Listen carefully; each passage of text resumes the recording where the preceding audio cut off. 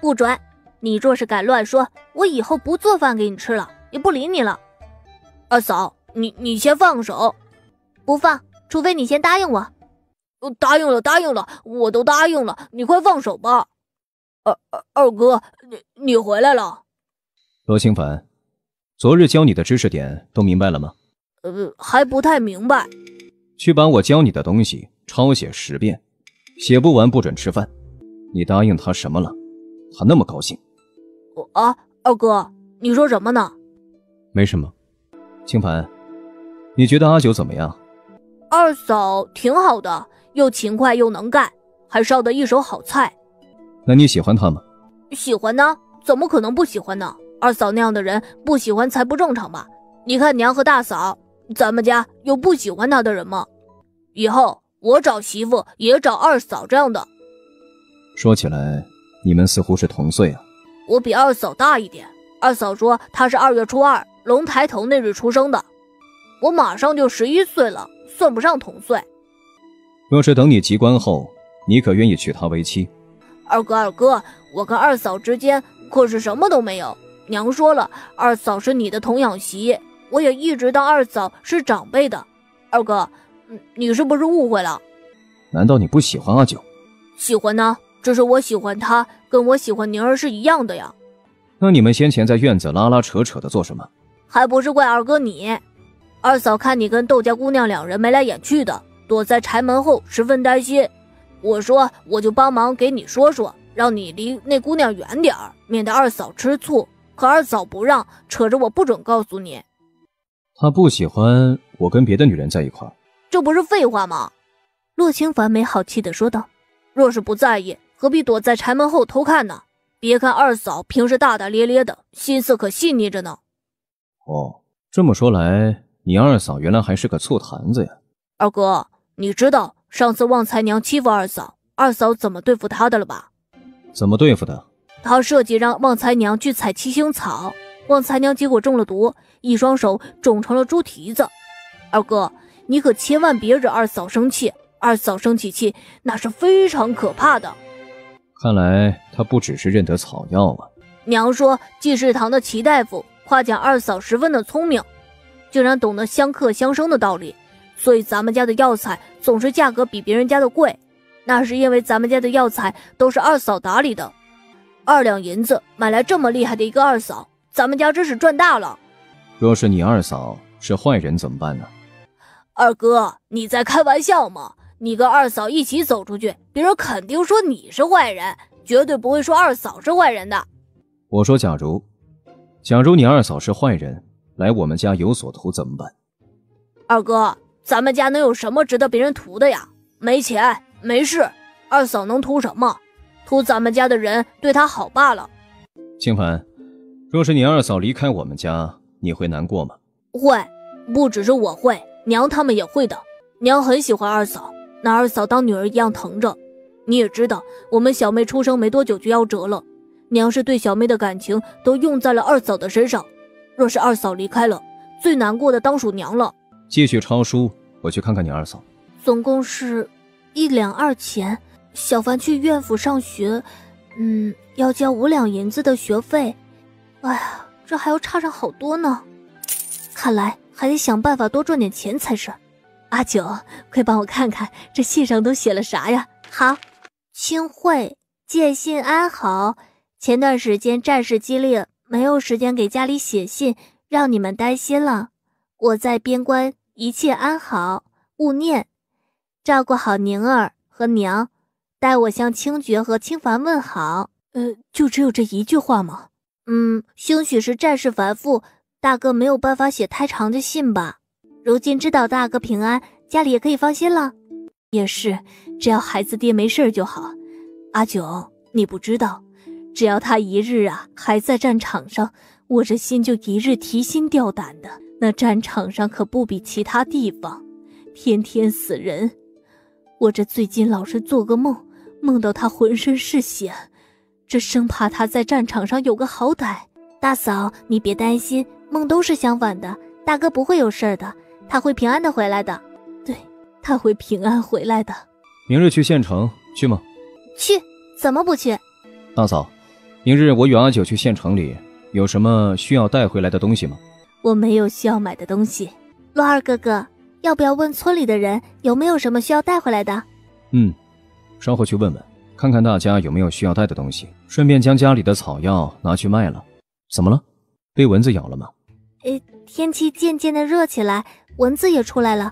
稍后我去弄一些驱蚊的药草，给大家做成药包带在身上，这样的话蚊子就不会来咬我们了。要我帮忙吗？你会缝荷包吗？调皮，我连针线都拿不稳，如何又会缝荷包？你这不是故意为难我吗？那就只能让大嫂帮忙了。哦，荷包的话倒是有现成的。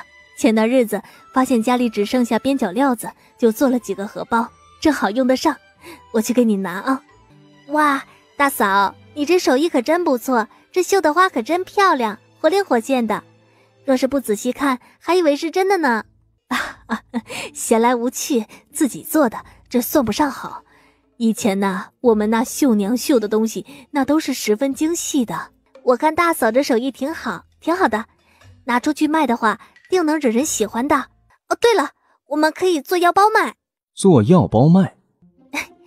驱蚊包做好了。那大嫂，明日上县城去，我们去买一些好的料子，用来做荷包。到时候晒干的花朵和药材混在一起，做成荷包，拿出去卖，一定好卖的。呃，可是我会的花样并不多呀。那我来画花的样子，你来绣，绣好的成品呢，送到县城里去售卖，如何？好，听你的。大嫂、二嫂，你们真是太厉害了，竟然做出驱蚊的荷包。果然，一挂上，蚊子都离得远远的了。嗯，蚊子都不咬宁儿了。二嫂，你拿宣纸做什么？画花的样子啊。哎，阿九姑姑，这是鸡的尾巴吗？为什么这么长啊？这不是鸡，这叫凤凰。凤凰跟龙这种东西，只有皇族才能佩戴，普通百姓是不能佩戴的。哦，是这样啊。这是什么东西啊？头上还长着一只角。这个叫独角兽，乃是瑞兽，志怪说里有提到过。你有看过志怪说吗？明日去县城的书店帮你看看，有没有志怪说。若是有的话，买回来送你。谢谢二嫂。那大嫂，你看看能绣吗？阿九，你的手可真巧，这花样子可真好看。大嫂，这绣花样子的事情就交给你了。明日去县城，我们。哦，洛二哥哥去选了布料之后拿回来，你就做荷包。好，二哥，明儿去县城，你一定要帮我把志怪说给买回来。这书太有意思了。若是找到，就给你买。谢谢二哥。明日你们去县城，别忘了买一些吃食回来。娘，你放心，我会记住的。顺便去给清凡看一看学府，清凡上学府的银子，我会想办法凑齐的。明日去县城里，可不许苛待了阿九。他想买什么东西啊，都让他买。上次跟我一起去城里，他给家里所有人买了东西，唯独没给自己买。这孩子啊，都不知道心疼自己啊。我知道了，娘，你放心吧。唉，云阿九，你到底是什么人？天色还早，路重，有些冷，你体弱，别又病了。阿九，饿了吧？先吃个饼，快喝口水。你吃那么快做什么？我又不跟你抢。你不吃吗？我不饿，那一人一半。有没有什么话想跟我说？你没话说就听我说吧。我知道你有很多秘密，不过你放心，我不会去查。你只要做你自己就好。你不想说的，我都不会问，也不会查。不会查你为什么会那么多东西，也不会查你为何会功夫。对于我来说，你只是云阿九，是我娘买回来的童养媳。但是对于外人，你要多个心眼儿，明白吗？罗二哥哥。我父母双亡，这是事实；被人杀害的也是事实。我对洛家的每一个人没有恶意的，这也是事实。若是洛二哥哥觉得我危险，我现在就离开。回去你就告诉伯母，我趁你忙的时候逃走了，伯母不会怪你的。上次你去往太阳山是想离开，对吗？是，因为你在，我不敢从村口走，没有办法才以身犯险走的太阳山。想跟我进县城，也是想逃走。是，为何？你给我很危险的感觉。我怎么就危险了？嗯，天天冷着一张脸，好似所有人都欠了你钱似的，又凶神恶煞的，动不动就用杀死你的眼神瞪着我，我能不怕吗？下次我会注意，不用那般凶恶的眼神看我。你也不笑，天天板着张脸，我怕。要不你笑个给我看看？你看，你看，你又用杀人的眼神看着我，就像那些强盗一样。我要是强盗，就把你抓回去，养起来当压寨夫人。洛清觉，我现在就是你的压寨夫人呢。其实你笑起来很好看的。有多好看？嗯，就像是初升的太阳。以后要多笑一笑。你要是多笑笑，我就不怕你了。这么说还是我的错了，笑的太少，让你觉得可怕。嗯，全家就你不笑，天天冷着一张脸，多可怕！你若是多笑笑，伯母也会很高兴的，宁儿也不会觉得你可怕了，村里的大姑娘小媳妇也不会对你退避三舍了。哦，不对，若是村里的大姑娘小媳妇都喜欢你。那我这个童养媳岂不是很危险？你放心，村里的大姑娘、小媳妇儿不会来跟你抢我的。吃东西不准坏笑。阿九妹妹，你来了，今日可是来卖草药的吗？嗯，家里已经存了不少了，就来了济世堂卖。济世堂的生意还是一如既往的好呀。哎，快进来坐，喝杯热茶，我去给你搬草药。客人看病还是买药啊？啊，他是跟着我一起来的。你跟这里的人很熟？哦，不熟，就只见过一次面而已。上次伯母过来卖过草药，那位小二哥是个很热心的人。我去给清凡找学府，你在这里不要乱走。稍后我来接你，可好？行，等掌柜算钱也需要时间，你去忙吧。不准乱跑，也不准逃走。这里不是太阳山，若是有事，我未必能找到你。我不走。小丫头，今日只有你一个人来吗？齐大夫。今日跟二哥哥一起来的，二哥哥有事去忙了，让我在这里等他。这里面装的是药材吗？嗯，装的是驱蚊的药材。蚊子总喜欢咬我，佩戴上这个，蚊子就会离我远远的。倒是别出心裁，你做的呀？啊，荷包是大嫂做的，药材是我负责的。这快到夏天了，蚊子也多起来，所以才想着做驱蚊的药包，这样就不用担心被蚊子咬了。好主意，这里面放了些什么药材？我闻了闻，有几味药材，我无法确定。里面放的都是一些普通的草药，研磨碎了之后呢，再将夜来香的花朵装进去，既能驱蚊，味道又不会显得难闻。这样的药包做出来应该很好卖。你们家里还做吗？做的啊，齐大夫要吗？我们可以做很多的，只是不知道在哪里卖比较方便。你下次来就带一些过来，放在济世堂里面卖，如何？谢谢齐大夫。啊，那这个药包，齐大夫若是喜欢就留着，下次我们再送过来一些。若是好卖呢，再多做一些。好，你家里人呢？去买东西去了，让我在这里等着。齐大夫，我们的草药能卖多少钱呢？把钱给你，可以给我的。我怕你弄丢了，等你家里人来了，给你家里人吧。嗯，也好，二哥哥很快就回来了。齐大夫，哎呀，齐大夫，快救命啊！齐大夫。你可要救救我呀！我这腿，我这腿不会废了吧？周老爷，实话实说，我不擅长接骨，你这个需要找接骨大夫。只是这骨头都冒出来了，刺穿了皮肉，只怕接骨大夫。小姑娘，你做什么？齐大夫，再不止血，他是会失血过多死的。正骨的大夫今日不在，我不会正骨，我马上叫人去请正骨大夫来。我会正骨，以前跟我爹学过。你当真会正骨吗？嗯，反正现在也没有正骨的大夫，不如让我试试，也让人去请大夫过来。若是我不行，等大夫过来再换人也是可以的。行，你试试，将人抬去后堂。你学过医术？嗯，以前跟一个行走的大夫学过一些，加上我娘是为人种植草药的，看过几本关于草药的书。这正骨可不简单，你除了学过正骨，还学过什么呀？只学过正骨跟识别一些草药而已。看过哪些医书？嗯，《伤寒论》《本草经》《温热论》等。小丫头，要不你拜我为师吧？你不愿意？不是的，齐大夫。二哥哥说你的医术最好，只是我住在清河村，一个月都难得进城一次，如何和你学医术呢？虽然我认识一些草药，可是光是认识草药还是不够的。这倒是个问题。怎么了？老夫想收这个小丫头当徒弟，可是这小丫头一个月都不进城一次，如何跟老夫学医术啊？想跟齐大夫学医术？明年吧，你可以现在拜齐大夫为师，明年再开始跟齐大夫学习医术，如何？齐大夫，可以吗？还叫什么齐大夫？叫师傅。是师傅，师傅，请喝茶。从今日起，你就是我的徒弟了。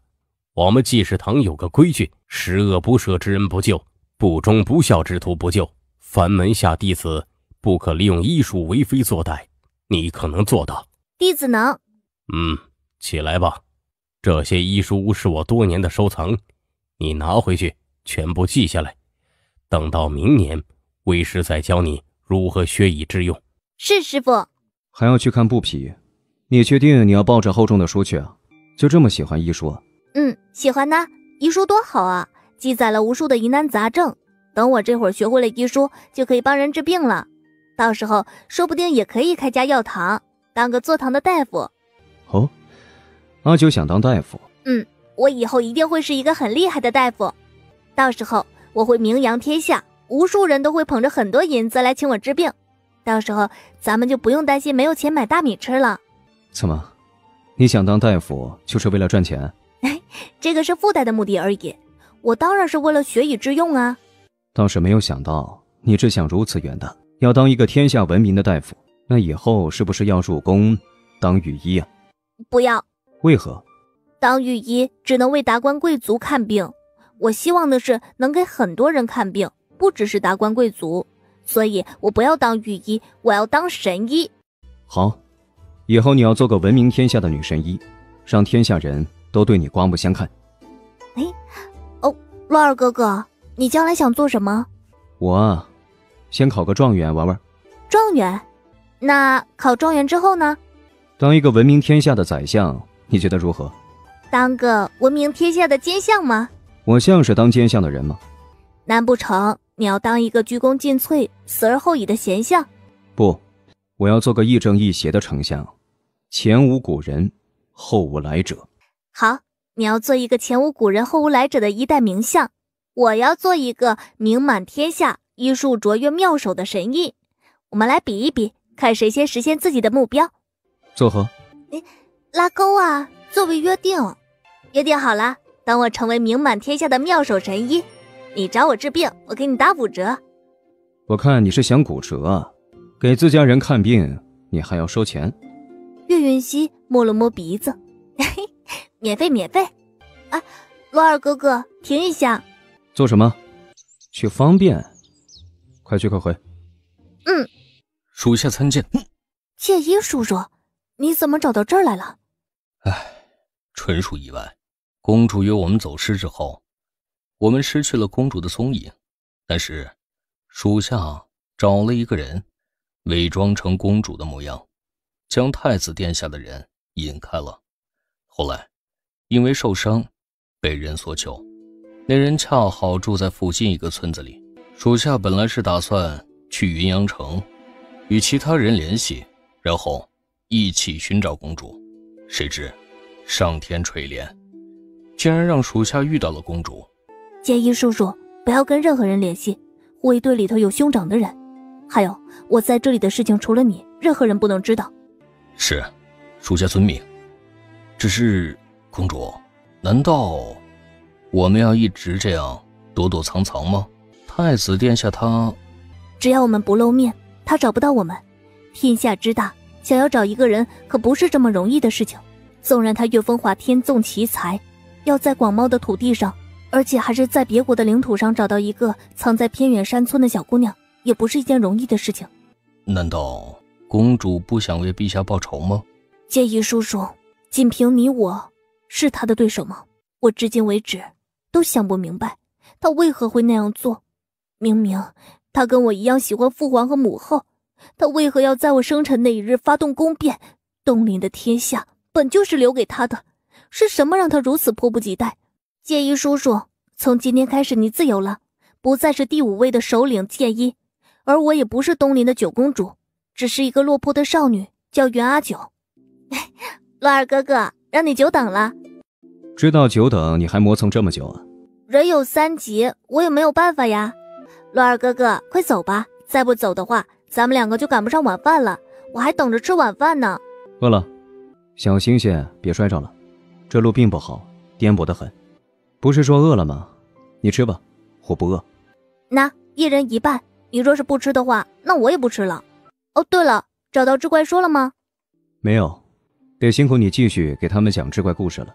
师傅说，做好的药包可以送去济世堂，先在济世堂卖。如果卖得好的话，到时候再多做一些。若是卖得好，指不定能赚够足够的银子呢。我在县里找了一份教书的事情，一个月也有二两银子赚，无需担心钱的问题。你还小，不用操心那么多。家里每个月开销也不小啊。家里一个月能花多少啊？嗯，每个月买米需要一百文，买文房四宝呢需要六十文，买肉菜需要八十文，买杂货需要一百文，偶尔还有个头疼脑热看大夫还要去掉一百文。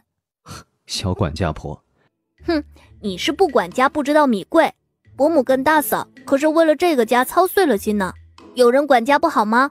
是是是，好。没说不好，你不也是为了这个家十分操心吗？所以你是我们家的小管家婆。二叔、阿九姑姑，你们回来啦！宁儿有没有想我们呢？嗯，想。你这小东西，想我是带好吃的回来没有？是吧？嘘，别告诉你二叔，我可没有给他吃的。这布不便宜吧？怎么有这么多钱买布吗？大嫂，你放心吧。我们第一批做好的药包直接送去济世堂，济世堂负责卖，卖的好的话就多做一些。现在呀，你就多做荷包，反正自己家也得用，卖不掉的话也不要紧。更何况现在是夏天了，蚊子也多起来，有驱蚊的药包应该还是有不少人愿意买的。阿九的厨艺又精湛了，做的饭呢是越来越好吃了，我这胃都被你养刁了。二嫂，你是不知道。中午你不在，我们都没吃多少饭呢。娘跟大嫂都觉得还是你做的好吃。哎，好吃就多吃点儿。近来枇杷也该熟了，不如我们将一些品相好的枇杷摘了，送去县城里卖，如何？咱们家就三棵枇杷树，今年结的果子也挺多的。这样吧，吃了晚饭之后呢，将枇杷摘下来，明日送去县城里卖了，能卖多少钱就算多少钱。只是，今日借了村长家的驴车，明日又借。伯母，我有一个主意，咱们清河村家里有枇杷树的人很多，这样好不好？明日二哥哥就去枇杷树的家里问问，问他们是否愿意将好的枇杷挑出来，过秤给二哥哥，送去县里面卖，卖出去以后再结算给大家。青爵，你觉得如何？可以。如此。明日就跟大家去说，让大家摘。后日四更的时候送到村长家过秤，由村长负责把关记录。二哥哥，你将枇杷销出去之后，再回来与大家结账。好，不准收旺财家的。好，不收他们的。这是什么歌儿？似乎没有听过。二哥哥，你没有听过的歌多着呢，我随便唱一首，你绝技没有听过。好，你唱一首来听听。岳云溪清了清嗓子。先是哼唱旋律，然后便唱起来。你这唱的是什么歌？哎，山歌呀！山歌一般都是男女对唱的，在苗地里，那些男女流行山歌对唱，来选择自己的意中人。女子唱歌，男子对歌。若是男子唱歌比这女子厉害，这女子就得选他为郎君。你去过苗地？没有，我爹告诉我的。那我是不是应该唱山歌回你啊？二哥哥，你真上道。只是你会唱吗？试一试吧。哎呦，是清绝吗？是的。刚才是你们在唱歌吗？没有。这么晚了，这是要上哪儿去啊？婶子，我们打算去找村长阿叔，跟阿叔商量点事情。婶子去哪儿回来的呀？啊，去了趟松儿家。这松儿娘啊病了，又不肯去看大夫，我带着周大夫去看看，可松儿娘不肯见周大夫。松儿也是六神无主的，我这不是担心吗？这松儿啊，才十四岁，这若是松儿娘有个好歹，这可叫松儿怎么办呢？啊，我好歹拾的一些草药，干脆我去帮松儿娘看看吧。二哥哥，你与婶子去找阿叔谈事情，我去看看孙二娘。啊，要不还是我陪着你去吧。清觉呀，你去找你阿叔啊，我去陪着阿九走一趟。二哥哥，你谈完事情来接我啊。好，稍后我过来接你，你可不能淘气先走了。阿九妹妹，这么晚了，你过来做什么？啊，我听说你娘病了，我过来看看。好歹我也跟着我娘学了不少，会医治一些风寒发热什么的。婶子说你娘病的挺重的，所以我就过来看看。我我娘没事儿，你们走吧，过两天就没事儿了。你看看，你看看，她就是这个样子，将所有人关在门外。你说你娘没事儿还好，你娘要是有个三长两短，我看你怎么办？你娘辛辛苦苦把你拉扯大，如今她病了。你却不让大夫给她看病，你这安的什么心呢？你这孩子怎么就这么狠心呢？开门，让我进去看看你娘。我说了，我娘没事儿。你们快走吧，我娘有我照顾就够了。婶子，你先回去，我在这儿陪着严嵩哥说会儿话。你一个人在这儿，我也不放心，我陪着吧。婶子，你先回去吧，一会儿二哥哥过来接我，你就不用担心。再说。这村子里能出什么事儿啊？严嵩哥哥，开门吧，婶子已经走了。阿九妹妹，你回去吧，我的娘真没事儿。你娘咳嗽的声音很虚弱，说明病的不轻。你不让人进去看，因为这病不能让人知道，对吧？快点开门吧，只有我一个人在，我保证不会告诉任何人你娘的情况，只是进去看看她。阿九妹妹，我娘，我娘她，我好怕。我先进去看看，呃，进去不得，阿九妹妹，进去不得，会传染给你的。得了传染性的疾病，是麻疹还是水痘？都不是，那就是天花了。赵岩松，喂，赵岩松，这里哪有生石灰？呃，生石灰是什么东西啊？哦，就是云石。清河村的附近哪里有云石可以挖？太阳山。太阳山往东北的方向走，有一个地方有许多云石。阿九，要云石做什么？消毒，不只是你们家，整个村子都需要消毒。阿九，你不要告诉村里人，村里人会将我们赶出去的。你答应过我，不会告诉任何人的。阿九，你答应过我的。赵岩松，你给我消停一点，这不是小事儿。你可知道，你娘感染上了贴花，就说明清河村的周围有感染源。若是不早防御，整个清河村的人都会没命的，你明白吗？我不管，总之你不能告诉别人。若是你敢告诉别人，我不会让你告诉别人的，我绝对不会让你告诉别人的。快出去，别进来！说什么胡话？二哥哥，这不是什么胡话。宋二娘感染上了贴花，十分的严重，清河村里定然有感染源。你马上弄一些云石回来，越多越好。整个村子都需要消毒，村民家里可以用熏醋和熏艾的方式消毒。我已经给松儿娘喂了药，病情暂时可以控制下来，但是要痊愈的话还需要时间。另外，我写一张药方给你，你马上去抓药熬药，挨家挨户每个人必须要喝。另外，让村长每家每户的搜查，看看有没有其他的感染者。你不能待在这里，我不能离开。我若是离开了，孙儿娘就死定了。你也救不了她。二哥哥，事关整个清河村村民的性命，其中还包括伯母、大嫂、小凡，还有宁儿。那，这是预防贴花的药方。运气比较好的是，这些药材清河村都有。让周大夫帮忙选取药材，然后熬了，挨家挨户的送。那你呢？我不会感染贴花的，贴花对我无效。为何？因为出过贴花的人是不会感染上贴花的。我马上去办。啊，去找阿叔帮忙，不要慌，记住稳定住人心。还有云石，越快越好，将清河村封闭起来，不准任何人出去，以免扩大事态。好。闭上眼睛，不准看，我让你睁开的时候才能睁开。洛清觉不知道岳云熙要做什么，但是还是很听话的闭上眼睛。岳云熙将先前取出的疫苗给洛清觉打了一针。洛清觉接触过他们，必须打疫苗，以免被传染。好了，可以睁开眼睛了，快去吧。你照顾好自己。请觉，出什么事儿了？村长，请你立刻下令封锁清河村，任何人不得出入。这是为何呀？松二娘感染了天花，附近没有传闻，那么清河村应该是感染源。阿九写了预防天花的方子给我，我还要去找周大夫帮忙抓药，但是任何人不能离开或者进入清河村，以免事情发展到不可控制的地步。还有，动员村里的男人去挖云石，越多越好。感染了天花，松儿娘感染了天花，那阿九呢？阿九人呢？他有没有事儿啊？阿九在照顾松儿娘。你疯了！你怎么敢让阿九去照顾松儿娘？松儿娘不是什么小病，那可是天花呀，不治之症啊！她还是个孩子，你怎么能如此狠心呢？好了，阿月，事情已经成这样了，清爵说的对。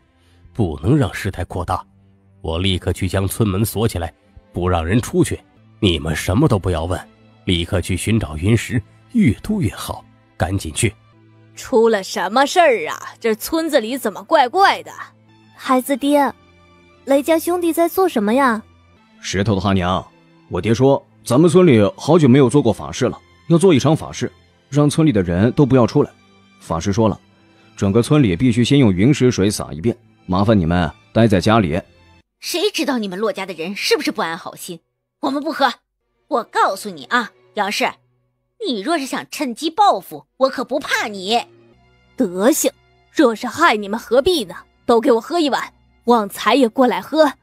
旺财爹本就是个吃软怕硬的性子，这村长媳妇一发火，赶紧接过去，一口就喝了。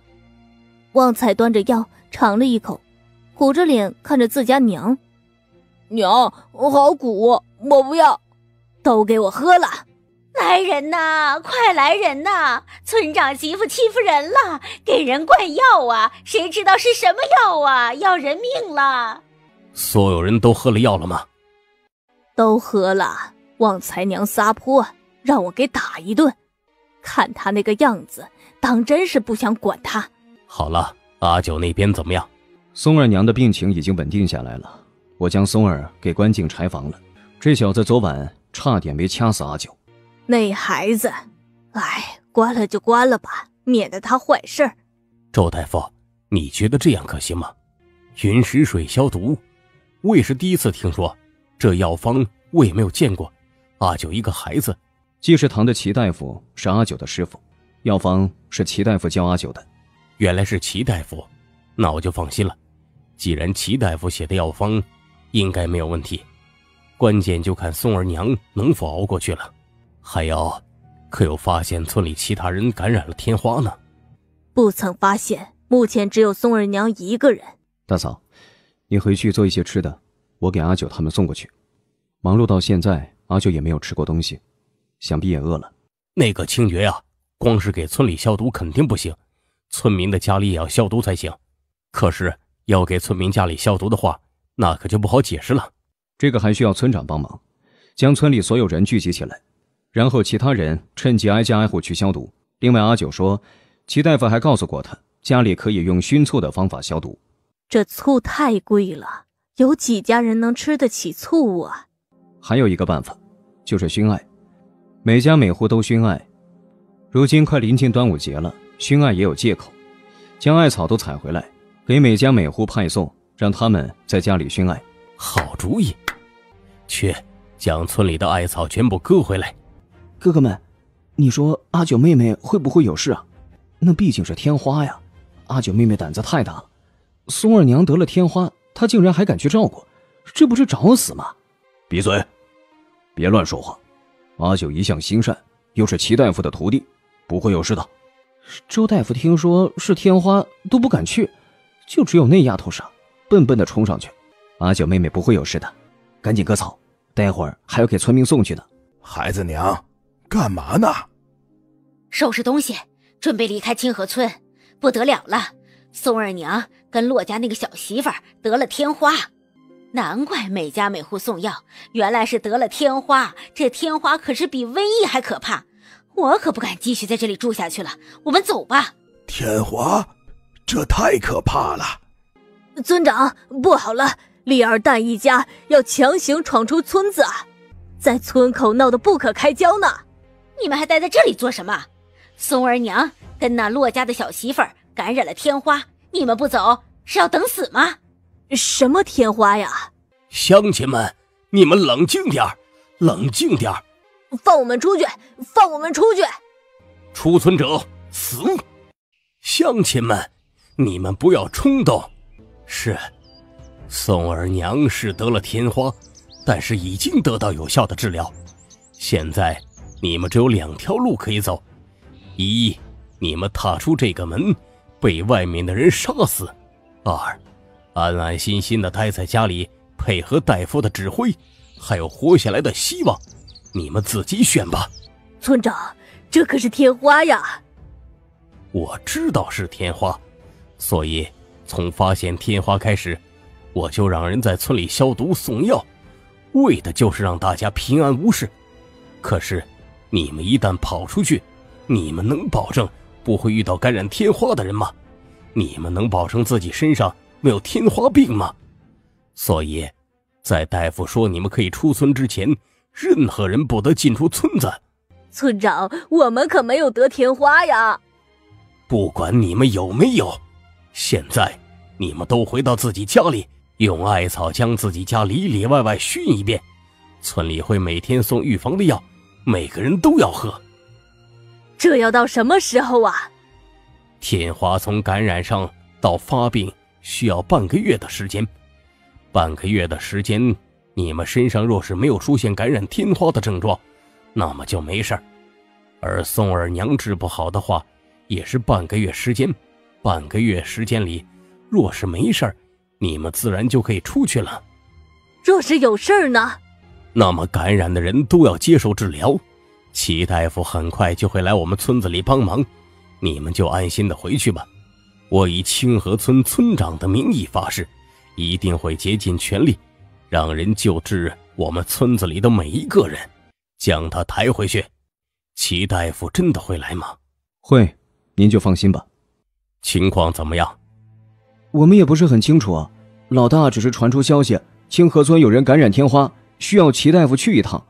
而且清河村已经封村了，迄今为止没有放任何人出来。这是什么味道？云石水的味道。阿九说用来消毒。如今病人情况如何呀？不知。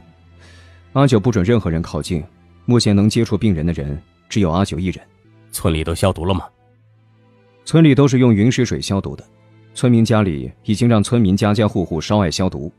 阿九给出一张药方，说是预防感染天花病毒的，齐大夫看看是否有用。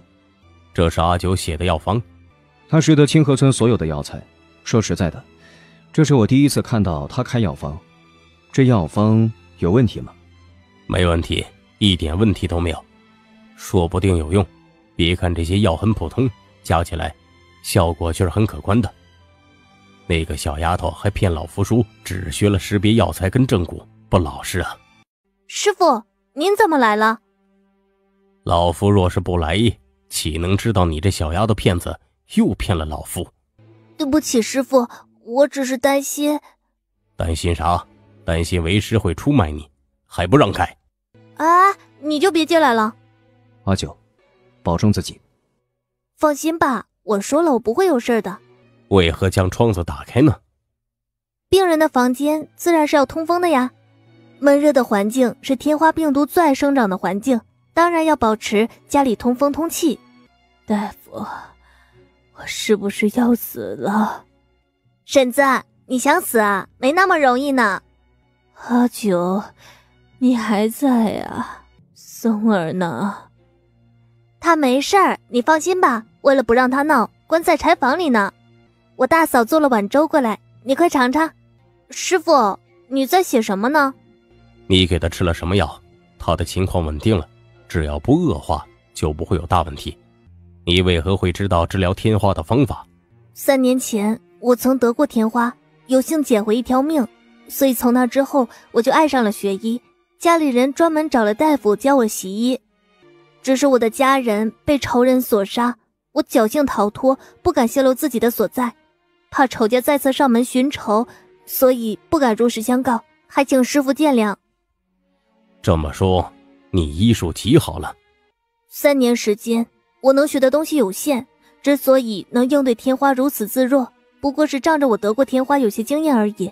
还请师傅千万不要嫌弃我。臭丫头，今日咱们师徒就联手，制止这天花嚣张的气焰。清觉啊，阿九真的不会有事吗？娘，齐大夫也在，您就放心吧。阿九不会有事的。哎，别绣了，休息一下吧。你这两日都绣了不少荷包了。娘，我不想停下来。这一旦停下来呀，我就忍不住胡思乱想。阿九他才不过十岁，他怎么就不知道害怕呀？娘，你们就别瞎担心了。阿九曾经出过天花，而出过天花的人是不会再得天花的。洛清觉轻声的说道：“你们就别担心，纵然是我们所有人都染上天花，阿九也不会有事的。”你说那孩子曾经出过天花？阿弥陀佛，菩萨保佑，保佑阿九平平安安，什么事儿都不要有。二哥，不是说得了天花的人都会死吗？是大多数都会死，少数人能活着，而阿九就是这少数人中的一个。那二嫂还真是福大命大。娘，阿九姑姑什么时候回来呀？宁儿都好几日不曾见到阿九姑姑了。阿九姑姑啊，去救人去了，过些日子才能回来。到时候宁儿又能吃到阿九姑姑做的饭了。今日不能回来吗？今日阿九姑姑回不来，不过只要宁儿乖乖的，阿九姑姑很快就会回来了。嗯，宁儿一定乖乖听话。我去做饭，一会儿清觉给送过去。娘他们很担心你，你几日不曾回去了。宁儿也吵闹着要见你，再过几日就能知道情况，到时候病人的情况稳定，我就回去。过几日是几日？七日，七日后就见分晓了。地里的麦子也熟了，你们把地里的麦子割回家吧，打出来，等我回去就可以做好吃的给大家吃了。好，我们都等你回家。放心吧，我不会有事的。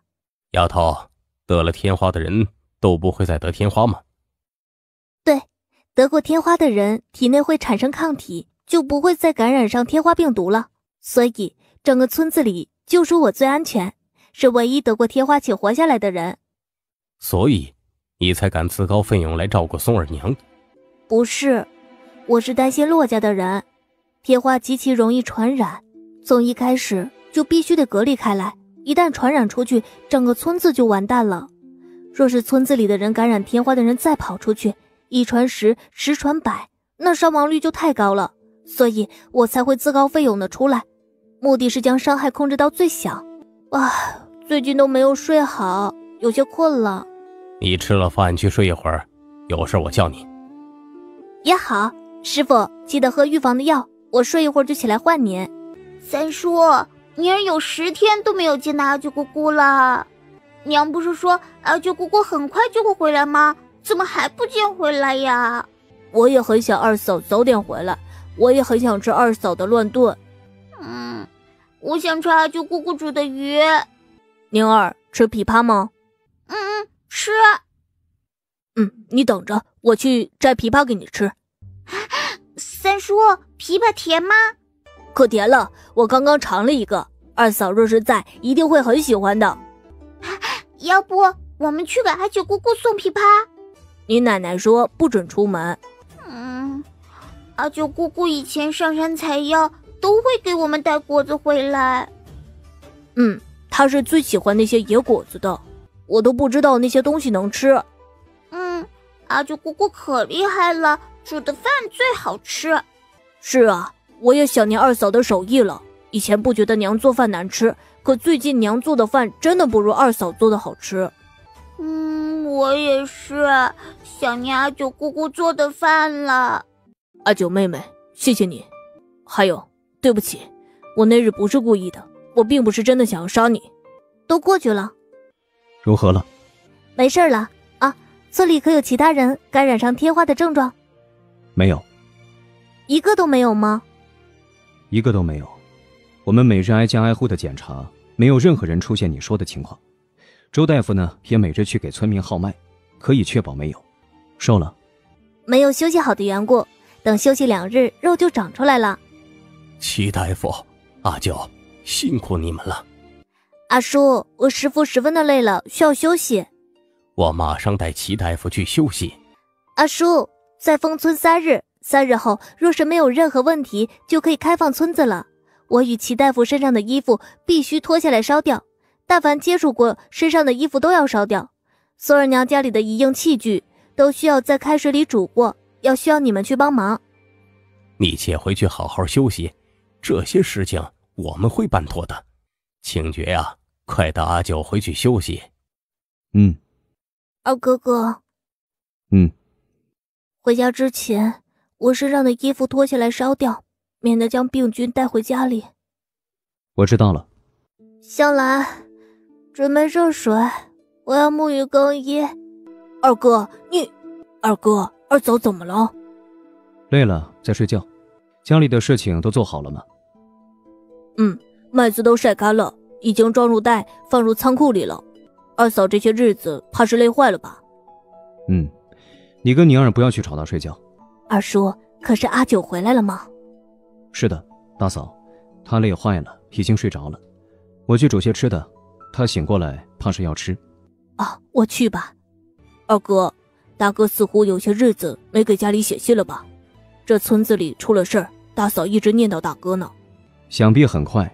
大哥的信就会寄回来了，不用担心。宁儿还没有见过大哥呢。大哥去参军快五年了，这宁儿都快满四岁了。阿九呢？累得很了，从回来就一直在睡，到现在都还没有醒。让他好好睡吧，这段时间想必也没有睡过一个囫囵觉。好在他的辛苦没有白费，松二娘被救回来了，村里也没有其他人感染上天花。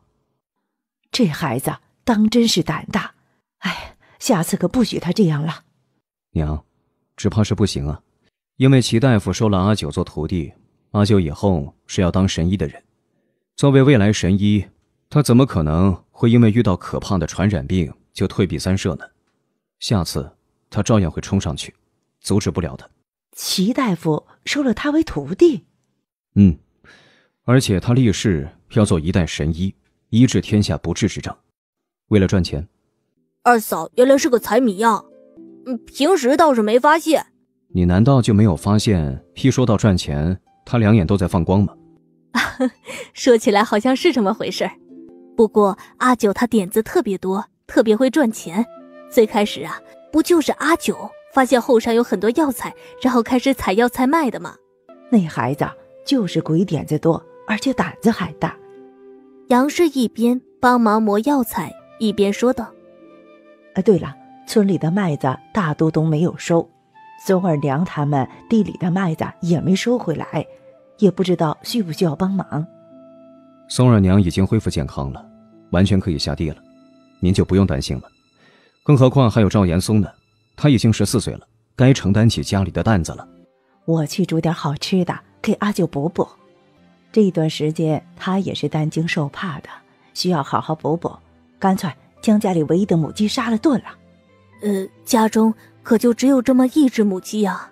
反正这只母鸡也许久不下蛋了，干脆炖了，给阿舅补补。嗯，过些日子去城里买一些鸡仔回来喂。可是家里现在并不富裕，这用钱的地方……大嫂不用担心，宁儿从明年开始就去村里的学堂上学，到时候学费由我负责。哇，什么东西啊？好香啊！醒了，醒了就赶紧去洗漱，一会儿就可以吃了。伯母做了什么好吃的？太香了，我口水都要流出来了。先喝点汤暖暖胃。这些日子，瞧瞧你都瘦了。哇，伯母炖的鸡汤可真好喝。娘为了给你补身子，可是将家里唯一的母鸡都给炖了。好喝吧，二嫂？嗯。谢谢阿九姑姑，宁儿多吃点儿，快吃吧，奶奶给你的，你就放心吃。谢谢奶奶。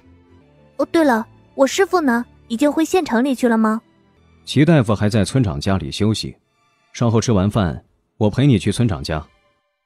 哦，对了，阿九，你不在这些日子，我已经做了不少的荷包，要不要先做出一些药包出来？已经做出来许多了吗？做了多少个了？啊，三十个。我做的慢了点儿，所以才做了三十个。三十个不错，我先弄一批驱蚊的药包。走吧。师傅最近可是受累了，若不是师傅，我还不知道要怎么办呢。毕竟是天花呀。你还知道后怕呢？我还以为你不顾一切，什么都不怕了呢。当时我只是想着救人嘛。二哥哥，你别生气啊。救人犯得着将自己搭上吗？二哥哥，我可是立志要做神医的人，连小小的天花都不敢上的话，那么也不用当什么大夫了，直接当个缩头乌龟好了。就你有理。本来就是嘛。若是连病人都不敢救，哪里还自称什么大夫啊？我看还不如在家里种红薯。哟，厉害了！你还会种红薯啊？知道红薯怎么种吗？行了，知道你做的对，做得好。我只是希望你能先保护好自己。没有把握，我也不会乱来。二哥哥，你就放心吧。你心里有数就好。对了，二哥哥，清凡去学府里面上学之后，我们给他找一个舞狮吧。怎么想起给清凡找舞狮啊？清凡说他将来想做一个大将军，那身为大将军不会武功怎么行？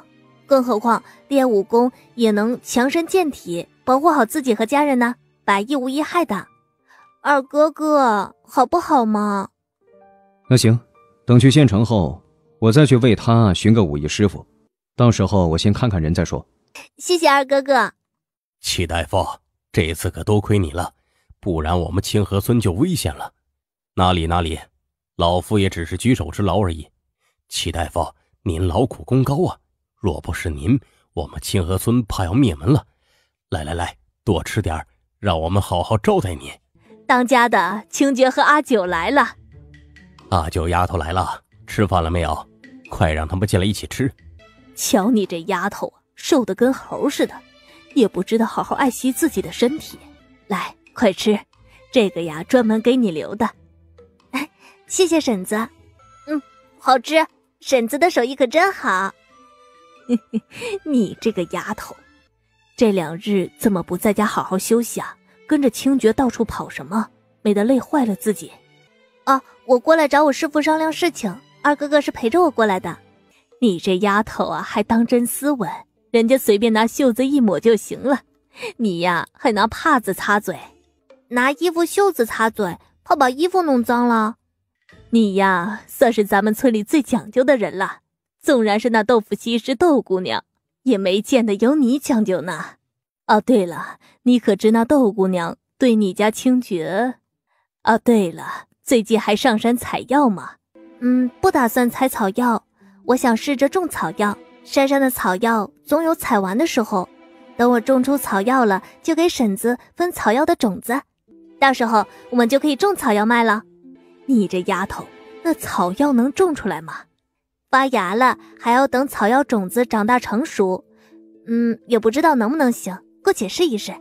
反正伯母跟二哥哥也赞同，将屋后的那块地都开出来给我种草药了。好，婶子啊，就等你成功种出草药后，等你分种子给婶子。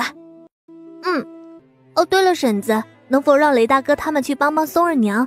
孙二娘的身子才恢复过来，他们地里的麦子怕是没人收，能否让他们过去帮帮忙呢？稍后啊，我让老大去孙二娘那里看看，若是她愿意，就让老大跟老二去帮忙收回来。那就有劳婶子啦。我怎么没能生个女儿呢？竟是生了些男娃子。这若是有个女儿啊！定当也如你这般贴心又可爱，哎，婶子，别人家都想生儿子，就你想生女儿，这儿子多好啊，下地干活什么都行。女儿力气小，可不如儿子这般能帮您下地干活呢。女儿啊，就是拿来疼的，哪能舍得下地干活呢？我要是生个女儿啊，定然送她上学堂学刺绣，学城里小姐学的东西，然后啊。给她也找个秀才相公，要她一辈子都是个享福的命。哦，对了，听说清凡呐，在九月就开始去县城里上学了，这是真的吗？是的，二哥哥已经找好了学府，就等着秋收后就去学府报道了。呃，这要是学府上学的话，要交多少钱呢？听说是五两银子，这么贵呀？家里还有那么多钱吗？哎，真是苦了杨氏了，一个人拉扯大三个孩子啊！阿九啊，清河村真是个好地方啊！可不是吗？你若是喜欢，可以常来呀。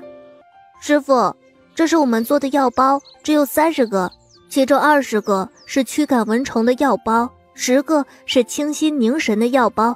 就放在济世堂卖了，工钱、药钱成本大概在十文钱的样子，师傅就卖三十文钱，盈利的部分我们五五分。不错，绣的真不错，这是你大嫂的手艺吗？嗯，我大嫂刺绣的手艺可极好，您看看这做工，绝对不比县里的绣娘手艺差，保证着那些大姑娘小媳妇见了都喜欢。哈哈哈，是是是，这手艺大姑娘小媳妇都喜欢。行了，东西送到我手里了，我就先拿回去试卖。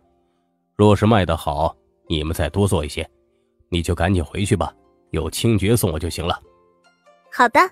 可有什么需要我带回来的？早去早回，一定要平安将师傅送回家。嗯，我知道了。阿九妹妹，啊，豆姐姐，这是去上哪儿啊？啊，去村东头看看家里的黄豆如何了，毕竟要做豆腐。哦，那行，那你去忙，我就回家了。哎哎，阿九妹妹，不如你陪我走走吧。阿九妹妹，清觉哥是送齐大夫回城了吗？嗯，齐大夫在清河村已经待了许久，孙二娘的病已经好了，自然没有必要再继续的留在村子里。阿九妹妹，你想你的家人吗？嗯，也没有什么好想的，他们都死了。那家里已经没人了吗？嗯。已经没人了，今年你才十岁吧？嗯，十岁。清觉哥也已经十八岁了呢。等阿九妹妹长大了，清觉哥都二十二岁了。阿九妹妹，你离开清河村吧，算我求你了，可好？纵然没有我，二哥哥也不会娶你的。只要没有你，清觉哥会娶我的。他不会的，不只是他不会，伯母也不会允许他娶你的。骆家的男人是不会允许去上门的，我不求他上门，只求他娶我就行。那也不可能，二哥哥不喜欢你，所以他不会娶你。你怎知他不喜欢我？你不过是个外来人，是个无父无母的孤儿，如此厚着脸皮赖在骆家，不过是看中清觉哥的容貌而已。你有什么能比得上？清觉哥会为了你而放弃我吗？我要回家了，你站住！我叫你站住！你听到没有？你放开我！你放开我！二嫂，二嫂，你在哪儿啊？喂，陆清凡，你这是想不开要把自己淹死吗？哎，秦有才，我二嫂落水了，快帮忙救人呐！秦有才一听岳云溪落水，当即跳下去去寻人。好在秦有才会游泳，很快将呛了不少水的岳云溪救上了岸。哎，二嫂，二嫂，你怎么样了？你离我二嫂远点我我不是故意的。二嫂，我们先回家。坏女人，坏女人！要命啊！你这死孩子，干嘛弄得一身湿啊？哟，阿九，清凡，这是怎么了？儿子，这是咋了？窦一把阿九推河里去了，想把他给淹死。什么？这还了得？这道医咋的这么狠毒啊？胡婶赶紧推自己的儿子回去把湿衣服换掉，自己则跑去村长家，添油加醋将窦一把岳云溪推下河，想要淹死岳云溪的事情说了遍。这是咋了？清凡，这是怎么回事？你们怎么一身都湿透了？坏女人，坏女人推阿九姑姑下河。谁推的？是窦一。杨婶子，啊！窦一，我家阿九哪里得罪你了？你这么狠毒，推他下水，你这是要他的命啊！姚婶子，我我不是故意的。你不是故意的，难不成是我家阿九自己跳下去的？是他推的，我亲眼看到他把二嫂推下去的。你还不去换衣服？阿九，你先泡着啊，我去煮碗姜汤。杨嫂子，对不起，对不起啊，我窦一鲁莽，他一向心善，绝对不是故意的。鲁莽，不是故意的？我看他是诚心要人命吧。哼，我也不想跟他说什么。麻烦你告诉你女儿，离我家阿九远点。杨嫂子，实在是抱歉啊，窦姨她心地真的不坏，兴许这里面有误会。不如这样吧，去把阿九叫出来，让阿九来说说窦一为何推他下水。啊，杨嫂子，这阿九怎么样了？在屋里泡澡呢。这个天儿泡了冷水，也不知道会不会风寒入体。啊，那我去看看他。阿九，你告诉大家，这到底发生了什么事儿啊？窦一他为何推你下水？阿九啊，你别怕，伯母会给你做主的。伯母，他不是故意的。他当真不是故意的？嗯。既然他不是故意的，这件事就这么算了。哎，谢谢村长了，胡婶子，谢谢你们家有才。清凡说，若不是你们家有才，今日我家阿九就危险了。哈哈，有才也是恰好路过，是你们家阿九运气好。清凡说，他亲眼看到窦一将他推下水的，你为何要护着他呀？他当时确实不是故意的，倒是他太激动了，手上没个轻重。就把我推下去了，二嫂，你就是太心软了。那窦一都想要你的命，你还替他开脱？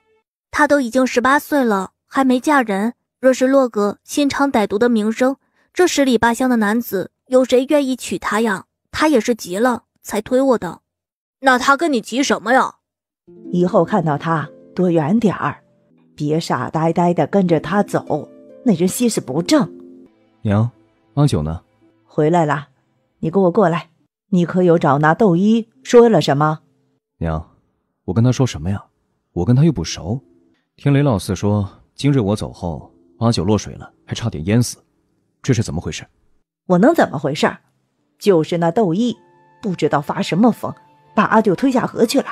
当初本来想替你说这门亲事的，那姑娘端着架子要你上门，自然就黄了。还好这事儿没成。瞧这心思歹毒的！连个十岁的孩子也下得去手，今日要不是齐有才路过，非得把这淹死不可。你以后别老是欺负有才，人家好歹也救了阿九。你说他跟阿九有什么深仇大恨，把不会水的阿九推河里去？若是阿九有个三长两短，他以为他能落到好处？咱们家阿九在村里接人待物也都是极好，待他也不差。平日里都是斗姐长，斗姐短的，结果他就怎么对阿九的，当真是狼心狗肺。我去找他。你给我回来！找他做甚呢？你给我离他远点儿。我算是看清楚了，那窦一对你有心思，才这般对阿九的。你若是去了，他还以为你对他也有情呢，指不定又干出什么事情来。我就希望窦老汉是个拎得清的。赶紧将那窦一给嫁出去，免得留在家里是个祸害。阿九现在怎么样了？受伤没有？倒是没有受伤，就是呛了不少水，吓坏了。现在睡了。那孩子啊，心太软，人家都推他下水了，差点要了他的命，他还替那窦一开脱。你说那窦一咋就那么心肠歹毒呀？平时也没看出来。娘亲眼看到窦一推阿九的。哪里是我亲眼看到的呀？是清凡跟宁儿亲眼所见。那窦一将阿九推下了河，清凡当时就吓坏了，下水去寻人，可他也不会水，下水后淹到脖子了，当即就傻了。还好秦有才路过，帮忙把人救起来，三个孩子一路哭着回来。我这心呐！娘，别太担心了，这件事我会处理好的。我先去看看阿九。啊。是二哥哥回来了吗？嗯，我没事儿，回来泡了热水澡，大嫂又熬了姜汤给我喝。二哥哥，你吃过晚饭了吗？吃了。二哥哥，今日以后谁敢欺负你，给我狠狠的打回去，有事我担着，不管对方是谁，敢欺负你，你就给我打回去。那二哥哥欺负我怎么办？二哥哥不会欺负你的，你放心吧。当真吗？嗯，我不会欺负你，我保证。那二哥哥以后若是欺负我，就罚罚我天天给你洗脚，可好？好，这可是二哥哥你说的，可不是我逼你的。二哥哥，豆姐姐她，她以后不会再来找你麻烦。二哥哥，你不会要去找豆姐姐吧？我不许，你不许去找她，她就是因为你才推我。反正我不管，你不许去找她。好，我不去找她，你乖乖睡觉，等你睡着了，我再出去。等我睡着了，你也不许去找她。放心，我不会去找她，乖乖睡觉。大人，这下河村鲁家是个什么样的人家？鲁家家境较为富裕，家里世代都是屠夫，杀的一手好猪。这鲁贵二十有二，也算是年轻有为，年纪轻轻的就学会他爹的手艺，在下河村也颇为有名，家境也算是殷实，与你家女儿乃是良配。窦老汉，你看看，你家女儿十八了还未出嫁，咱们大人也甚是忧心。要知道，女子十八不嫁，其父母可是要问罪的。小老儿明白，小老儿明白。阿姨的婚事也一直是我心头的疙瘩，如今有县城大人做媒，这门亲事自然是极好的。我们答应了，既然你答应了，本官回去就通知鲁家过来提亲，你们两家也商量个合适的日子，早日把你女儿嫁出去。这女儿大了留不得，小心留来留去留成仇啊！哎，是是是，多谢县城大人。哎，窦老汉，这县城给你们家窦一说的是谁家的呀？下河村鲁家。下河村呐，这离我们也不算远。这鲁家是个什么样的人家呀？卖猪肉的，屠夫啊，那与你们家斗衣倒是颇为匹配啊。可不是嘛，县城大人也是这么说的，说是我们家寇一呀，与那鲁贵乃是良配，鲁家过几日就会上门来提亲。阿九啊，这上哪儿去啊？啊，婶子好，我去给屋后的草药浇水。这天气有些热了，免得干着了。阿九，刚才呀，县城来咱们村了，你猜他来做什么？嗯，找阿叔的。不是，是给窦一说亲的。说的是谁家的少年郎啊？下河村鲁家的鲁贵。嗯，婶子，那鲁贵为人如何？据说为人挺老实的，他们家祖上都是屠夫，这家境啊颇为殷实。窦一呀也算是高攀了。啊，那这是一门好亲事啊！这当然是一门好亲事。你看窦一每日起早摸黑的在家磨豆腐，能赚几个钱？人家鲁家呀是卖猪肉的，别的不说，这隔三差五总能吃上一顿肉吧。窦一嫁过去了。日子不知道多好过呢，窦大叔跟窦姐姐都答应了吗？这么好的亲事能不答应吗？你没看你那窦大叔啊，笑得跟朵菊花似的，高兴的很呐。至于窦一，他还折腾啥呀？都十八岁的大姑娘了，还不嫁人，留在家里平白让人笑话。那真是太好了，到时候窦姐姐成亲的时候，我也去讨个好彩头。行行行。啊，你忙啊，我先回去了。二哥哥，窦姐姐这么快说亲，不会是你干的吧？鲁贵还不错，虽然他推你下河着实歹毒了一点，但是我也是为他挑选了好人家，你大可放心。那就好，你说的是好的，定然是好的。你就那么相信我？当然，若是连你都不能相信，那我还能相信谁呀？怎么了？哇，二哥哥。你再去帮我打一桶水来呗，阿姨，你去哪里了？你跟我进来。我说阿姨啊，骆家你是绝对不能去的。如今骆家的每一个人都讨厌你。哎，这怎么哭了呢？可是有人欺负你了？别哭别哭，你若是不想嫁啊，爹就去回绝了县城大人，大不了是没法继续在清河村待下去而已，没关系。爹，我我嫁。你说什么？我嫁，陆家挺好，女儿嫁了。你这扫把星，滚出清河村去！要不是你得了天花，我家男人至于受伤吗？娘，你让我出去。哎，别去，让他闹吧，等他闹够了就会走了。可是我们就这样任他欺负吗？他男人受了伤，是因为不听祖劝，非要出村子才会受伤的。跟我们有什么关系？他割走我们地里的麦子不说，还天天往我们家砸石头。如今得寸进尺，往我们家门口泼粪水。娘，这泼妇是让不得的。松儿，你就让他去吧。娘这次出了天花，连累了村里的所有人，他们都怨恨我，也是应该的。只是委屈了你呀。儿子不委屈，儿子就是生气。那旺财娘就是个欺软怕硬的。以前欺负阿九妹妹，如今欺负不到阿九妹妹，又来欺负您。蔡碧，滚出清河村去！你这扫把星，别把天花传染给别人了，快滚！我当是谁呢？跟个泼妇似的，原来是你啊！妖怪，你是妖怪！哇，妖怪专吃你这种坏女人！你等着，我不会放过你们的。赵婶子、严嵩哥哥，你们在家吗？我是阿九，阿九妹妹。呃你怎么来了？你就允许那人在你家胡来呀？那人就是那样，你越是忍让，他越是欺负你。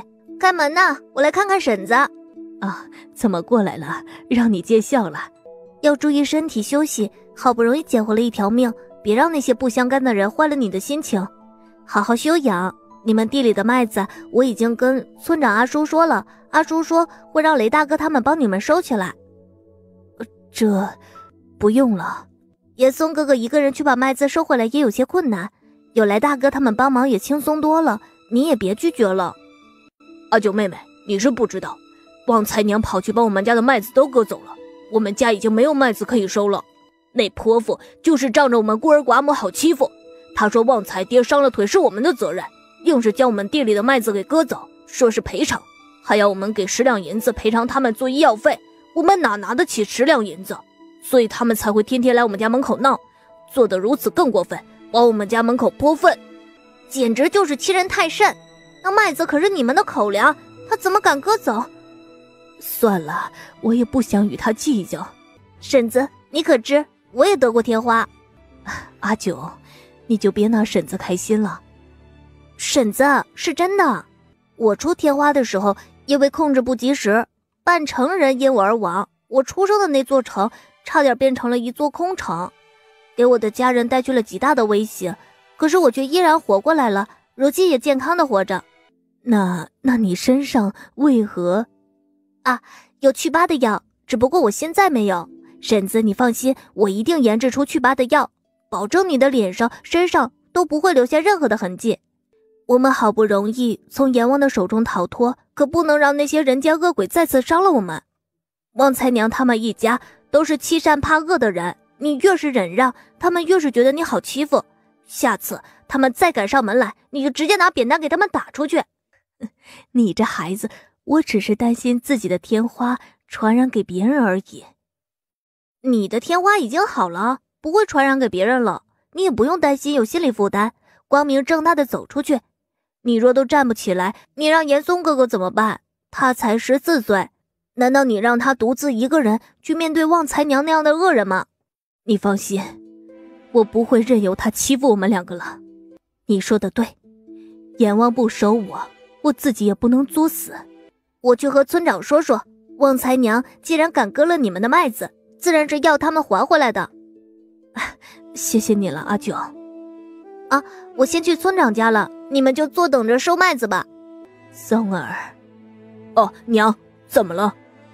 将那些石头垒在一起，下次旺财娘若是再敢过来，就把这些石头砸回去。娘病了这些日子，他倒是猖狂了，真当我们孤儿寡女好欺负了。我倒要看看他到底有多不要脸。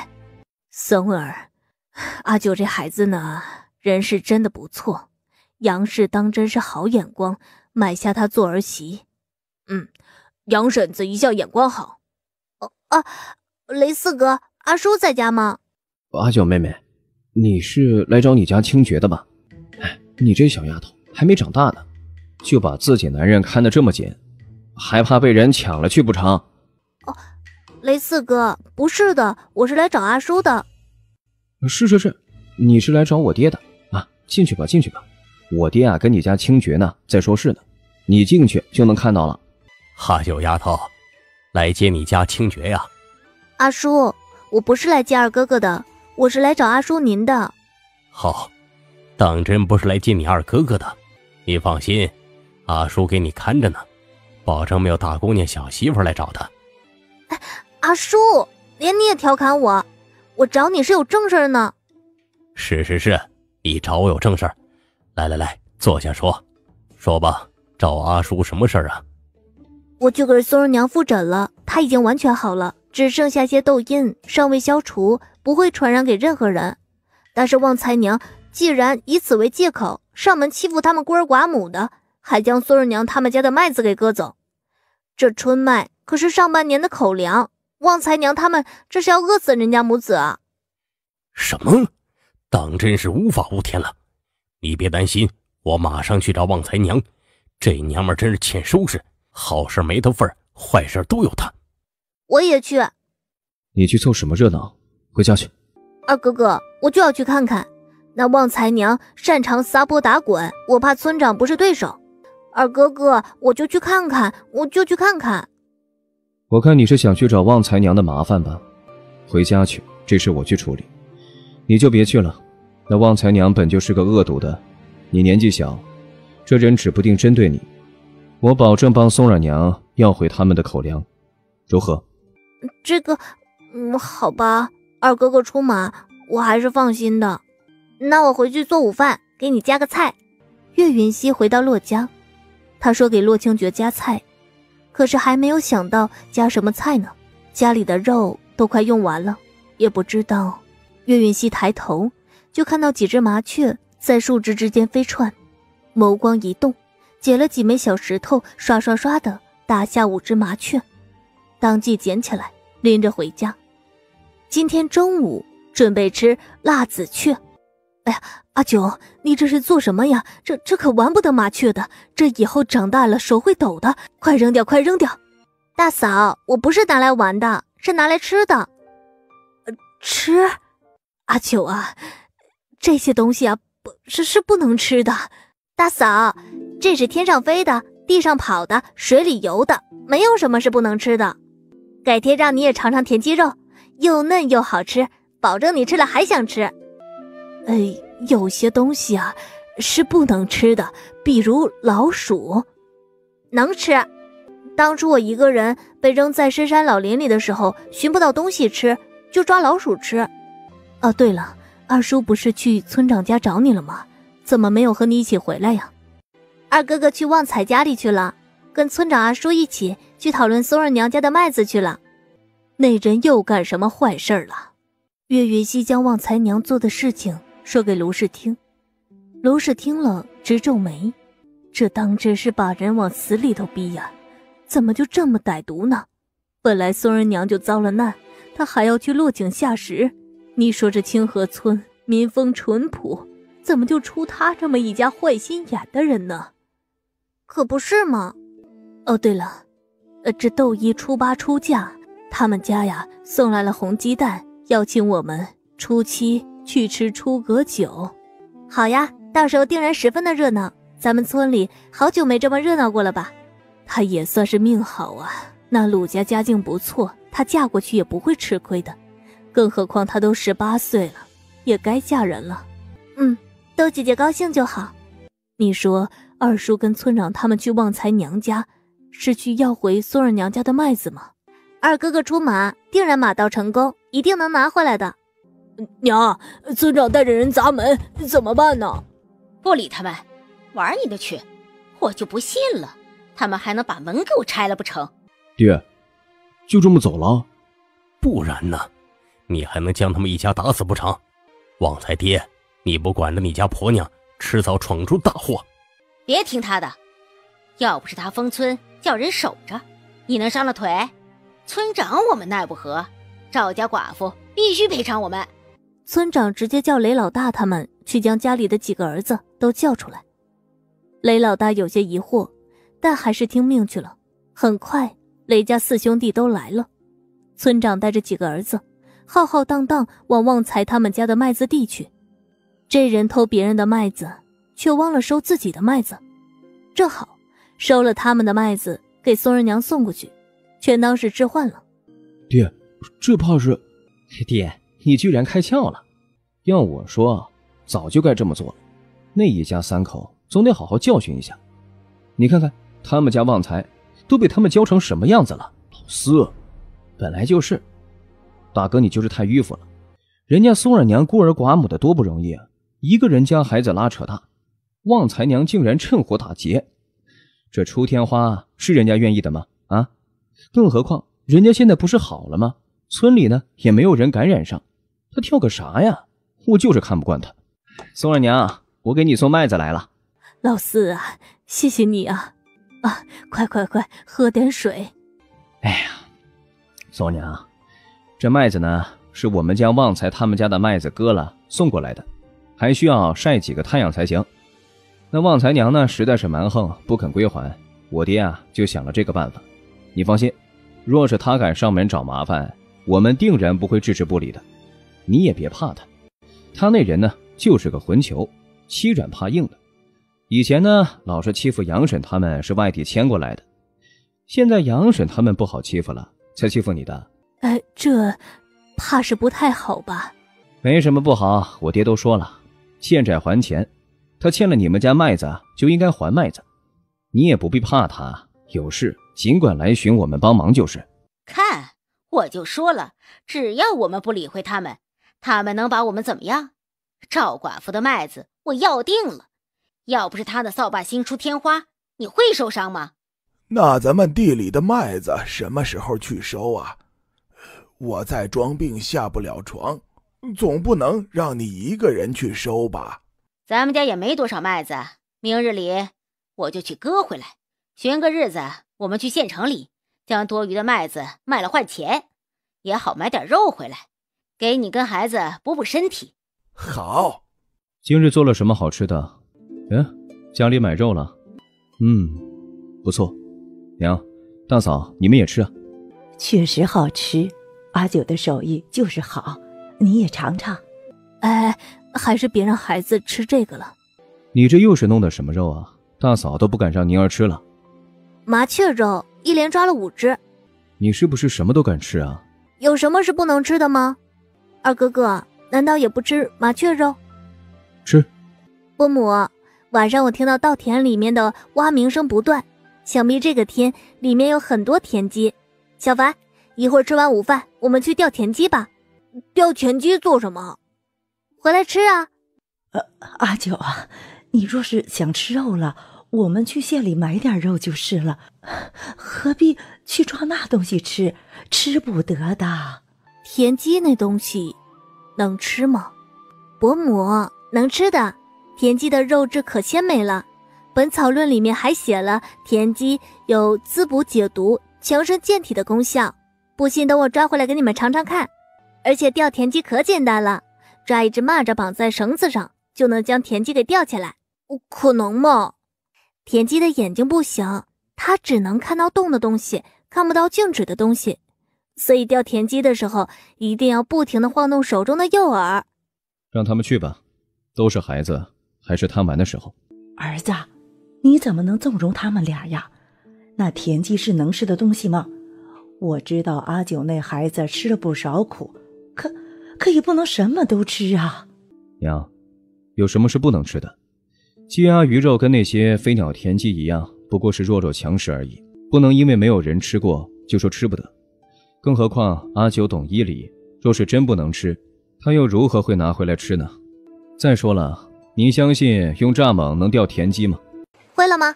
会了，会了，这个太简单了。洛清凡学着岳云溪的模样，上下晃动手中的钓饵，果然田鸡就跳起来咬住了诱饵。只要扯起来，抓住田鸡放在竹篓里就好，十分的简单。那咱们分头去抓，带回这里汇合，看谁抓的田鸡多。好，阿九妹妹在干嘛呀？嘘，阿九妹妹，你这是在玩什么？看起来挺好玩的样子，让我也玩玩呗，这样还能钓田鸡。嗯。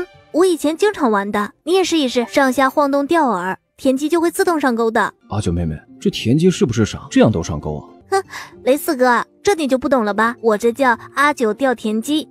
愿者上钩，你快快回去吧，别搅了我的兴致。哎，阿九妹妹，你抓这田鸡做什么？吃啊！将田鸡去皮，然后去洗内脏，洗净切块，然后用盐腌制一盏茶的时间，然后下油锅翻炒，再放入辣椒、花椒、生姜进去，一同翻炒，再加上水之后盖上锅盖焖一刻钟。一刻钟之后，爽口滑嫩的麻辣田鸡肉就出锅了。这东西还可以吃？当然可以，待我多抓一些，煮好了给你们家送一些，让你们也尝尝鲜。那行。我给你帮忙，不然我可不好意思白吃。哎，洛清觉那小子真是好福气啊！这么好的小媳妇儿，怎么不是被我娘买回家的？阿四，村长找你。哦哦，二哥哥，你怎么也来了？是来看我钓田鸡的吗？呃，我爹找我呀。那我先回去了，阿九妹妹，别忘了做好，让我也尝尝啊。好嘞，怎么钓？那放进去，上下晃动，田鸡就会主动来吃的。二哥哥，你以前也钓过田鸡吗？没有，今日是第一次。我也是第一次知道田鸡这么笨，主动上钩，而且还是没有钩的。以前总听人说姜太公钓鱼，愿者上钩。还想着直钩如何能钓上鱼来？如今我算是相信了，没有钩都能钓田鸡，直钩钓鱼不足为奇。洛清觉侧过头看了眼岳云溪，又看了看他的竹篓，差不多了吧？你的竹篓啊都满了。这下小凡输了。二嫂，你作弊！我我哪里作弊了？你让二哥帮忙，岂不是作弊？喂，二哥，你怎么可以帮着二嫂欺负我呢？我才过来，也就掉了几只而已，大多数啊是他自己掉的。那我岂不是输了？嘿，说好的，你输了就要听我的，帮我打下手。杀田鸡，天杀的！哪个不要脸的贼娃子竟敢偷我家的麦子？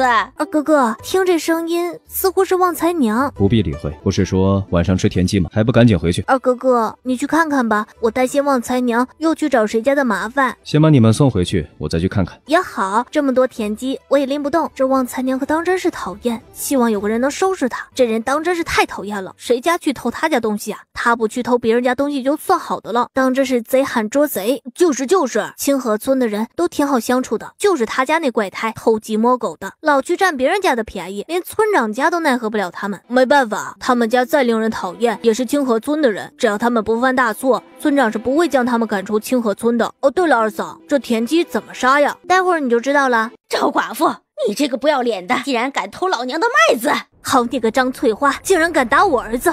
我和你拼了，赵寡妇！你偷我家的麦子，你还敢动手打人？我跟你拼了！你这不要脸的老寡妇，你竟然敢偷我家的麦子，我打死你！我再不要脸，也没有你不要脸。我偷你家麦子，你偷我家麦子还差不多。你这贼喊捉贼，今日我和你拼了！你这三天两头来我家找麻烦，我不吭声，你还真当是我是好欺负了。你送麦子过去的时候，可有告诉宋二娘麦子的事情？说了的吧。坏事了，爹，别愣着了，赶紧去阻止！这旺财娘可不是个好相遇的，宋二娘怕是要吃亏了。村长，村长，快救救我！这赵寡妇不但偷了我家的麦子，还要杀我呀！我何时偷了他们家的麦子？分明就是他偷了我家麦子，竟然还敢上门来找麻烦，真当是我好欺负啊！反正我是死过一次的人了，不怕死，大不了一起死。宋二娘啊，这有话好好说啊，这动刀子是不行的。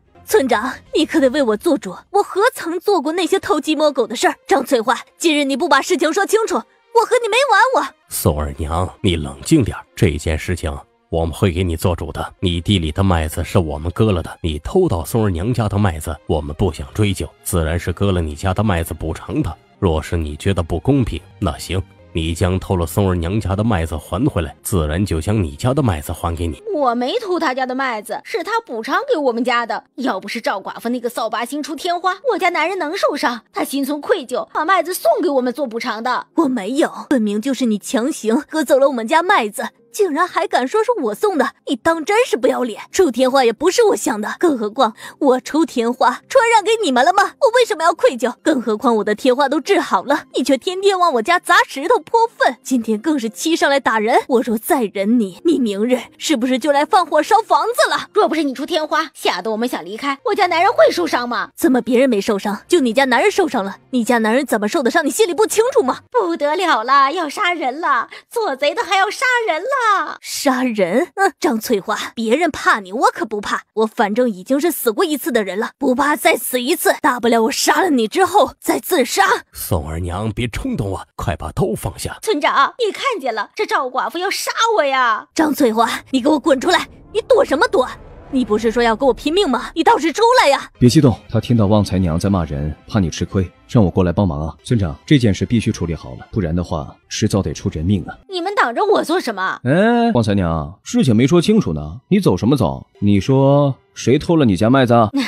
没，没谁，我们自己收了的，自己收了的。不是松二娘偷了你家麦子了？哪能啊？是我自己收了，我给忘了。你这下我可以走了吧？哼，走！这撒了一地的麦子呀，你不给收起来就想走？人家宋二娘大病初愈，你这般欺负上门，是欺负他们家没男人吗？误会，误会，都是误会。我马上给他们收拾好，让他走吧。以后你若是再敢欺负我们娘俩，我定然不会放过你。洛清绝回到家里的时候，落日最后一丝余晖也落下。我回来了。我听那边吵得厉害，宋二娘没事吧？没事。那张翠花没有占到任何便宜。阿九在做饭吗？嗯，你大嫂也在里边帮忙呢。阿九煮这么多，吃得了吗？啊，一会儿还要给村长阿叔和孙二娘送去一些。雷四哥今日也帮忙抓了，说是想尝尝村长阿叔家里的人多，做少了可不够，就把今天抓的田鸡全部杀了。孙二娘大病初愈，正是需要补一补的时候，送去一些给他们，让孙二娘补一下。小凡，清凡还在温习功课，九月就要到学院报道了，这都快七月了，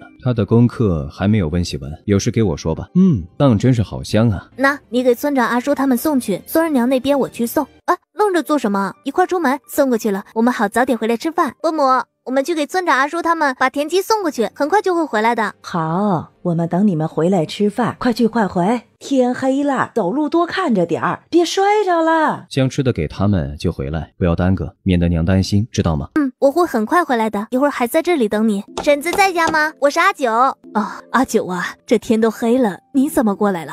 今日我们去抓了不少的田鸡，你大病初愈，需要补一补。我们抓了许多，就给你们送过来一些。伯母，他们还等着我回去吃饭。我先走了，天黑了，我送你回去吧。不用了，我和二哥哥一起出来的，二哥哥就在前面等我。你们赶紧去吃饭吧。这孩子什么事情都惦记着我们，松儿，以后啊，你要好好报答他。娘，你放心，以后只要阿九需要上刀山下火海，我都会帮他的。就是阿九这般厉害，我怕自己派不上用场。不管派不派得上用场，你只要记住，在他需要帮助的时候啊，坚决站出来帮他就行了。儿子记住了，阿九妹妹的厨艺可真好。娘，快来尝一尝阿九妹妹做的肉。明日就是窦一出嫁的日子，窦一却没有一点高兴的模样。他不想嫁到下河村。阿姨呀，时间不早了，早些休息吧，明日够得忙的。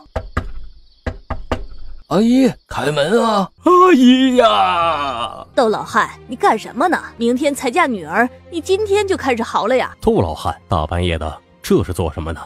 周大夫，快救命啊！我家阿姨她，我家阿姨出事了。哎，出什么事儿了？这窦老汉大半夜跟嚎丧似的，明天都嫁闺女了，还这么不可靠，难怪窦姨十八岁了。都还不嫁人，这老头当真是让人不省心啊！娘，是不是他们家出什么事儿了？你回去睡觉，我去看看。这大半夜的，能有什么事情？大概是嫁闺女太高兴了。窦老哥，这大半夜的出了啥事儿啊？大嫂子，我家阿姨，我家阿姨她，大嫂子。我家阿姨，我家阿姨她，我家阿姨她命苦啊！哎呀，这孩子怎么这么想不开呀？周大夫，这人怎么样了？没气儿了。周大夫，你快救救我家阿姨呀！求求你了，周大夫。老哥，你别这样，你女儿已经没气儿了，不是我不救，是我救不了啊！都怪我，都怪我！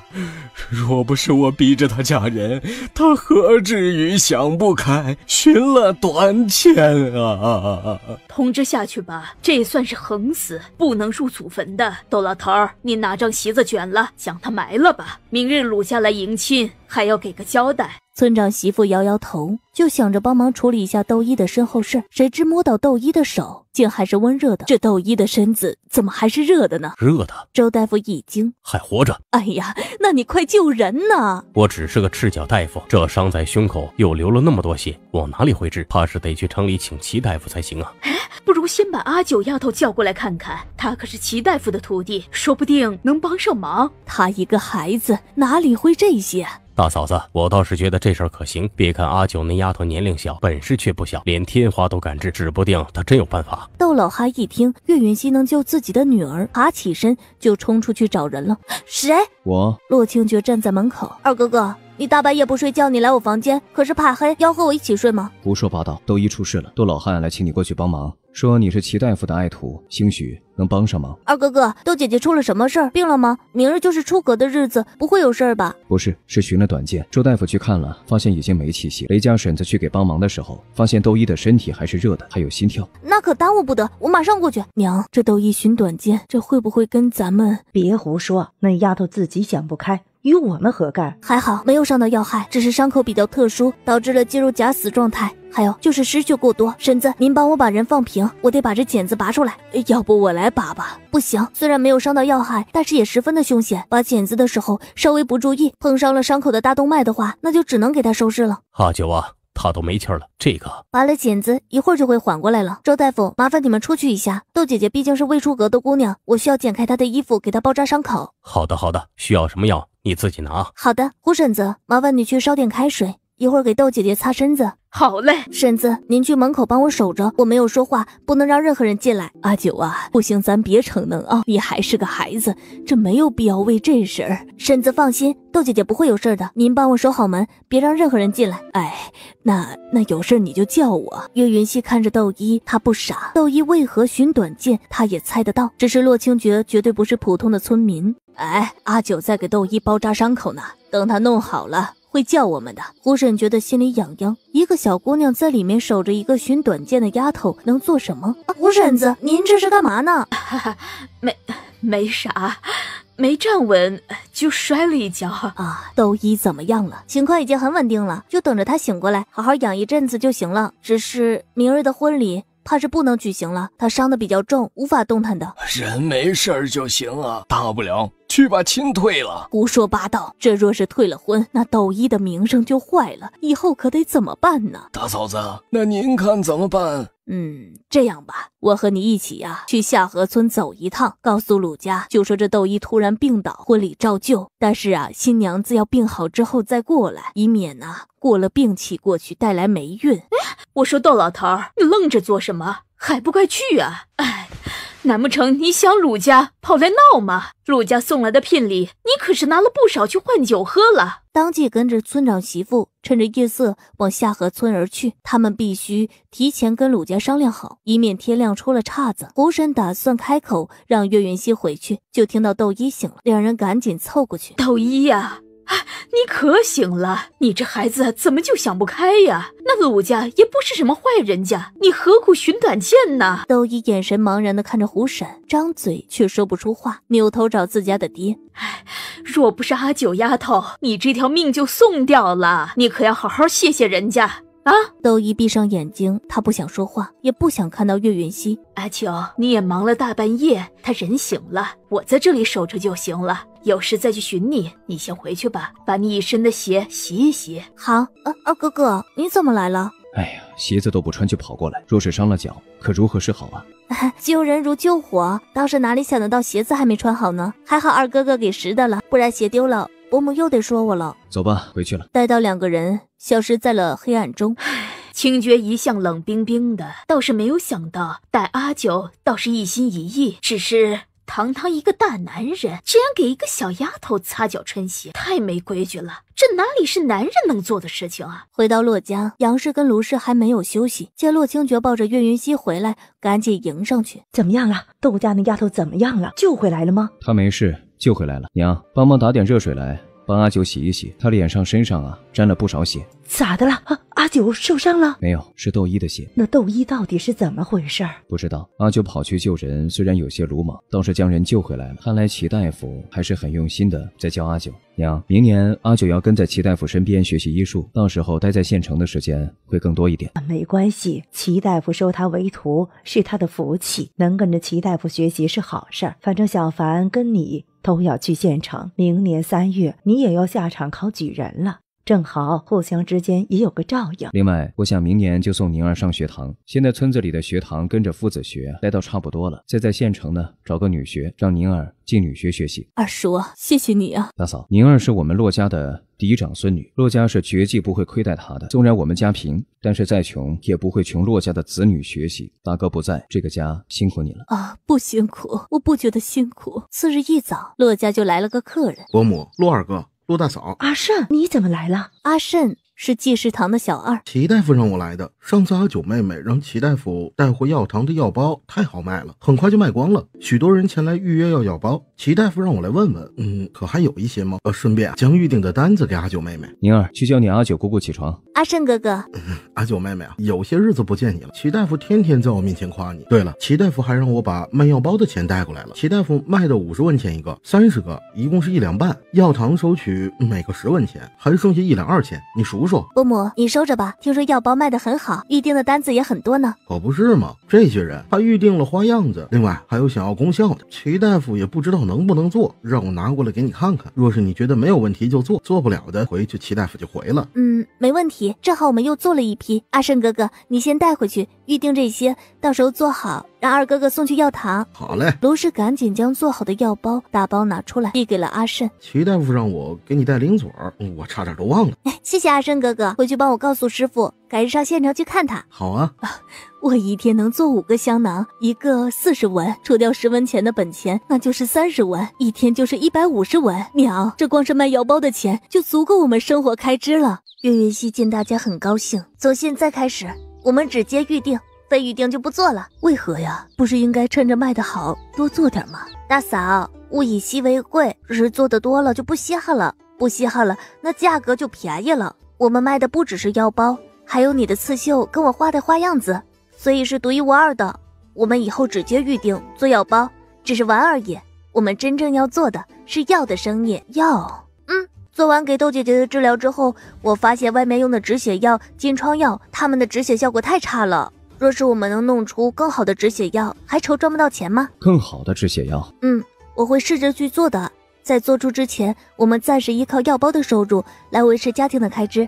若是你真能做出效果极好的止血粉，我负责帮你全部卖出去，有把握吗？嗯，五成。五成把握算是很高了。对了，咱们种的草药长得极好，可以采摘了。不摘，我要种子。收获的种子除了用自己的种植，也可以分给村里的人，只是不能白给。你是想将草药种子卖给村民，让村民来种植草药？这是后话，先送。后卖，先送，对，先送给村长阿叔跟几个关系要好的村民，发动他们一起种植草药，然后将草药收购回来。阿九，你你哪里这么多赚钱的鬼点子啊？我娘教我的。等收种子，怕是还要等半个月的样子，是否还要去买一些种子回来？娘，家中有多少银子？有三两六钱银子，若是需要，我去拿。哎，不用，前些日子我在后山寻了几遍。找到一些药材的种子，就将这些分发出去。先让村长阿叔他们家种一些，然后给宋二娘他们也给一些。这样的话，村里就有我们三家人种植的草药。后期其他人想要种植的话，就以物换物，或者用钱来买我手中的种子。岳云熙将小算盘打得啪啪直响。洛清觉见了，顿时好笑。这丫头只要说到赚钱，眼睛里都是光；说到药药材，更是满面笑容。仿佛她就是一个神医，每一种药材都是她所爱的。哎，这丫头是有大造化的人。洛宁十分的黏岳云溪，每当岳云溪在一旁给洛清凡辅导功课的时候，洛宁也会凑过去听。两个小脑袋挤在一块儿，洛宁听得十分认真。洛清凡对岳云溪的佩服已经到达极致，将岳云溪当成自家二哥一样的人。二嫂，你可真厉害！连兵法都知道，你爹还会教你兵法吗？嗯，其实我的兵法大多数是另外一个人教的。那个人是谁？我的长兄。哦，你还有哥哥？哦，二嫂，你说的三十六计出自哪本兵书啊？我不曾听过呢。它就是一本兵书，三十六计就是它的名字。三十六计分为六套，分别为胜战计、敌战计、攻战计、混战计、并战计和败战计。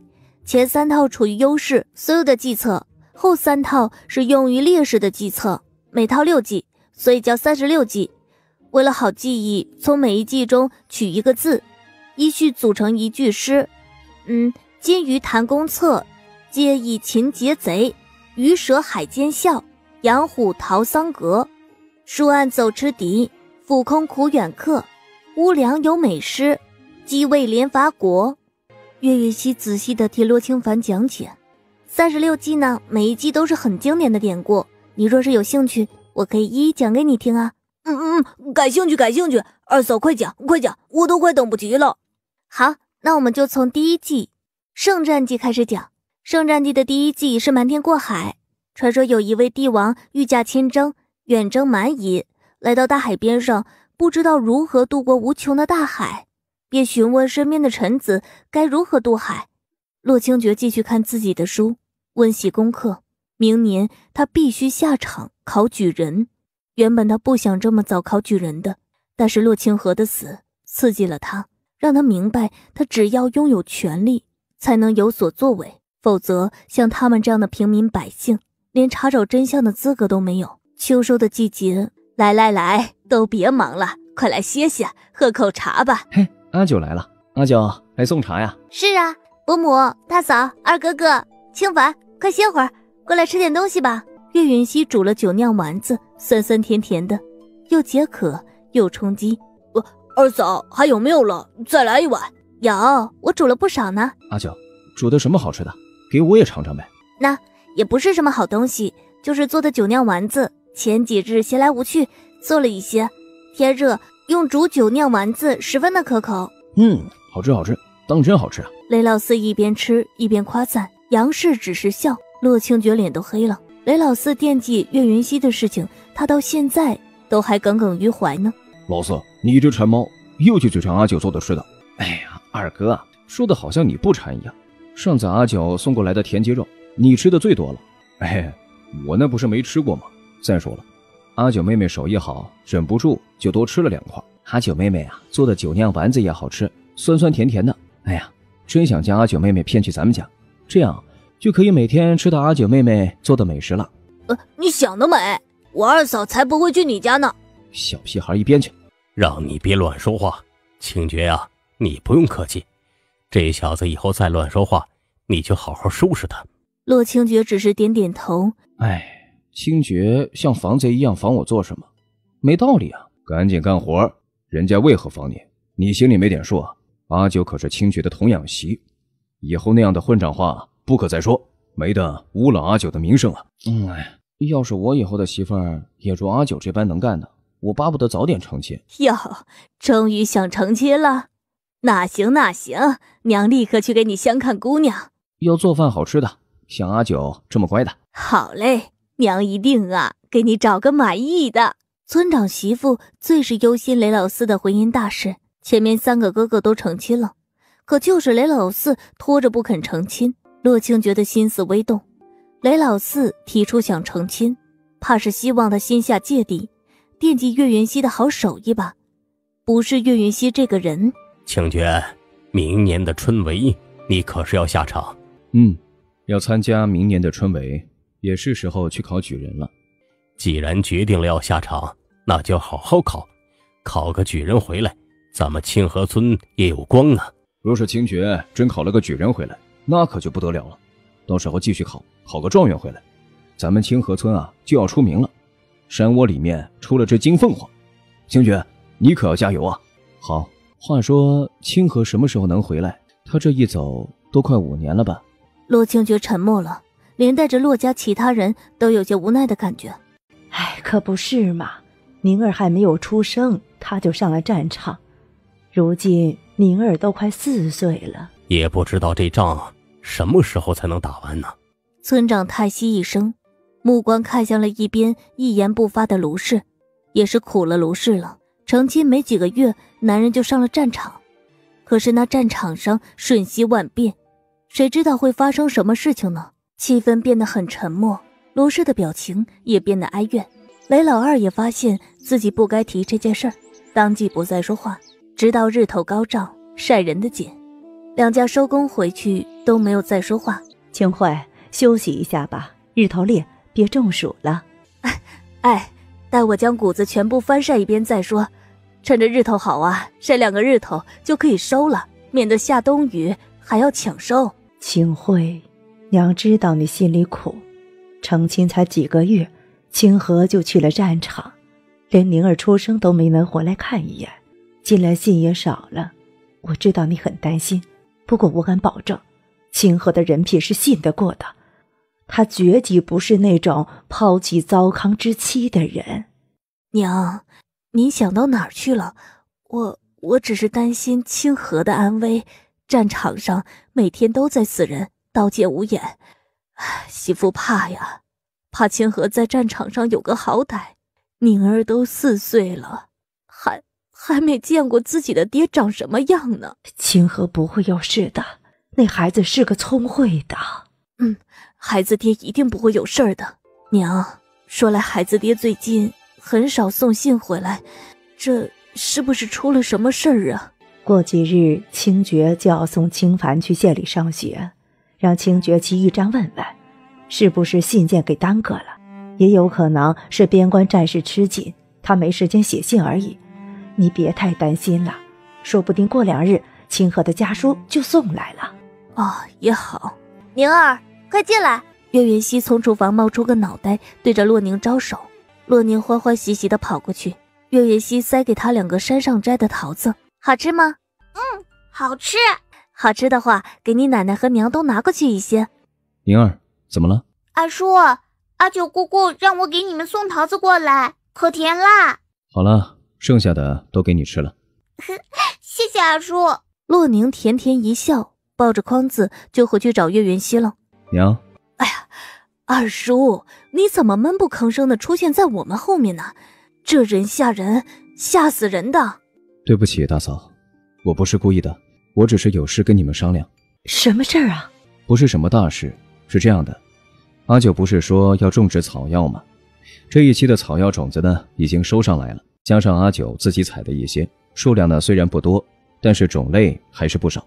娘，你能不能帮忙将种子给送出去？我还以为是什么事儿，没问题，你将种子给我，我给村长他们送去。只不过最近是农忙季节，要等着草药种植下去啊，只怕是要农忙过后了。阿慧。你跟我一起去吧。啊，好的，娘。杨氏去给村长送种子，路上遇到旺财娘。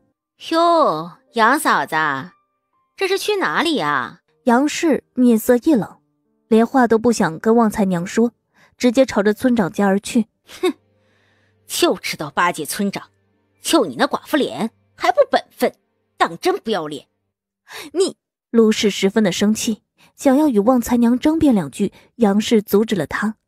一门全是寡妇，我看啊，你们家的女人都是白虎命、克夫命，连带着你们家那个云阿九也不是个好东西。小小年纪一肚子坏水，要是我家媳妇儿，早就把他打死了。我撕烂你的嘴！喊打死人了，他爹那人又惹什么事儿了？谁知道呢？估计发疯了，一个人躺在地上吼说打死人了。别去理会，咱们若是去了，指不定这恶婆娘还要倒打一耙，说我们打了她。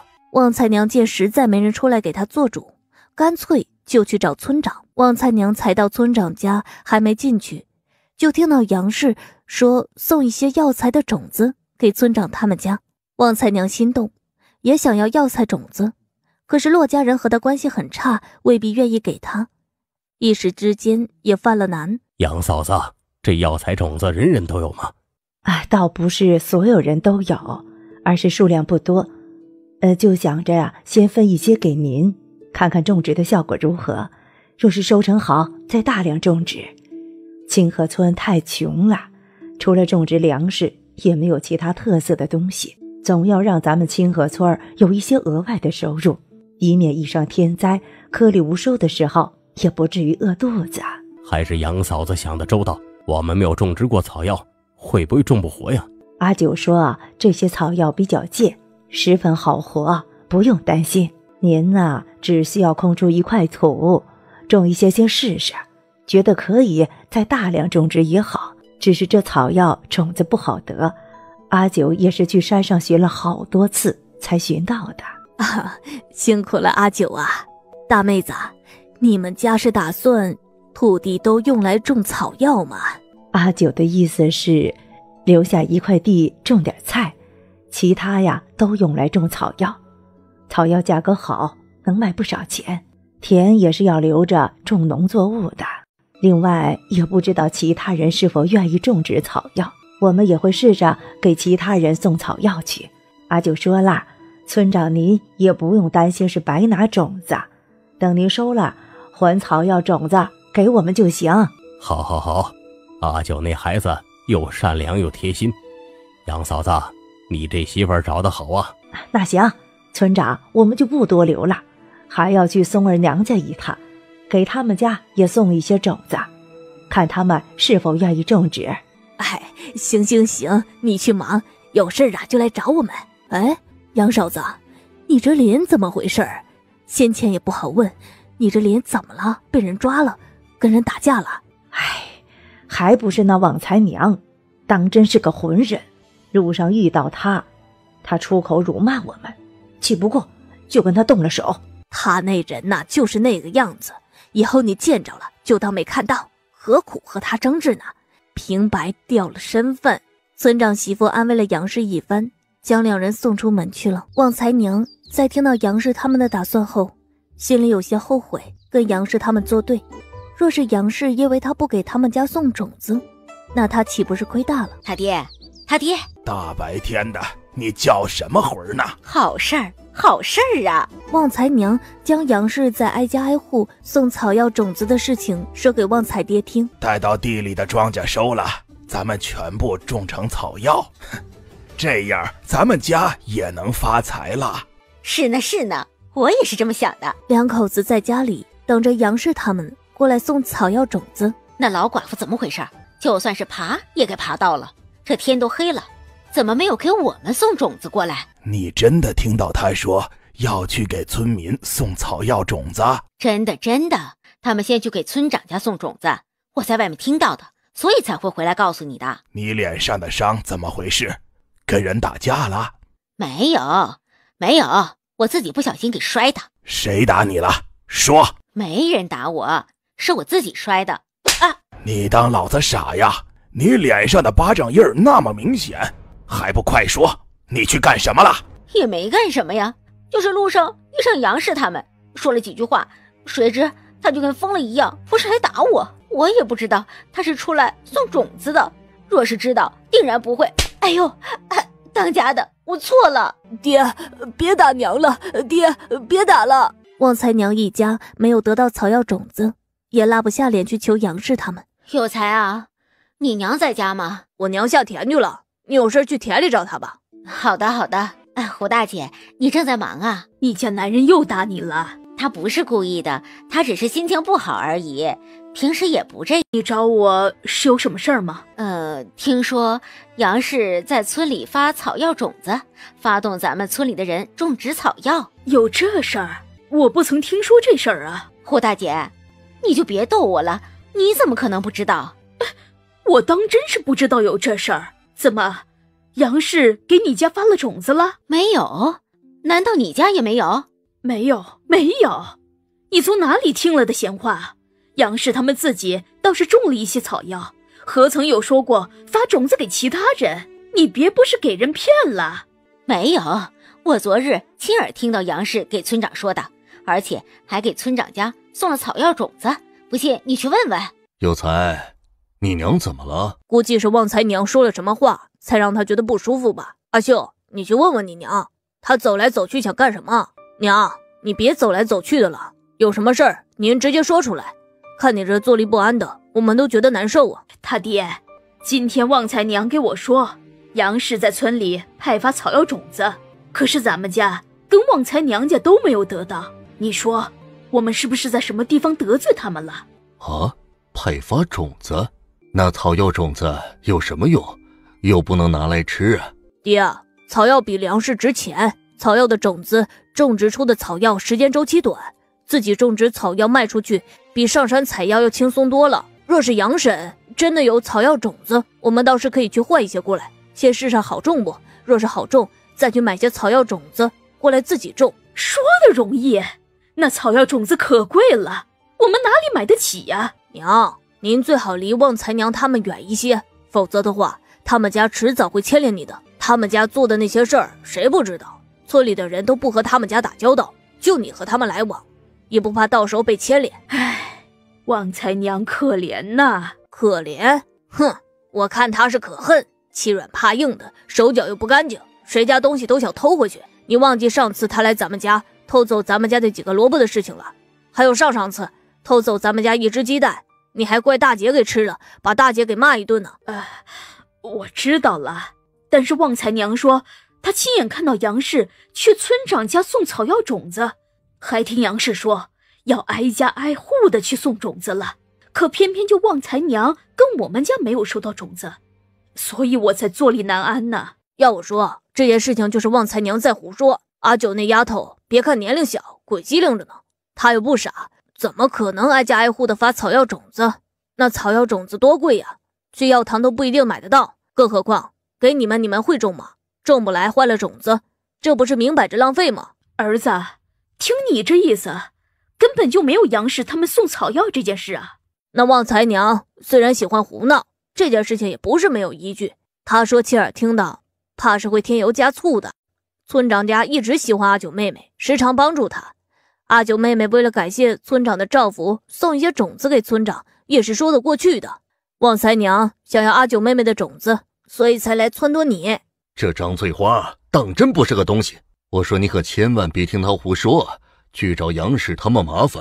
明年洛清绝也要下场考试了，若是中了举人，到时候洛家也是水涨船高，有才还需要他照拂，你可不能去把人得罪了，听到没有？他爹，我不会去得罪他们，我只是觉得心里不舒服。我们带那丫头也不保啊，咱们叫有才，还救了那丫头的性命呢。他竟然不送草药种子给我们！胡婶怎么想，怎么觉得不舒服，连晚上睡觉都是翻来覆去的睡不着。一大早醒过来就去四处的打听，只给村长家与孙儿娘送了些，其他人都没送。唉，当真是个忘恩负义的！我们家有才当初就不该救他。豆一呀，上哪里去呀？啊，去杨婶子家。今日多亏阿九妹妹救了我，我是去谢谢她的。切，谢她做什么？若不是他，你犯得着寻短见吗？啊啊！我的意思是，邻里邻居的帮忙是应该的，何必道谢？虽然鲁家同意推迟婚期，想必鲁家心里也是有气的。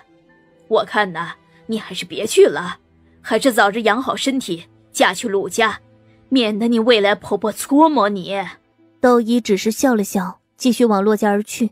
阿九妹妹在家吗？啊，我去看看。啊，是窦一呀。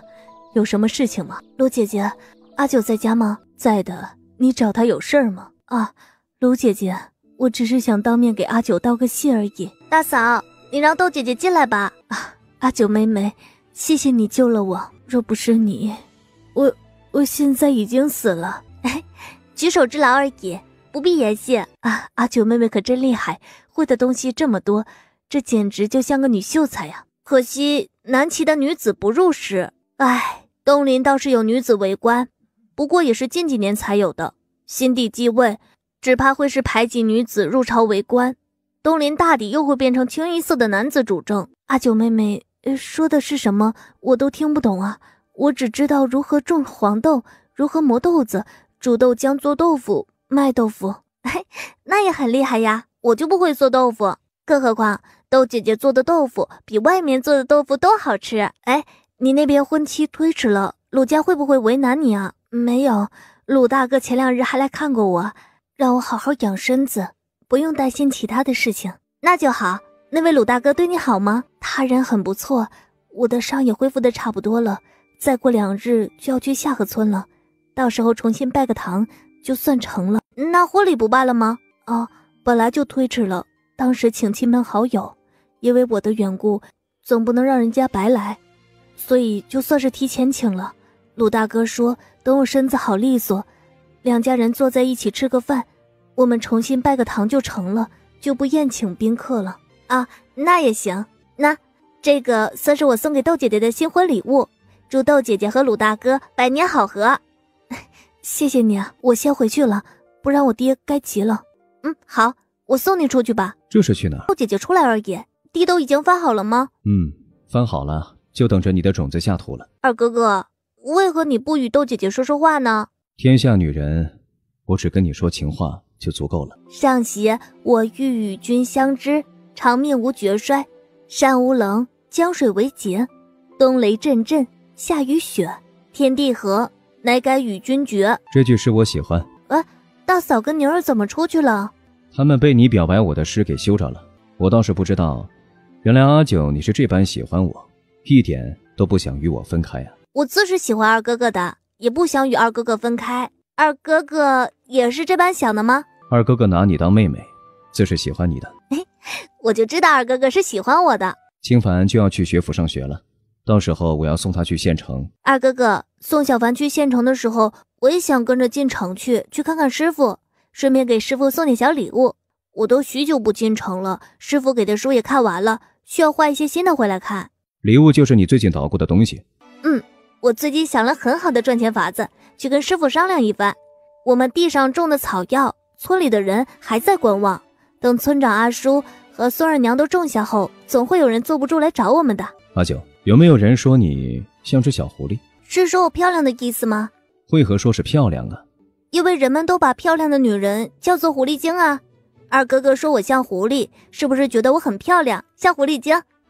哼，不可以说自己是狐狸精，那不是夸奖人的，那是骂人的。我说你像只小狐狸，是说你聪明可爱。哦，原来如此啊。那二哥哥。你也是一只狐狸吗？二哥哥是人，怎么会是狐狸呢？可是二哥哥很聪明，聪明不代表就是狐狸，狐狸还有狡猾的意思。好啊，二哥哥，你竟然敢骂我！我要告诉伯母，你欺负人！可千万别，不然娘得收拾我了。二哥，我去学院上学，是不是要放假才能回来？一个月休学三日，也就是说，休学的时候我会去接你回来。学院不比村里，万事三思而后行啊。是二哥，这文房四宝是哪来的？二嫂送的。她采药卖药第一笔钱，给家人每人都买了礼物，给我买了一套文房四宝，给宁儿买了衣服，给大嫂买了耳环，给娘买了簪子。她给谁都买了礼物，唯独没有给自己买。清凡很喜欢阿九啊？嗯，喜欢，很喜欢。从二嫂来我们家之后，我才发现我们这是一个家。以往的这个家太冷清了，大嫂因为大哥上战场，郁郁寡欢的。二哥，你又少言寡语，宁儿更是懂事不闹腾，整个家里都缺少人气。直到二嫂到我们家，咱们家才有了人气啊！我觉得他就是爱闹腾。哎，二哥，你难道没发现吗？自从有了二嫂，你都变得会笑了呢。二嫂处处都好，我有一点不够完美，就是年岁太小。二哥想要娶进门，还得等个四五年。这四五年后，二嫂是豆蔻风华，含苞待放，二哥你可就是二十有二了。皮痒了吧，清凡，你与阿九同岁吧？二哥，你糊涂了，我比二嫂虚长一岁。我听二嫂说，她的生辰是二月初二，龙抬头的日子，的确是个好日子。若是待到阿九及笄，你可愿意娶她？呃，二哥，你可别吓我呀！我虽然喜欢二嫂，可那是尊敬和爱戴二嫂，绝对没有非分之想。这话你可不能乱说，若是让娘听到，非得打死我不可。我也只是随口说说而已。毕竟我年岁大她那么多。哎，二哥哥，小凡，我们去抓螃蟹吧。抓什么？我们去抓螃蟹吧。抓回来用面粉裹一下，过一下油锅，炸的喷香喷香的，用来下酒最好了。小凡明儿就去县城了，咱们接着给他弄个欢送宴，吃螃蟹。呃，二嫂，呃，螃蟹能吃吗？敢于吃螃蟹的人都是真正的勇士。去不去抓螃蟹？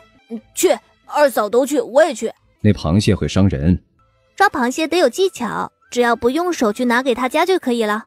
哦，二嫂真的要下去抓呀？上次旺财去抓螃蟹，结果结果被夹了，哭得可伤心了。那抓螃蟹要这样，他就伤不到我们了。哎，阿九姑姑，螃蟹都是软的吗？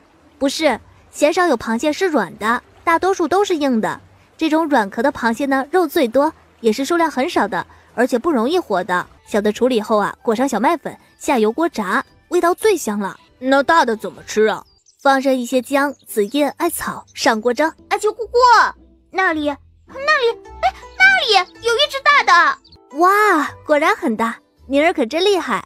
杀千刀的，你去抓这东西做什么？你上次还没吃过亏吗？旺财厉害了呀，居然敢抓这么大的螃蟹。呃，不是我抓的，是小媳妇抓的，她扔我脸上来了。谁？洛清绝那小媳妇儿？小媳妇为什么拿螃蟹扔你啊？他是想跟你玩吗？才不是，是因为我打了洛宁，活该！拉着旺财往洛家而去。袁阿九，你给我滚出来！旺财娘，旺财这是怎么了？怎么一脸的血呀？怎么了？你居然还有脸问怎么了？这还不是你弄的？你居然还敢问怎么了？哎，这满脸的血，谁打你了？你少在这里假好心！我家旺财的脸就是你弄伤的。我说旺财娘。这说话是要讲究证据的。我在家好好的待着，陪着宁儿练字，什么时候去弄伤你家旺财的脸了？放屁！我家旺财说你把螃蟹扔他脸上，胡说八道！那螃蟹多可怕呀！我可不敢去抓。别说是拿螃蟹伤人，你们撒谎也要撒的高明一点。我们都不曾出门，何时去抓螃蟹伤你家旺财？走，我们去村长家，我要村长阿叔给我们做主。你竟然敢污蔑我弄伤旺财的脸！我不管那么多，我家旺财说是你，那就是你杀人了，杀人了！旺财娘杀人了！旺财娘要杀我呀！救命啊！杀人了！哎呀，旺财娘，你当真是无法无天！你再敢这般的欺负人，我们就把你们一家人赶出清河村。村长媳妇跟孙二娘护着岳云熙，旺财娘解释，可是没有一个人愿意听她解释，只能愤恨的离开了。旺财娘一边走。一边骂旺财，你骂谁呢？信不信叫我爹打死你？你，你说什么？再说一遍！呸！泼妇！村民都走了之后，转身进厨房弄他们辛辛苦苦抓的螃蟹。二嫂，你怎么知道？大家根本不会听旺财娘解释啊！因为他饥饿太多，在村民的心中早都已经是无理取闹、惯会欺负人的人，所以当旺财娘跟人发生冲突的时候，尤其是对方还处于弱势的一方。村民们都会认为是旺财娘挑事，不会相信是别人欺负了旺财娘啊！二嫂，你的意思是不能做坏人吗？小凡，我们当然不能做坏人，但是要做一个彻头彻尾的好人是很难的。我希望你是一个善良的人，但是你的善良呢要有锋芒。我们是善良，但是我们也不能任由他人欺负上门呢。当我们都自身无法保全的时候，还如何去做一个好人呢？二嫂，我我还是不是很明白。那我就说的简单点吧，就是你可以去帮助那些需要帮助的人，但是需要帮助的人呢，也要分对象。有的人会感谢你的帮助，并且铭记于心，而有的人只会觉得你帮他帮的不够多，而你一味的满足他，终有一日你会无法满足他的时候，那时候他就会化成最毒的毒蛇咬死你。这就叫做斗米恩，升米仇，明白了吗？哦，明白了。二嫂，这些都是你爹教你的吗？不是，是我自己摸索会的。我从小就被锻炼野外求生，别说是螃蟹了，只要是能吃的我都吃过。人饿到极致是什么都吃的啊？嗯，什么都吃？有些东西不能吃吧？比如说老鼠。我娘说老鼠会吃死人的。老鼠的身上呢，有可能携带霍乱病毒，所以不能乱吃。人一旦感染上了霍乱，很快就传染给周边的人，所以老鼠不能吃。但是有些老鼠还是能吃的，我以前就吃过呀。呃，好吃吗？不像是专门种出来的，应该是野生的。你上后山去摘回来的，对不对？你倒是观察的细致，那你能看出来我现在在想什么？岳云熙盯着洛清绝看了半晌，然后转过头去吃自己的葡萄，一边吃一边吐葡萄籽。洛清觉的面色变了变，甜吗？岳云熙摘了一颗，喂到洛清绝的嘴中。嗯甜吗？你现在的心里在想，这么酸的葡萄我吃得下去，还吃得面不改色，定然是想骗你一起吃的。确信吗？二哥哥，你是不是后悔了呀？后悔什么？后悔也没用了。豆姐姐已经嫁去下河村了，是别人家的媳妇，你后悔晚了。我什么时候说我后悔了？更何况豆姨嫁给谁，跟我有什么关系？那你跟我急什么呀？又不是我不让你娶她的。我知道你心里苦，没关系，等咱们有钱了，我给你买个更好看、更漂亮的回来。云阿九，你有事瞒着我。二哥哥，你信誓旦旦说不会欺负我，你瞧瞧，这就开始欺负人了。我不理你了，我回去睡觉了。阿九。明日去县城要早起，晚上早点睡。当然，你要是睡不着，我可以去哄你睡觉。什么？二哥哥，你一个人睡觉害怕，让我陪你睡？洛清绝，你给我回房去！哎，二嫂，你起了，你快来吃早饭，娘做了玉米糊糊，可好吃了。进了学府上学啊，万事要小心谨慎，不可惹是生非，不要跟人打架，要跟同窗好好相处，要好好学习，知道吗？洛清觉赶着驴车往县城而去。爷，我们不去县城等着，上这里来做什么呀？来看看是什么让洛清觉改变了主意。想必是因为洛清河的死。洛清河屡立奇功，却莫名其妙的死在了战场上。洛清觉心中定然是怀疑的。想要查清楚洛清河的死，他必定要入室为官，才能够接触到这一切。也，洛清觉改变了主意是好事。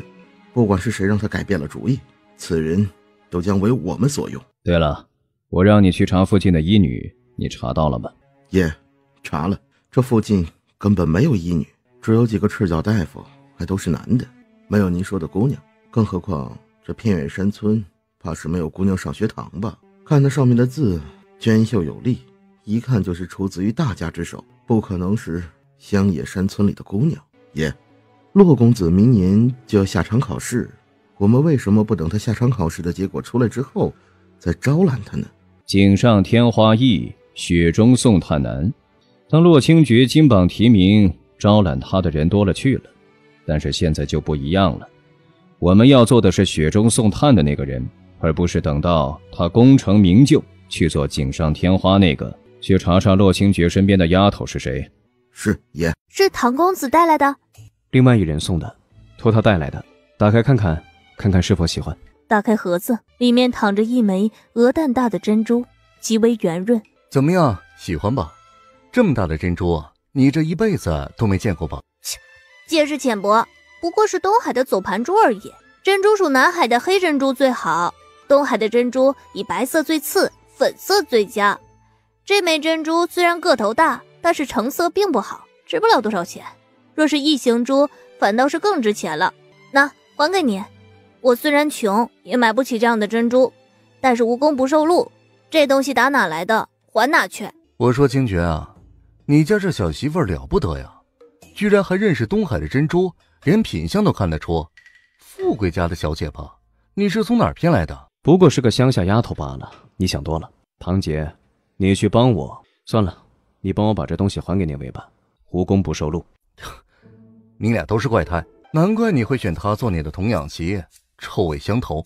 若是你到我家来只是来抱怨的，那你还是回去吧。别呀，让我在你家躲几日。我娘天天拉着我去乡看姑娘。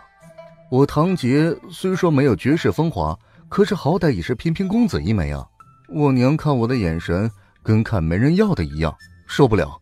今天让我去见张家姑娘，明天让我去见李家姑娘。他老人家呀，现在看谁都像他媳妇儿。那你就如了他的愿，娶一个回家不就行了？那你为何不早点娶一个回家，去弄了一个童养媳在家里？还不是因为没有遇到喜欢的人，拿你家那位童养媳做借口而已。不过倒是个不错的办法。哎，你说，我要不要也去找个童养媳啊？让我娘歇了往我房间里塞女人的心思。还是别了。你若是找个童养媳回去，你娘不会停止往你房间塞人的，除非你娶一门妻子回家，生个大胖孙子给她，否则她是绝技不会歇了心思的。切，无趣。有没有吃的？有倒是有，就怕你吃不来，都是阿九做的小零食，这才是人吃的东西啊！中午绝技是你家小媳妇报复我，清绝，你说优秀的男人是不是爱好都很特别啊？那位政委空悬引得无数女人打破头，行四的那位，迄今为止身边连个女人都没有。还有那位风华绝代的东林新帝，当世之人，仅有他称得上是风华绝代。听说岳家子嗣无论男女，容貌都是极为漂亮。岳风华跟岳云溪更是其中翘楚。只可惜啊，这岳云溪早夭，这岳风华狠毒啊！他国的皇室秘辛跟你有什么关系？一旦美人儿还未长成就陨落了，我这不是可惜吗？既然决定下场考试，自然是要做到最好。我洛清绝不做则已，做必然要做最优秀那个。你这是受了什么刺激啊？竟然这么有斗志！我呀，要求也不高，不要太差就行了，过得去就好，免得我爹娘又为难我。我与人有约定，自然要做到。跟那位洛清绝没有回答，秦有才磨磨蹭蹭往洛家走过来。他本来不想来的，可是他娘听说村长家跟孙二娘种植的草药卖了不少钱，坐不住了。那不是秦有才吗？在门口看什么？找你的？找你家小媳妇的？我说清绝啊，你家小媳妇身边的男的可真不少。先前回来的时候，一个松岩哥哥，这里又有一个有才哥哥，一个小丫头哪儿那么大的魅力啊？让人都围着她转。清雪，我发现你家这小媳妇儿就跟我娘养的那只猫一样，得顺着猫摸，越摸越温顺呢。你平时是不是没少在这小丫头的手上吃亏啊？谭叔叔，你去哪里呀？你阿九姑姑上哪里去了？去村长爷爷家呀。村长家，我去找你阿九姑姑去。岳云熙在秦有才来找他时，就跟村长商量好，村里想要种植草药的人，都可以用物换物的方式，他手中换取草药种子，当然也可以用钱买。需要草药种子的人都在村长家等候。哦，来了来了，我先给大家说一说，每样东西都能兑换多少种子，兑换种子是自愿的，愿意兑换就兑换，不愿意也不会有人强求。希望大家都明白这一点。唐杰躲在门口，不住的啧舌。这小丫头难不是脑子有病吗？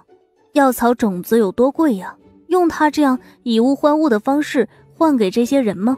岂不是亏大了？换了草药种子的村民欢天喜地的往外走，一边走一边说道：“阿舅可真是咱们村的福星啊！自从他来了咱们村，咱们村的日子可是越来越好了。可不是嘛？别看阿九啊年龄小，善良又大方。上次若不是他，那宋二娘出了天花呀，咱们村子里没有任何人被传染上，都要多亏了他呀。草药种子那么贵，他每天上山去寻草药种子。”还白送给我们，我们不要，才选择用这样的方式换给我们。这真是个好孩子啊！你凭什么不换给我？我说了，你们家我不会给予任何的帮助，也不会给你们任何东西。更何况是草药种子是我的，我想给谁就给谁。我是换，不是给。凭什么他们都可以换，我不可以？你这分明是欺负人！这个村里谁都可以和我换草药种子，唯独你们家不行。至于为什么？你心里没数吗？我不管，今日你是换也得换，不换也得换。说了不换就不换，纵然你今日闹翻了天，也休想在我手中拿到一粒种子。村长，你给说说吧。我上有老，下有小，整日里忙活个不停，也赚不了几个钱。你让阿九换一些药草种子给我吧，就当是行善好吗？村长很无奈。我说阿九妹妹，不就是换他一些草药种子吗？你换他一些又如何？大家都换了，也不差他一家。人家上有老下有小的，你何必那么残忍呢？啊，旺财娘，你家上有老下有小，你家老人不都死光了吗？哪来的老？这位公子，你帮我说道说道吧。上次阿九跟我们家旺财闹了点矛盾，他还记在心里呢。这小孩子，谁还不打个架、斗个嘴什么的呀？你给帮忙说说，过去了就过去了，让他匀一点种子给我吧。你放心。我保证，他一定会换种子给你的。哦，堂姐哥哥，你怎么保证我会换种子给他？阿九妹妹，咱们都是朋友了，我跟清绝是多年的好友，你是清绝的童养媳，咱们都是一家人，给点面子，换他一点种子，如何？不换。阿九妹妹，还能不能做朋友了？我跟你不是朋友。阿九妹妹，你这么说可就伤我心了。清觉一直说你是个善良的好孩子，你这么善良，就给他一点种子吧。再说了，人家也不是白拿你种子的，人家是跟你换呢。村长，你也劝劝吧，都是同村的人，这远亲不如近邻呐。这是阿九带来的草药种子，换不换他说了算。胡大姐，您给说说吧，若是不换给我，我家男人会打死我的。求求你了，帮我说说吧。我知道我以前做了很多错事，我已经知道错了。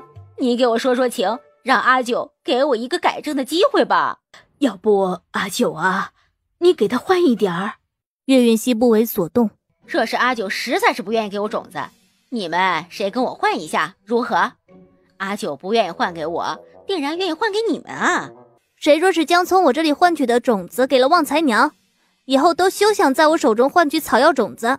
袁阿九，你这是非要把我往死里逼呀！我跟你们有什么深仇大恨呢？啊！你要这么对待我，我又不占你便宜，不过是跟你换而已。你小小年纪怎得如此恶毒？非要把我往死里逼呀！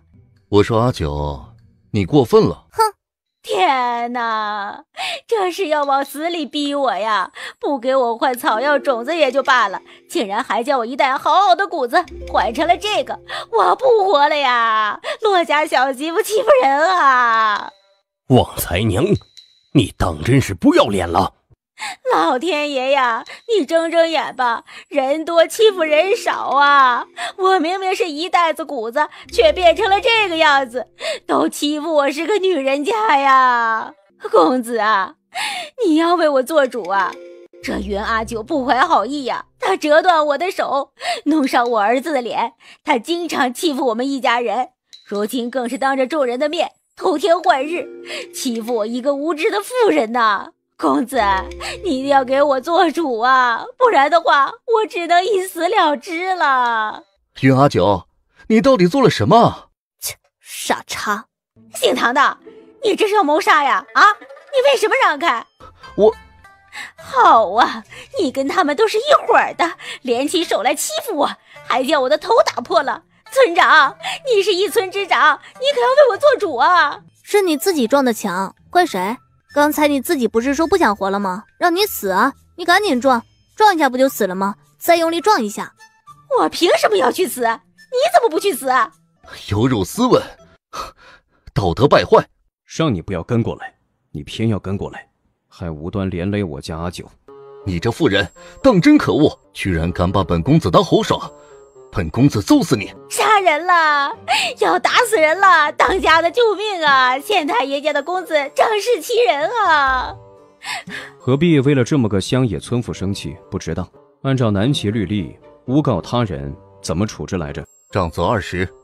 唐杰瞬间反应过来，来人，将这恶妇拿下，杖责二十，以儆效尤。打，给本公子狠狠的打，看这恶妇还敢不敢如此可恶！是唐公子，你这臭婆娘又出来惹事儿，还不快起来，给老子滚回去，不然老子打死你！人已经晕过去了，你带回去吧，好好把你家的人管教好了，下次再敢冒犯本公子，连你一起罚。啊，是是是，小的立马带着这个恶婆娘回去，好生教训。啊，你要不要安慰一下她？不用。不吃亏不长记性，有了这次的教训，他就知道，任何时候、任何事情都不能只看表面，莽撞行事，吃亏的只会是他自己。旺财娘身份低还没什么，说是遇到一个身份高的暗算他，他连小命都得丢掉。现在也很不容易吧？摊上这么样一个儿子，估计想死的心都有了。洛清觉颇为赞同的点点头。你们两口子还有没有点良心了？我被人这么算计，你们非但不安慰我。还在一旁落井下石，有你们这样当朋友的吗？堂姐哥哥，你可比我好多了。旺财娘好歹没跳起来打你，她待我可不一样，又打又骂又抓又挠的，我都没你生气呢，你反倒是怪起我们来了。他是猴子吗？又抓又打又跳的。猴子可比他可爱多了，至少猴子还知道知恩图报，这人完全是没有良心。胡婶经常帮他，可他呢，趁着去胡婶家顺走了胡婶家的鸡蛋。我们送的狼肉给他吃，他跑我们家来闹，怪我们给他送少了，要我们必须送他一条腿。岂有此理！这天下怎么会有这么不知廉耻的人？哼，这算什么？我教村里的村民认识草药，他不想学，就跟在我们后面。看到我采草药，他就抢我的，结果自己中了毒，说是我给他下的毒，跑去我们家讹诈我们。这人就是没脸没皮，你不知道他品性恶劣，所以才被他骗的。我这不是看他很可怜吗？人不可貌相。当你对一件事情完全不了解的时候，最好是多听、多看、多问、多想，而不是别人说什么你就信什么，还傻乎乎的冲上去当出头鸟。哎，你家这小媳妇儿不简单呐，还会教训人啊！所以叫你别招惹她。我哪敢啊！真是没想到，清河村这样民风淳朴的地方，也会有这样的恶婆娘，真是长见识了。任何地方都会有这样的人，只是有些善于伪装，你未必认得出。不是我说你，你也该多动动脑子了。哎，对了，答应我的事情你不会反悔吧？君子一言，驷马难追，别忘了付我工钱就行了。先付你一年的五十两银子，收好。以前你也不见你多喜欢银子，怎么现在这般喜欢银子了？阿九喜欢。我说洛清泉，你不会真喜欢那个小丫头吧？那还是个小孩子，换一身男装，连男女都分不清啊。虽然长得不错吧。可是等那个小丫头长大了，你多大了？二十三还是二十四啊？二十二。哈，那小丫头才十岁啊！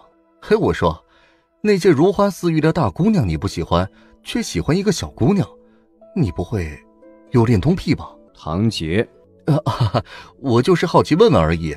呃，毕竟云阿九本来就年纪很小，十岁都还没长大呢，等他长大还要等四年，四年呢。你现在娶个大姑娘回家，四年后这孩子都能打酱油了。我看你不用待在这里了，听你这口气，很想成亲啊。我送你回县衙吧。哎，别，我错了。啊，清泉，我再也不乱说话了。你这人忒没意思啊！就跟你开个玩笑，你还较真儿？啊，快吃午饭了，早些回来。好，洛公子，唐公子，我们家公子来了。胡闹！不是说了，让他赶紧回京都去吗？洛公子。你也知道公子的脾气的，我们根本说不动他。人在哪儿？已经进村了。这位公子，不知您？阿叔是我的朋友。我说您跑这里来做什么呀？哎，不怪我。四哥发现了我的踪迹，在云阳县到处寻我呢。我这不是只好躲到你这里来了。那你还不赶紧回去？急什么呀？不着急。我这不是好奇你生活的地方是什么样子的。嗯，看起来还不错。山清水秀，民风淳朴，似乎家家户户都过得还不错。哎，先去我家吧。哎，对了，清觉，我肚子饿了。这个点你家里在做饭了吧？清觉的小媳妇儿，清觉的小媳妇儿会做饭？你是不知道，还没有成亲呢，清觉就当成眼珠子一样宠着了。唐杰，我没有说错，你敢说你不是当宝贝一样护着？清绝当成宝贝一样，那我可得见识一下了。嗨。不止呢，清绝那小媳妇儿烧的一手好菜，比您的厨子烧的都好吃啊！哎，那更加不能错过了。走快些，我迫不及待的想要认识一下你家那位小媳妇儿了。哎，二哥哥，你们回来了，站好，可以开饭喽。多加两副碗筷，我有朋友来了。有朋友来了，我那我去拿两副碗筷出来。妹妹好生面熟，我们是不是在哪里见过？见过，真的是。前几日在集市堂，你拿了一块玉佩。换走了我所有的零食。前前几日，公子是把我家阿九看成什么人了啊？一个故人而已。不过显然是我认错了人。故人？什么样的故人呢？你叫阿九？嗯，我上次不是已经告诉永照哥哥了吗？抱歉，你上次戴着斗笠遮住了脸，我连你长什么样子都没有看清楚。不过你与我的一位朋友长得有些相像。真的？那我们可真是太有缘了。想必你们要喝酒，正好我前些日子做的果酒应该可以喝了，我去取过来给你们。公子，只是长得像而已。齐轩，你也觉得长得像吗？就在刚才那一瞬间，我都以为又见到他了。公子，那位已经不在了。是了，他已经不在了，永远的留在了今年二月初二的春风里。不然的话，清绝，我跟你一样，也会有个童养媳。酒来了，你们慢慢喝。我和伯母他们在厨房吃就行了。阿九，你过来跟我们一起吃吧。我看着你，总觉得十分欢喜。你刚去拿酒，没听到永照说故事？哦，什么故事啊？一个发生在二月初二的春风里的故事。爱情故事吗？算不得爱情故事吧，毕竟我的定亲信物尚未送到，就传来他命运的消息。他的父母呢，本来已经答应了我的求婚，只待我的定亲信物送达，就缔结婚约，将人送来我家先成亲。他既然命允，就说明他与永昭哥哥无缘无分呢。永昭哥哥又何必纠结于过去呢？哎呀，你还小不懂。我第一次见他的时候呢，也是在二月里，那一年我十二岁，他五岁。跟在他兄长的身后，像是误落凡间的小仙子。当时我就告诉我父亲说，我要娶她为妻。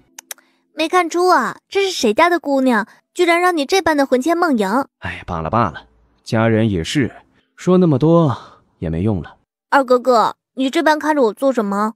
脸上沾了饭粒，一直想知道清觉你喜欢什么样的人，想不到竟然是这样的。不过咱们阿九啊，确实惹人喜爱。永昭，哎，快看快看！那清觉写给他小媳妇的情书，情书，呵，清觉啊，想不到你还有这般小女儿情怀的时候啊！阿九他懂你在说什么，你确定你不是在对牛弹琴？那是阿九写给我的，不可能，这分明是你的字啊！确实是他做的，我写的。你们也该闹够了，没看到阿九都害羞躲着不肯出来了吗？哎，你小子运气真好，有个这么可心的小媳妇儿。可是我的小媳妇儿。尚未抱回家，就被岳风华那杀千刀的给弄死了。轩辕永昭喝醉了，唐杰也醉了，但是洛清绝和齐轩都没有醉。洛公子有话要问我吧？公子想娶的人是东林的九公主。嗯，只可惜九公主才华惊艳，却命比纸薄，已经葬身于深宫之中了。所以，公子出现在这里，并不是为了见我。怕是为了别的原因吧？来这里就是来见你的，只是意外的发现四爷也在这里，而且也很想拉拢你。怎么，来清河村就是想看看我被四爷拉拢没？非也，而是公子闲得无聊，想来体验一下乡野生活。齐宣是轩辕永照的贴身公公，那可需要我安排公子下地干活，彻底的体验一把乡野生活呀。这就不必了。话说，你这位小媳妇儿。倒是颇有意思，哪里人呢？乡野之人而已。其父是个秀才，颇有学识，又没有儿子，就倾心教导他。只不过父母染上恶疾去世了，他孤苦无依，我娘就将他买了回来。你不会当真要娶这小丫头为妻吧？陆家之人重承诺，既然答应了，自然是要做到的。只待他及笄，便迎娶她过门。你是要入京都的？难道打算带着这小丫头吗？自然，你今年十八了吧？公子也十七了。哎，正妻一日不定，就一日不安稳。可偏偏公子觉得正妻的位置是那位九小姐的。那位九小姐不是已经不在了吗？我们都以为她不在了，但是公子却不愿意承认，还总说东林那位绝技不会杀九小姐。只是人心善变，东林那位也是心狠手辣的。当年他们兄妹来到南齐，公子不过说了一句要娶九小姐为妻，东林那位差点没将咱们公子打死。大仙到底想说什么？公子需要你去查一件事情。公子怀疑四爷跟东林那位有联系，传闻东林那位在秘密找什么东西，而且东林的第五位失踪了。大仙的意思是，东林的第五位从东林皇宫中带走了什么东西。或者什么人呢？公子想知道第五位带走的是什么？若是带走的是人，若是带走的是东西，抢过来。这是公子的意思，还是大姐你的意思？此人活着，只会成为公子的弱点，而公子不需要弱点。你家小媳妇儿是花了多少银子买的？二两银子。我买了，让她跟在公子身边伺候吧，聊以慰藉。纵然你是公子身边的人。但是也不能动我的人，别说千金，纵然你拿半壁江山来，也是不换的。二哥哥，你去陪宁儿吧，这边没事需要你忙活。是我说错话了，你别往心里去啊。我也是看公子跟那丫头很合得来，所以才动了这心思，真是对不住啊。齐轩说他惹你生气了，嗯，我这里不欢迎他。哎，那个他这人蠢，不会说话，你别放在心上啊。你什么时候走？明日，现在就走。天天快黑了，走走的话，公子要走，那去我家吧。正好我的马车还在这里，坐我的马车走，很快就能回到县城的。走吧，公子。我去跟阿九妹妹告个别。阿九妹妹呢？屋后的草药田里。阿九啊，永照哥哥，有事吗？我跟齐轩他们准备走了。那永照哥哥有时间再来玩。你希望我来？轩辕永照欢喜的问。啊，你是二哥哥的朋友，就是阿九的朋友，自然是欢迎永照哥哥来的。哦，对了，还有这个东西，还给你。二哥哥说这东西很值钱，我不能要。我送出去的东西从来都不会收回来，收着吧。若是你还当我是朋友的话，就收着，不然啊，我就要生气了。怎么，舍不得他们走？现在追上去将他们留下来，还来得及。二哥哥，你有没有闻到一股奇怪的味道？什么味道？醋味。醋味是什么样的味道呢？酸的掉牙那种。那，你尝尝。很好笑吗？怎么样，感觉到我心里的酸了吗？拿酒。我跟你的永照哥哥，你更喜欢谁呀？当然是二哥哥。这么说来。你也喜欢你的永照哥哥了？他不是我的，你才是我的。哼，真乖。二哥哥，旺财娘没有在我们这里换到草药的种子，会不会出什么幺蛾子啊？他敢，他要是敢来找你麻烦，我就把他扔村长家的猪圈里面去，让他每日跟猪粪作伴。二哥哥，你好坏！你不是说对付恶人就要用恶人的方法吗？更何况他挨了二十大板，不躺上几天是没法出来的。也是。唉。洛清觉他们家不肯给我们草药种子，怎么办呢？难不成我们自己去买？药铺的草药种子很贵的。急什么急？不着急，他们不给草药种子，正好免了我们辛苦。村里人家家户户种植草药，到时候草药熟了，我们就去采他们的麦。哎，你当别人傻呀？任由你去采他们的草药，你懂什么？等到天黑了，村里人都睡了，我们一家去摘一些，谁知道再悄悄送去县城卖了换钱不就行了？胡大姐，胡大姐，你在吗？哎，娘，别去理会他，这人定然没什么好事别放他进来，免得家里又丢东西。你这孩子怎么说话呢？你把屋子扫了，我出去看看。咋的？你上我这儿来？莫不是也想打坏主意？我说张翠花，我待你不薄啊！你竟然连我都坑，你也不怕出门摔死你？胡大姐，我错了，我真的知错了，我就是看不惯云阿九而已，没有想过坑你们啊！胡大姐，我就是想问问，草药种得活吗？这天气这么冷，我们也弄了一些草药种子回来，但是怕种不活，其他人都不愿意理我们，所以。来给您讨点经验，哎，你哪弄来的草药种子？去山上采的，运气好采到一些，就是想着种下去。可是我们没有种过草药，也不知道种不种得活。你们种的草药也围了起来，我也看不到你们到底种成什么样了。要不您带我去你家药田里面看看？那行，让你去看看。别说这草药长得可好了。阿九说了，再过几日就可以采摘了。胡大姐，这些草药采摘下来，定然能卖不少钱吧？哈哈，现在入冬了，天气也冷了，草药自然也就少了。而我们种出的药材送到县城去，自然价格也就贵了。我家有才说了，这叫物以稀为贵，起码呀，能卖这个数。三两银子，嗨。这算什么？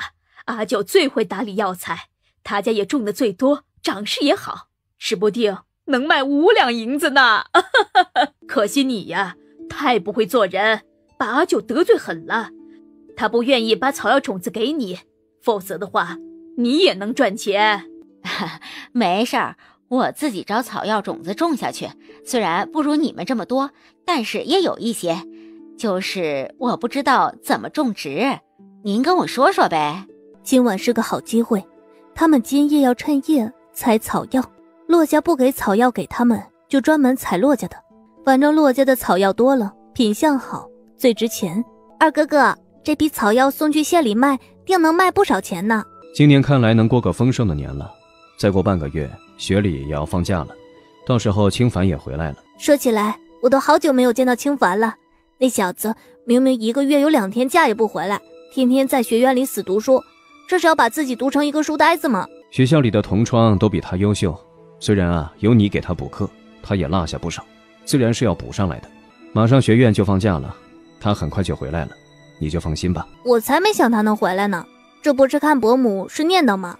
还有大哥最近也没有信回来，大嫂这两日都神情恍惚的。去荷包的时候，好几次都扎了自己的手呢。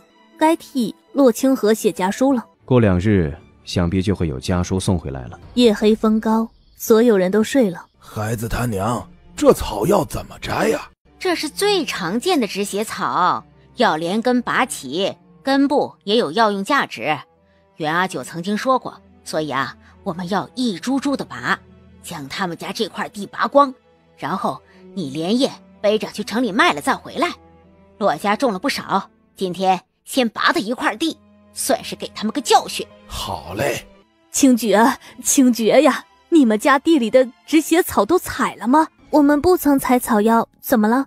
啊，不曾采药，坏事了！我刚来过的时候，看到你们家一块地的止血草被拔光了，我还以为是你们自己拔的呢，定然是那不要脸的做的！我要去找他。哎，伯母，不要冲动，我们没有证据，是不能胡思乱猜的。不过是一块地的草药而已，又不是多值钱的东西，不必为此伤了和气啊。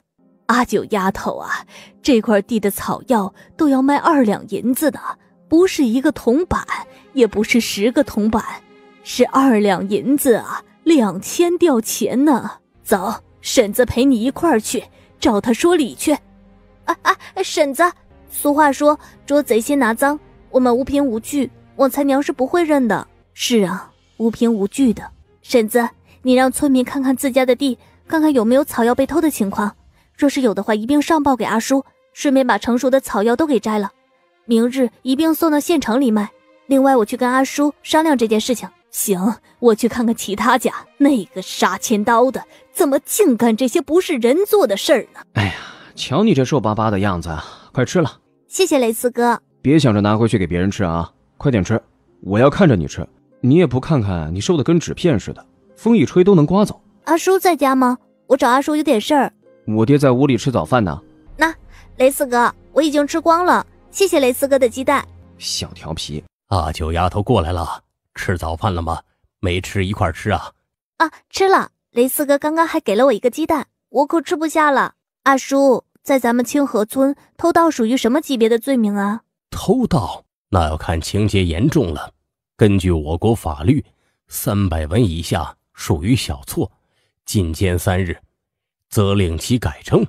那一两银子以上的呢？属于大过了，一两银子足够判监禁一年，杖责三十了。哎，是不是出什么事情了呀？我们家有一块地的草药被人偷了。合着算来大概二两银子，村民们都去看自家种的草药了，看看哪些人家被偷，想必一会儿都会和阿叔来禀报。什么？是谁偷盗村民的草药？嗯，不知道。呃，毕竟也没有证据，所以不知道。目前就我们家的人被人偷了块地，其他人还没清理出来，等清理出来就知道了。阿九，你放心，这件事情不会就这么罢了。若是抓到那贼人，我定然要以村规处置。将他们赶出村里去。村长，我们家的草药也被人偷了些，偷了八株呢。哎，我们家被偷了十株草药，我们家被偷了五株。那旺财娘现在做什么？啊，在家里做饭呢。去把它拿来。哎，阿叔，不着急。旺财娘跟我们是同一个村的，邻里邻居的，咱们又没有证据，不能随便冤枉别人的。大家且先回去，阿叔一定会抓到那个偷草药的贼。给大家一个交代的，你们都回去吧。这件事我一定会查清楚的。阿九丫头，你是不是有主意了？阿叔，捉贼先拿赃，我们当然要凭证据啊，无凭无据不能乱说的。你可是一村之长，今日让大家把成熟的草药都采摘了，明日送去县城售卖。晚上大家都不要出门，也不要去地里，明日自有分晓，但是保密，否则的话就不管用了。行，听你的。卖了二两三钱银子，这草药当真值钱呐！只可惜我们摸黑把草药，弄伤了不少。否则的话能卖更多。真的？既然如此值钱，晚上再去拔一波。我们偷了这么多草药，村里没发生什么事儿吧？骆家没有上门来闹？没，他们也不敢上门闹。毕竟咱们家没有一株草药，他们也没有任何的证据。他们要是敢上门来闹，我非告他们个诬告不可。那他们晚上会不会守在地里呀？怕什么？我们晚上悄悄出去。若是有人守着就算了，没人守着，我们再摘一波。今日我看他们都在采摘草药了，想必晚上也剩不了多少了。他们未必愿意守在地里。也是。那行，我去睡一觉，晚上咱们继续去拔草药。岳云熙则是背着背篓上山去了。洛清觉不放心，也跟上去。阿九，来这边做什么？这个季节只有这种草还没有枯死。弄这个做什么呀？嘿，捉贼。草还能用来抓贼？等着瞧，明日一早就能见分晓了。以我对旺财娘一家的人了解啊，这家人贪得无厌，尝到了甜头，不会那么容易罢手的，会再次出手。不然的话，村民将草药都摘完了，他们也没得采。所以今夜。他们一定还会行动，哎，连土一起弄出来，不要伤了根部，要活着才有用。咱们的地里都种上，一块地至少种十株，这里的挖回去差不多就够了。今夜要好好教训教训他们。清觉，阿九在做什么呀？他新发现了一味草药，想种植出来看看，看看能不能收到种子。哟，洛清觉啊，听说你们家草药被人偷了。不会是你们自己摘了，然后说是别人偷的吧？骆家小媳妇儿，你们这个头做，人家未必肯领情，指不定是有人故意整你呢。是啊，我也觉得是有人故意整我，只是这老天呢，都看在眼里，偷我东西的人呢，迟早是会遭报应的。报应？若是真有报应，老天爷就该一个雷劈死。唉，这旺财娘也真是的，乡里乡亲的。他就非要弄得这么难看，弄好了没啊？弄好了就回家吧。快好了，就只差最后几株了。二哥哥，咱们要不要来打个赌，看看今夜有没有人自投罗网？不用赌了，就冲他那副嘴脸，今夜他定然还会前来。这夜，要不叫个人去地里守着吧？阿九说了，让你放心睡觉，明日自会有分晓。你们也早点去睡觉，明日还有的忙呢。走。直奔洛清觉家里，我看了，他们家还有很多草药还没有采摘。子时是幻云草毒气最浓烈的时候，当真是他们。冬日的早晨，天亮的很晚。他爹，快点采，采完了立马送去县城卖，千万别送去济世堂。村长他们会送草药去济世堂，免得遇上了。张翠花、李二蛋，你们，你们好大的胆子！村长，事情不是你想象的那个样子的，我是过来帮忙拔草的。哼，旺财娘，你可真厉害，拔草怎么拔到我家草药田里了？还把我家的草药拔到你背篓里去了？村长，不关我的事儿，都是这个女人，是她非要我来偷草药的，不是我想来的呀！将他们拉出来！干什么？你们干什么？凭什么抓我？放开我！张翠花。你可知偷盗可是大罪呢？谁偷了？我偷什么了？我扯了两把草药，还犯罪了？今日，今日我定然要严惩你们，以儆效尤。村长，不要啊！不关我的事儿啊！是这个婆娘，就是这个恶婆娘逼着我做的，我不想的。村长，要罚你就罚她吧。旺财爹跪在地上，赶紧求饶。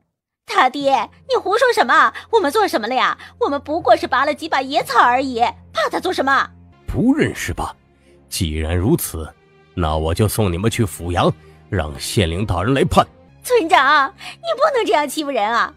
是我们是偷了骆家的草药，可是你也不用送我们去官府啊。若是我们送去官府，旺财可怎么办啊？你忍心让他一个孩子孤苦伶仃的吗？你们已经触犯了法律，犯了偷盗大罪。若是不严惩，人人都学你们，好逸恶劳、游手好闲，那清河村就完了。来人，送去官府。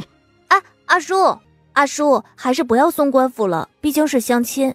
阿九，你快给婶子求求情，我以后不敢，我以后再也不敢了。若是以后我再敢偷东西，就叫我不得好死。阿叔，要不算了？算了，绝对不行！今日必须严惩，必须送官府法办。村长，我错了，我真的知道错了，求求你饶过我们这一次吧。若是我们俩都进了大牢，谁来照顾旺财啊？求求你，看在孩子的份上，饶了我们这次吧。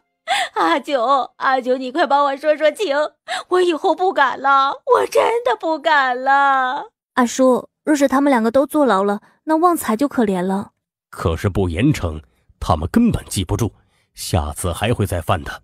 村长，我看这样吧，不送官，但是不能不惩罚，还要重重惩处。请觉，你说说要怎么惩处啊？不送官，但是按照村规处置。毕竟他们此次犯下的错可不小，平日里小偷小摸，如今竟然到了偷大片草药，继续放纵下去，指不定会偷什么。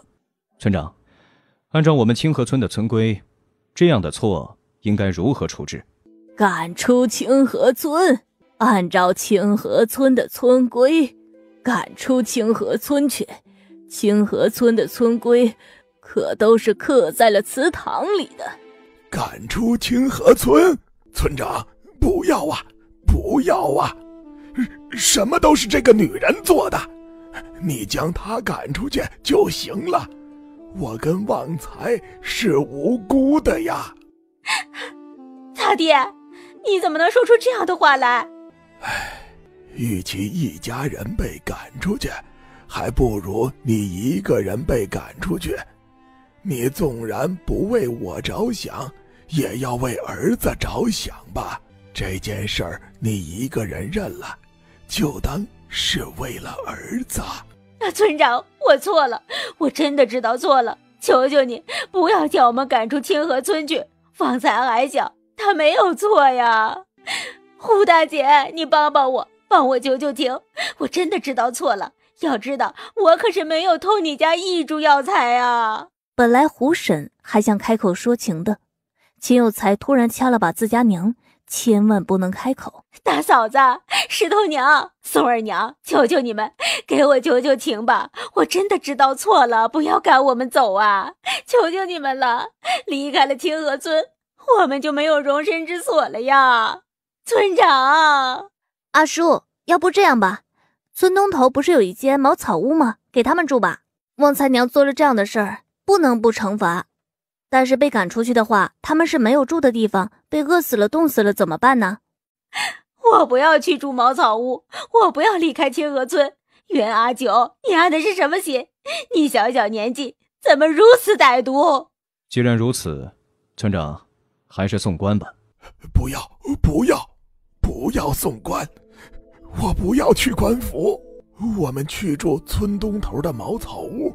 我们去。李二蛋张嘴花，犯了偷盗大罪，偷盗村民种植的草药换钱，死性不改。我雷星业作为村长，不能姑息，将其夫妻赶出清河村。因念旺财年幼，需要父母照顾，将村东头的茅草屋给其居住。从今往后，不得踏入清河村一步。旺财一家被赶出了清河村，住到了村东头。阿九啊，这是不是你干的？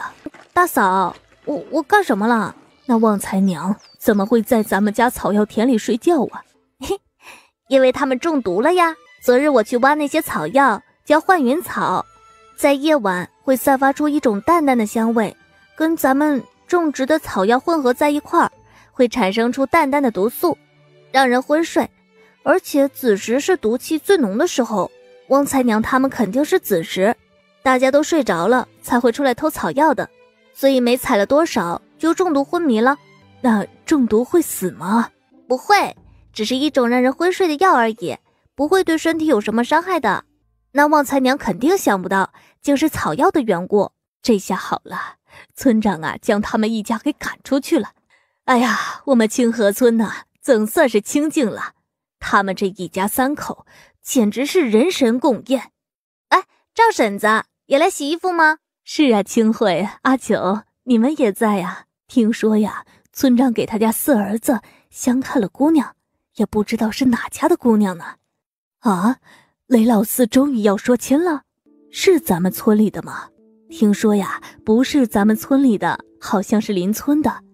哎呀，这到底是谁？我也不知道啊。说起来呀，你们家松儿翻了年也十五了，怕也是该相看人家了。秦家的有才呀，我听说明年要跟我们家二叔一起下场子，到时候若是考个举人回来，这胡婶子啊，只怕笑的嘴巴都要咧咧到后脑勺去了。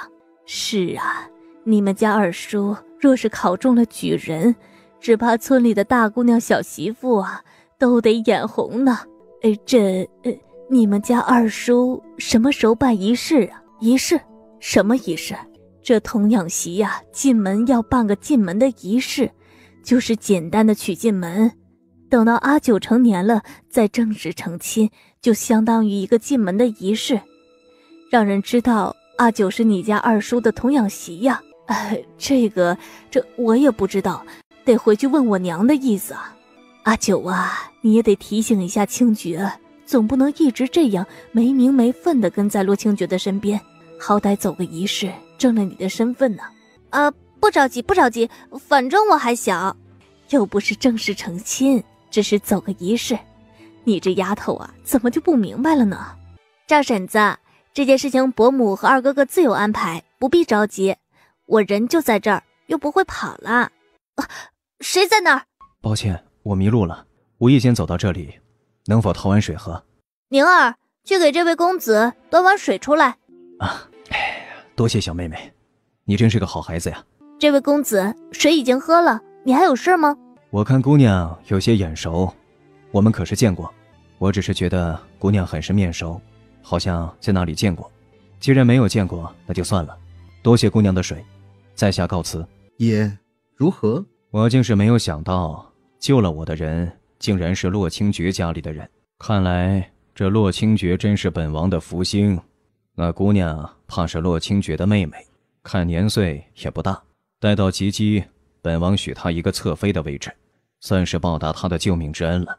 那姑娘承认她是你救了爷吗？那小丫头防备心重着呢，待我与洛清绝商量之后，再与她说吧。那位姑娘定然十分高兴，以她的身份，能做爷的侧妃，不知道是几时修来的福分呢。走吧，回云阳县。老大，你可算回来了。出什么事了？前日四爷来了村里，去了您家，似乎是对嫂子极为感兴趣。我隔得远，没有听清楚说了什么，但是四爷似乎很高兴。我知道，九爷回京了吗？已经回去了，我们的人一路护送回去的。路上遇到几波刺杀，都是京都来的人。老大，道上传来确切消息，东陵那位在找人，并非。是东西，找人吗？有东林九公主的画像吗？寻倒是寻到一幅，不过是五年前了。五年前，东林九公主曾经来过南齐，留下过画像。可是，如今五年都过去了，都说女大十八变，谁也不知道如今的东林九公主长成什么模样了。更何况，人都已经死了。给我，二哥哥，这个。这是你做的吗？不喜欢。喜欢。簪子是这么用的。谢谢二哥哥。今日我走后，村里有发生什么事吗？哎，有。今日有一个长得很好看的叔叔来我们家里讨水喝，宁儿还端了一碗水给他呢。好看的叔叔，不知道哪家公子哥迷路了，跑咱们村来讨水喝，喝完水就走了。啊啊啊！斗一回来了。你家鲁贵看起来可真结实，婶子好。本来家里也忙，可是鲁贵说都没有回门，今日就不卖肉了，陪我回来看看我爹。哎，你这算是回门吗？啊，大概是吧。阿姨回来了。哎呦，当时死活不肯嫁，如今倒是高兴了。看来呀，那个鲁贵待她是不错的。哎，你上哪去摘的梅花呀？啊，后山有一株梅花开了，我就摘了一些回来。哎，有才哥是来找二哥哥吗？呃，阿九妹妹，清觉哥在吗？我家里太吵闹了，没有办法安静看书，呃，我就想着过来跟清觉哥一起看书，顺便请教几个问题。二哥哥在屋里，你自己进去便是。阿九，啊，哎，豆姐姐，鲁大哥，来吃糖。我跟阿贵说，我病重，多亏是你救了我，不然的话，我哪能和他在一起？他听了，非要过来谢谢你啊。这就是阿九妹妹啊。呃，我就一大老粗，呃，也不会说话。谢谢你救了阿姨。啊啊，不用谢，不用谢。邻里相亲的，不过是举手之劳而已。你先回去，我与阿九妹妹说会儿话，一会儿就回来。那你可注意这些，别摔倒了。嗯，放心吧，我会小心的。阿九，一起走走吧。鲁大哥的人真不错。嗯，确实不错，待我也挺好的。呃，虽然婆婆厉害了些。好在她会护着我，这如今我有了身孕，他待我更是照顾有加了。啊，豆姐姐，你怀孕了啊？那真是恭喜豆姐姐！如今我寻到对的人。哎，你呢，阿九？当真要在清河村待一辈子吗？然后几级之后就嫁给清觉哥吗？嗯，按照规矩自然是这样的。也是，清觉哥虽然冷了点儿，但是待你还是不错的。我以前以为清觉哥对谁都是冷冷的样子，直到看到他对你，我才知道，他并非生来冷漠，只是对自己在乎的人才会热情。啊，他就是性子冷，不懂得表白罢了。阿九，我这次回来，其实是想让你给帮个忙的。你是齐大夫的爱徒，治好了苏二娘的天花，又救了我的性命，医术很好，你能帮我看看？我怀的可是儿子吗？啊，生男生女都是自己的孩子，这有区别吗？有，只是儿子才能传承香火，女儿都是别人家的。而且婆婆十分厉害，若是我投胎不能生个儿子，啊，婆婆指不定。阿九，算是姐姐求求你了，你帮姐姐看看是不是儿子。如果是儿子就生下来，如果不是，你帮我准备一碗堕胎药可好？可是。你腹中的孩子尚小，如何能确认是男是女呢？这个我也做不到啊。阿九，那要多久才能辨别出是男是女啊？我必须得生个儿子才行。婆婆对我大婚前夕病倒的事情耿耿于怀，鉴于我怀孕了才有所好转。若是，若是我生了个女儿，我这在鲁家就没有容身之地了。呃，怎么会呢？鲁大哥他。阿九，就当是姐姐求求你，帮帮我，就这一次就行。要知道，若不是因为你，我也不会在大婚前寻短见。这是你欠我的，我不求其他，我只求你帮帮我。我只是一个药童而已，只会辨认几味药材，当不得大夫，帮不了你，又没有办法帮你，你好自为之吧。伯母，阿九，怎么啦？伯母。周一姐姐刚来寻我了，可是她欺负你，倒不是欺负我，而是豆姐姐她怀孕了。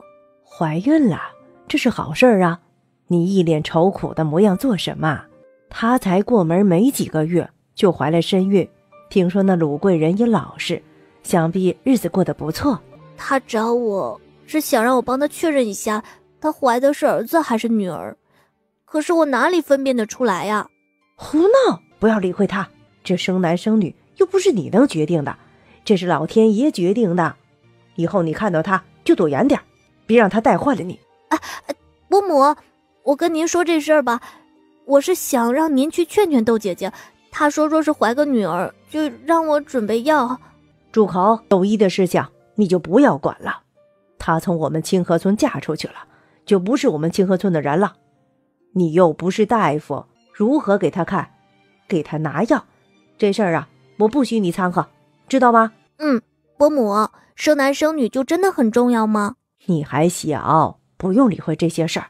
我去与斗鱼说说，你陪着你嫂子，别胡思乱想。哎，阿九，听我说，一个女人生不出儿子啊，就是没用的废。大嫂，二叔，你怎么出来了？阿九，我有些饿了，能帮我们做些吃的吗？随便什么都可以。好。阿九妹妹，做什么好吃的了？啊，做了一些南瓜饼。时间还早，你们先吃着充充饥。那那好吃！阿九妹妹的手艺可真好。去陪阿九说说话。让我再吃一个呗，阿九妹妹。呃，弄草药呢。嗯，呃，你不高兴啊？你做的这南瓜饼可真好吃，好吃你就多吃点。怎么，清觉哥惹你生气了？有才哥，你爷爷奶奶、你爹娘喜欢你妹妹吗？喜欢呢。怎么了？有多喜欢？嗯，很喜欢吧。我也不是很清楚。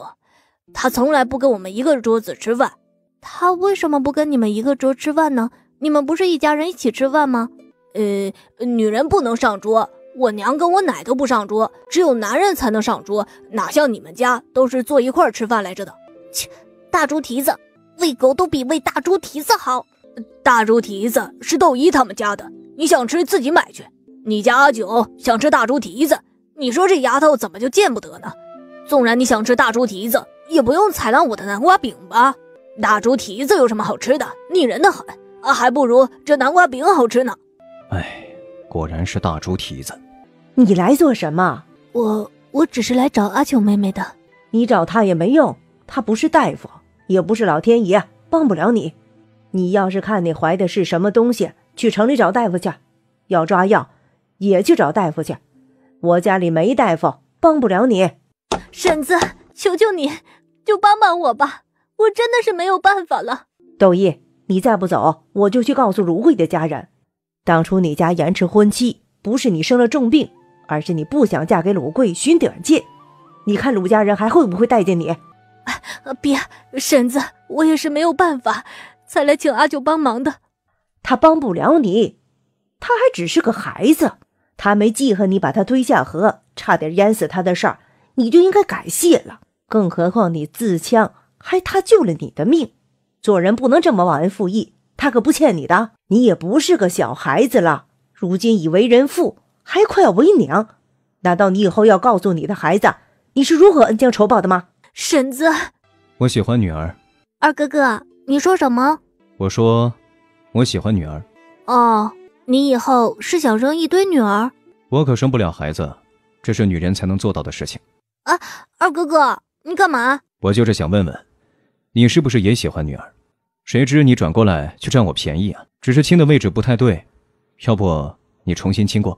二哥哥，你，你是不是想成亲了？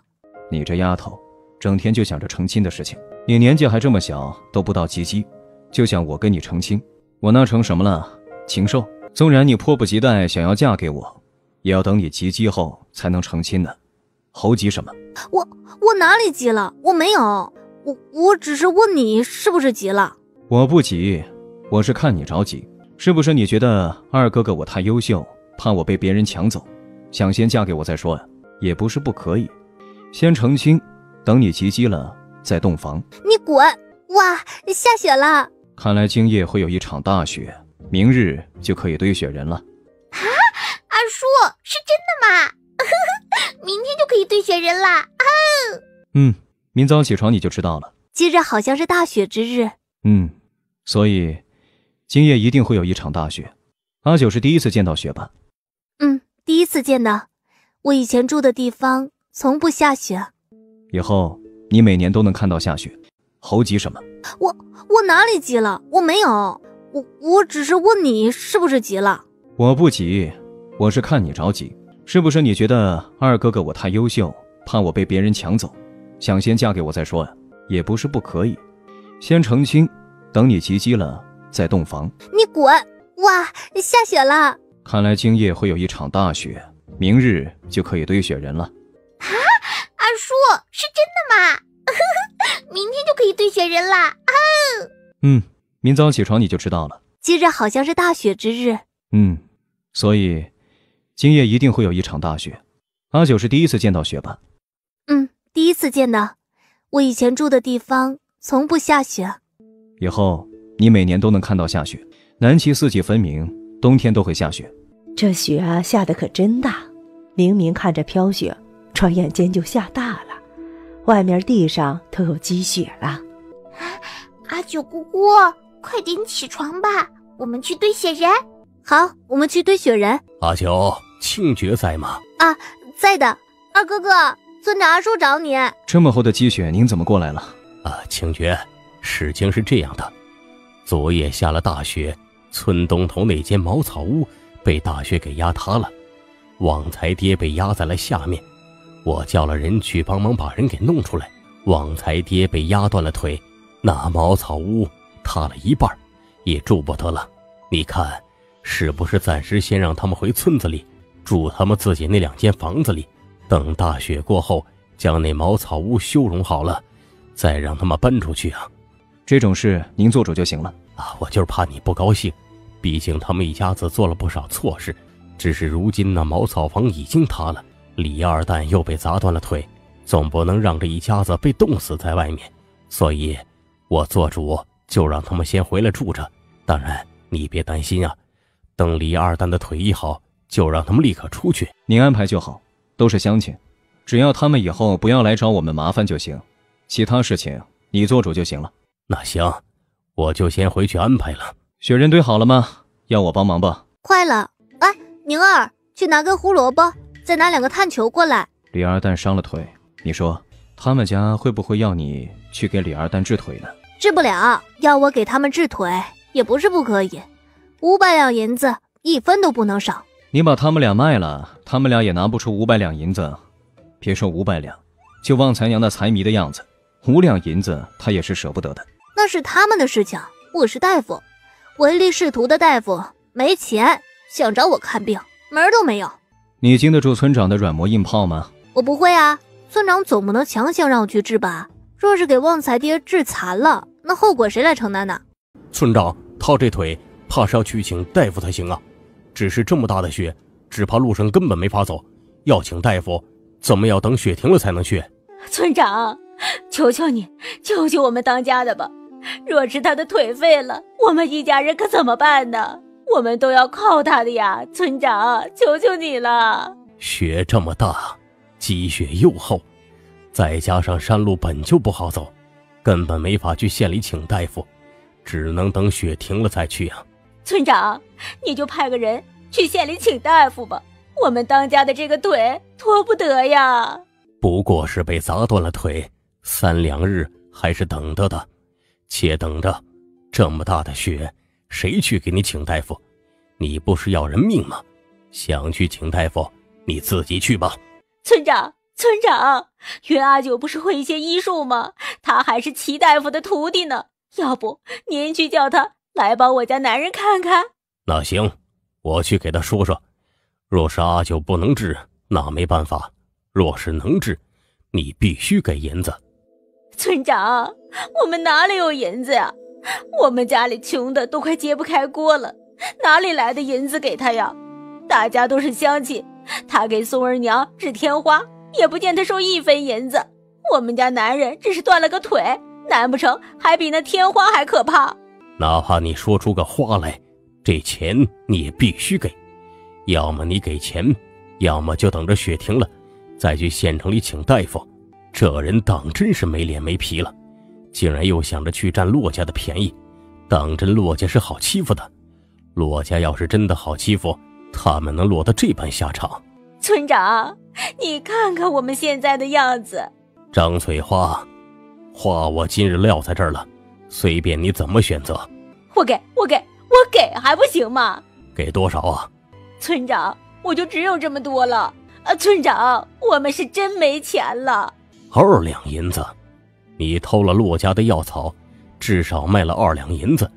要是要阿九治，你就给二两银子。二两银子，这不是抢吗？就算是城里找大夫，也要不了二两银子呀！我没有二两银子，那你就去城里请大夫。你个臭婆娘，我的腿都成这样了，你竟然还敢拽着钱不拿出来？你是想弄死我呀？当家的，你冷静点儿。那云月溪才几岁呀？他是齐大夫的徒弟，可是他能有齐大夫厉害？会治疗骨伤？我看呢，他根本治不了。村长这是变着法儿的想从我们手里将银子骗走，这可是我们辛辛苦苦赚的银子，岂能给他们？方才别怕啊，娘马上生火盆，很快就不冷了。定然是那小狐狸精害我们。当家的，我们得想个办法，将那个死丫头从村里弄出去。有她在，我们是没有好日子过的。怎么把她弄出去？她机灵着呢，想要弄她出村子，除非人牙子把她拐走。当家的，你说的对，让人牙子把她拐走。她那张脸可是十分漂亮的，我们将她卖给人牙子，还能赚一笔钱。一大清早的，谁在外面敲门呢？能是谁？张翠花，这人来肯定没好事儿，不用理会，就当没听到。杨大嫂，我求求你，您就开开门吧。我知道错了，我家男人病了，您让阿九去看看好不好？杨大嫂，村长，我家男人真的是快不行了，昨夜一直发高烧，说胡话，那条腿又肿又红。怕是不好了，求求您，让云阿九去给我家男人看看吧。我早说了，二两银子。我没有银子呀，我真的没有银子呀，家里就只有那么几个铜板了，还要留着给我家男人买些吃的。啊，对了，村长，能不能给些米给我们呢？我家里没米了。你们家没米跟我们有什么关系？你们家没米了，自己买去。大嫂子，话不能这么说呀！难道你们要眼睁睁的看着我们饿死吗？饿死你们活该！你敢说你没钱？哼！你偷的草药至少卖了二两银子，你还敢说你没钱？那二两银子是我要存着给我家旺财娶媳妇的，不能拿出来。你们怎么就如此狠心呢？我家男人都病成那样了，你们不但见死不救，还管我要钱，不觉得太过分了吗？你给我滚出去！别在这里惹我爹生气。我们家不欢迎你！哎，你放开我！要我走也可以呀，给十斤米给我，先让我家里有米吃啊！我家里的米都吃光了，我儿子还要吃饭呢。那李二蛋真的病了？娘，你可千万别相信他们，他们一家子满口谎话，说是病了，又问我们要米，我看呢是想卖惨骗我们的米，还想不给一分钱，就让阿九妹妹去给李二蛋治疗。李二蛋肯定是在装病。当家的，这事你怎么看呢？我能怎么看？你没听到那泼妇怎么说吗？早知道就不管他们一家死活了，让他们被冻死在外面得了。反正他们也不是清河村的人了。村长，求求你救救我爹！我我爹，我爹叫不醒了。村长，这个我可没有办法。老四，快去叫阿九过来。阿九妹妹，不好了，不好了！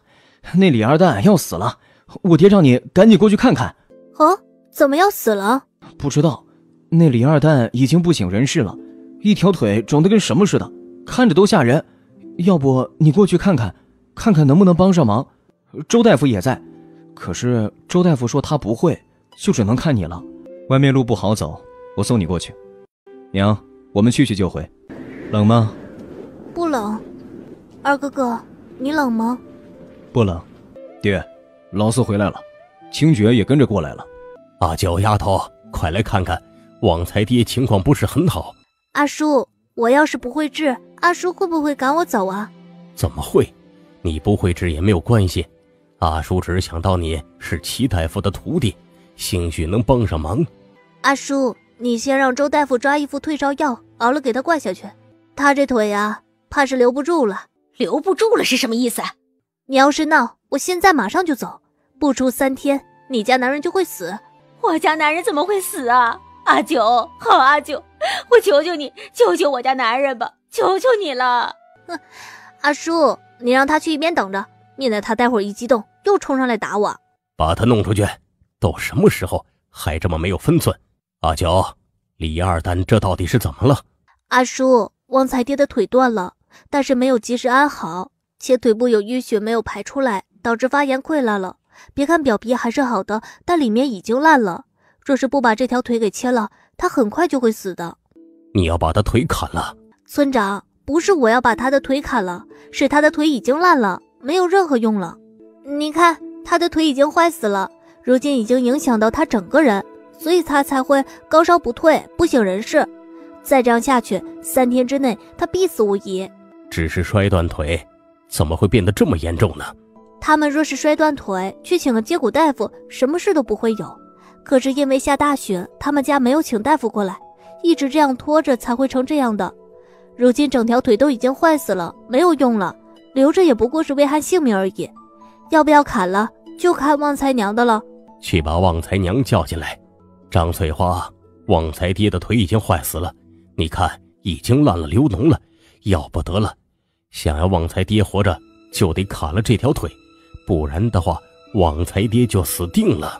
旺财娘一听要砍掉旺财爹的腿，说什么也不答应，当即言语难听的咒骂岳云熙不安好心。不过偷了点他家的药材，竟然狠毒要他家男人一条腿，真是扑上去叫嚣着要收拾岳云熙。若不是众人拦着，他已经动上手了。岳云熙本来也不想过来。毕竟这家人实在是太无理取闹，当即就离开了。谁知旺财娘竟然耍横，不让岳云熙走。你不准走！今日你治不好我家男人，休想离开这里。治不了，另请高明吧。快来人呐！骆家的人见死不救不说，还打掉了我的门牙呀！欺负人也不带你们这么欺负人的。我家当家的都村长，快拦住他们呐！你怎么能见死不救？我家男人都这样了，他们竟然还这个姿态，让着我一些怎么了？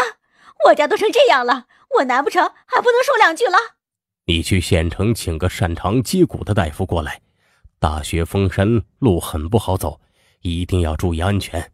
他爹呀，外面下着大雪呢，你让老大出村去请人，你这是要拿老大的命换旺财爹的命啊！更何况这么大的雪，哪个大夫愿意过来呀？咱们的村里没有大夫，阿九也不是大夫，周大夫也说没有办法，那就是没办法，让他们自己看着办。愿意相信阿九，就听阿九把腿砍了；不愿意，那就等雪停了再出村去请大夫。老大、老四，我们回去，待在这儿做什么？看着那贱皮子耍贱吗？胡大姐，你对我最好了，你帮帮我吧！唉，天作孽犹可活，自作孽不可活。好自为之吧。你这话是跟谁学的？咱们儿子说的，我现学现卖。怎么样，没说错吧？没问题，说得好。你这榆木脑袋呀，总算开窍了。嗨，那是，我儿子可是当举人的料。我这当娘的怎么能差了？这李二蛋怕是不行了，娶媳妇儿娶到张翠花这样的，真是倒了八辈子的血霉了。哎，你咋不说话呢？我能说啥呀？什么锅配什么盖子，一个巴掌拍不响。这张翠花不是什么好东西，李二蛋也不是个好货。哼，你这话说的不对。这娶妻娶贤，惜贤祸少。李二蛋之所以倒霉，都是娶了张翠花的缘故。他要是娶到像你这样贤惠的媳妇儿，能发生这样的事情吗？那是，他确实是媳妇儿没娶好。哎，当家的，不能怪我呀，是他们见死不救啊，不是我不救你啊。你说，你要是没了一条腿，以后就是一个废人，还能做什么？你什么都做不了，还要我养着你呀？这日子还怎么过呀？你若是去了阎王那里，你要记住了，不是我不救你，是清河村这些人见死不救，我也无能为力呀。娘，小媳妇说了，把腿砍掉的话能活，为什么要爹死啊？你这傻孩子，你爹要是没了腿，我们一家人还怎么活呀？还不如死了算了。旺财，你要记住了，都是村里这些人逼死了你爹，尤其是洛清绝跟云阿九这两个人。你一定要记住了，若不是他们，我们不会被赶出村去。不被赶出去，你爹就不会被砸断腿，也不会病成这样躺在这里。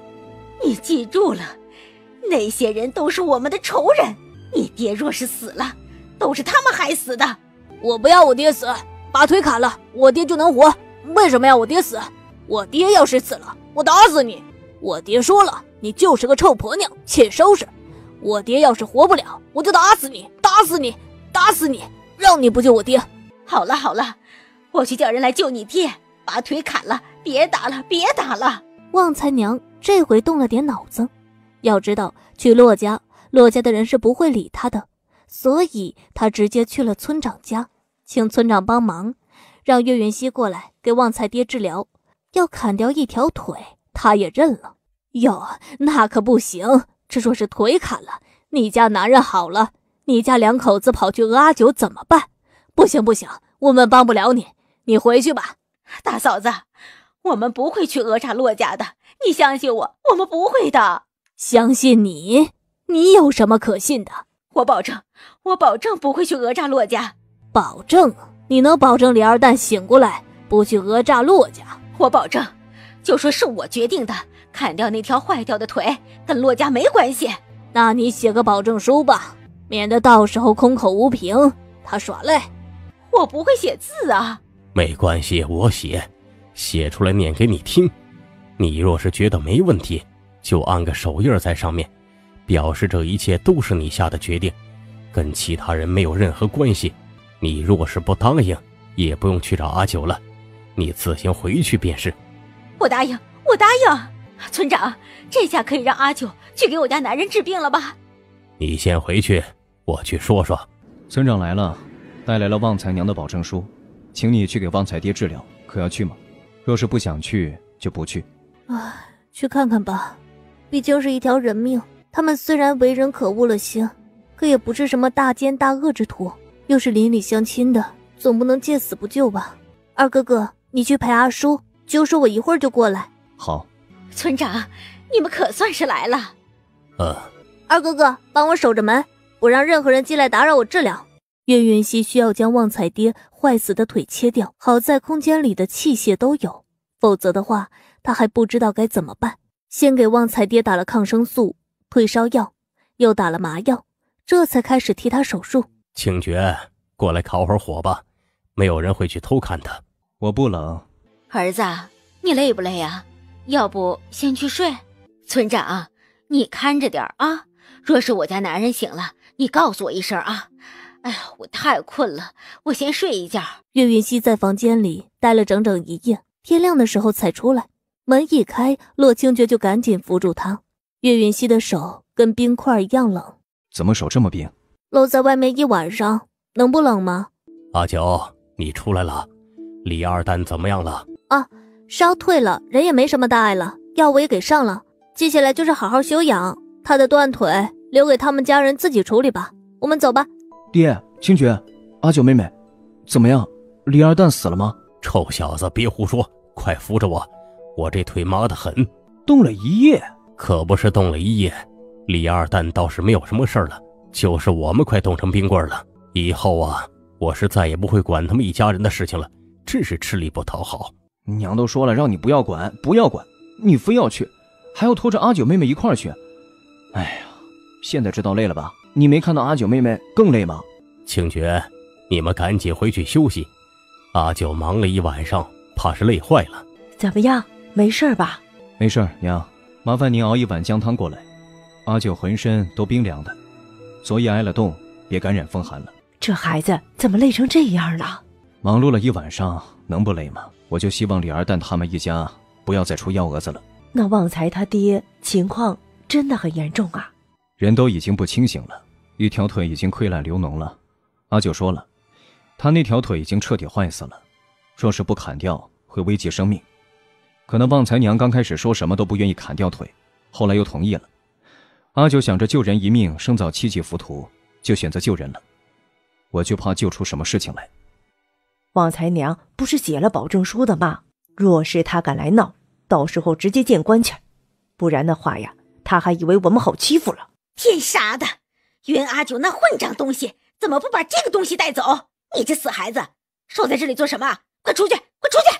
水。去煮点吃的，我饿了。等着。煮点吃的怎么这么慢？慢？嫌慢你自己起来煮啊！你以为你现在是个什么东西啊？废物一个！躺在床上，我煮给你吃已经算是不错了。挑剔什么？挑剔就别吃。啊！我的腿，我的腿呢？你的腿呀，喏，那里躺着呢，已经烂了。骆家那小媳妇跑过来，把你的腿砍了。李二蛋，从今天起，这个家我做主了。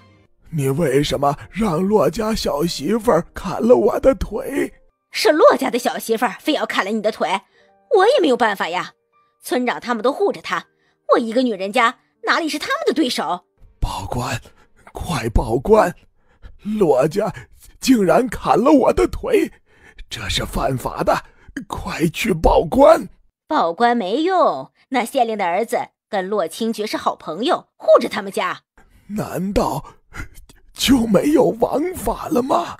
王法哪里是保护我们这些小老百姓的？王法保护的是那些有权有钱的人，可不是我们。这件事我们只能认栽。孩子他爹啊，你先休息会儿，我去给你煮点好吃的。旺财娘打定主意，就决定带着儿子逃走，连包袱都收拾好。结果旺财说什么也不肯和他走，不管他说什么都没用。旺财娘怕旺财哭闹引来旺财爹的怀疑，只能作罢。这大雪的天病得很严重吗？可不是，人都不清醒了。大雪封村好几日了，我们也是看雪停了才敢请您来，还不知道人现在怎么样了。这么冷的天啊，还麻烦您来，真是对不住。我是大夫嘛，应该的，应该的。老大，徐大夫来了。徐大夫，快请。病人的情况很不好，我们昨夜做了紧急处理，现在麻烦你了。做什么？做什么？县城里面来的徐大夫，擅长骨科，让他来给旺财爹看看。让开！旺财爹正在里面骂骂咧咧，咒骂洛清觉一家子。洛清觉站在门口，听旺财爹中气十足的咒骂他们，眸光微动。这就是病人。嗯，他的腿半个月前房子倒塌给砸断了。一直没请大夫，三天前，伤的那条腿又红又肿，开始发烧说胡话。昨日情况十分糟糕，就让我家阿九过来帮忙看看。阿九是齐大夫的徒弟，我听齐大夫提起过，说他收了个女徒弟，十分的厉害。看这样子，那条腿应该坏死了。他做的对，若不是他及时砍掉了那条坏死的腿，只怕这人已经死了。大夫。我的腿怎么会变成这样啊？延误了医治的时机，又感染了。若是当时就请我来，你这条腿根本不会有事。你们当时为什么不请大夫？病人的伤口处理得很好，我也派不上用场。换药，就让你家阿九来吧，好好的休养。虽然丢了一条腿，好歹捡回了一条命啊！张翠花，你给我滚出来！那边怎么样了？老样子，如今雪停了，路上的积雪还很厚，估计要过两日才能出村。这么大的雪，学院的课应该会提前结束。过两日我经常去接清凡回来，也快过年了。我也要去，去采办年货。马上腊八了，去采购一些年货回来，做些腊八粥。后面也不知道还会不会下雪，指不定还下雪呢。到时候就没有办法出去办年货了。也行。到时候你们俩一起去办年货，采办回来，借村长家的驴车去吧。路上只怕不是很好走。好，二哥哥，你不冷吗？这么冷的天，要不你不去了？你想买什么，我给你带回来。不行，我要自己去买。给，上车吧。那是用猪尿泡做的，村长家杀了猪，我就讨要了过来。别怕，我洗干净了的，一点味道都没有。装上热水，再用布袋套一下，可以用来暖手，好几个时辰都不会冷。二哥哥，你可真聪明，竟然想到这个办法。若是清凡见了，一定会羡慕的。他不会的。还冷吗？嗯，好多了。哎，天气冷了，草药都不怎么长了。这次大雪压死了不少呢。估计开春的时候，草药产量会比较少。啊，云阳县到冬天都会下这样大的大雪吗？并不是，今年的雪特别大，也下得特别久。这样的大雪会不会有受灾的地方啊？咱们村里也有两家房子被大雪给压塌了呢。得亏没有伤到什么人。若是继续这样下雪，咱们家里的房子也需要检修一下子了，免得被积雪给压塌了。好，回去我就将房子检修一下，保证不让大雪压塌了。小妹妹，吃糖葫芦吗？叔叔，请你吃糖葫芦啊！臭丫头，老子养了你这么大不容易，你娘重病在床，你竟然还敢偷了家里的银子逃走！跟我回去！抓小偷了！抓小偷了！误会，误会，这丫头她是我女儿，她偷了她娘看病的银子，我是来抓她回去的。终日大宴，竟然被宴啄了眼。那个小丫头，没有想到还是个三只手啊！小姑娘，小小年纪怎么不学好，学偷东西？我我叫以牙还牙，如何叫偷了？你偷人钱包还有理了？那人想偷我这个人拿去卖，我偷他钱袋，有什么不应该吗？那人不是你爹，是你爹还差不多。那人是个人贩子，看到单独的一个小姑娘就冒充别人的家人，将人在众目睽睽之下拐走。看他那熟练的样子，不知道拐卖了多少小姑娘。你不去抓他，反而是抓着我不放，是何道理啊？难不成你也是一个欺软怕硬的东西？那人是不是人贩子，我自会去求证。但是你偷人银子就是不对，被人发现还一副理所应当、不知悔改的模样，信不信我将你送去大牢坐牢？臭丫头，难怪还敢偷小爷的钱包，原来是身后有人。啊，叔叔，对不起，我也不想的，是你逼着我偷你的钱包的。呃，他他身上还有三十两银子呢。小子，将你身上的银子交出来，否则的话。小爷让你吃不了兜着走。小小年纪，满口谎话，你父母是怎么教你的？今日，我就要带你父母好好教训教训你。混蛋，你竟然敢忽视小爷！你今日没有见过我，你抓到一个人贩子，这人想抢你银子，你将人抓走送官。我没有见过你，我抓到个人贩子，我要送官。哼，有意思啊，想不到小小的云阳县。竟然卧虎藏龙，金刀捕快李少游竟然栽在一个小丫头的手中，呵呵，不知道李少游醒过来会气成什么样子。阿娇，快过来，快过来，你那药粉还有吗？没有了，上次草药被人偷了，导致没有草药研制，又遇上大雪，压死了不少的草药，要等到年后了。哎，不过师傅，我给你带来了别样的东西。这是什么？祛疤膏。效果很显著，师傅要不要试一试？祛疤膏这东西有什么用啊？赚钱用啊！谁都不喜欢自己身上有疤痕，尤其是那些夫人小姐，更是讨厌身上留疤。而我的祛疤膏疗效极好，见效又快。师傅，你说有用吗？阿九，行医救人是大夫的本职，旁门左道的东西你还是少研究的好。师傅，草药种子要钱。种植草药也要钱，研究各种各样的药更是耗钱。徒儿还有一家人要吃饭，处处都是钱。若是连我自己的温饱都解决不了，又如何去为他人解决困难？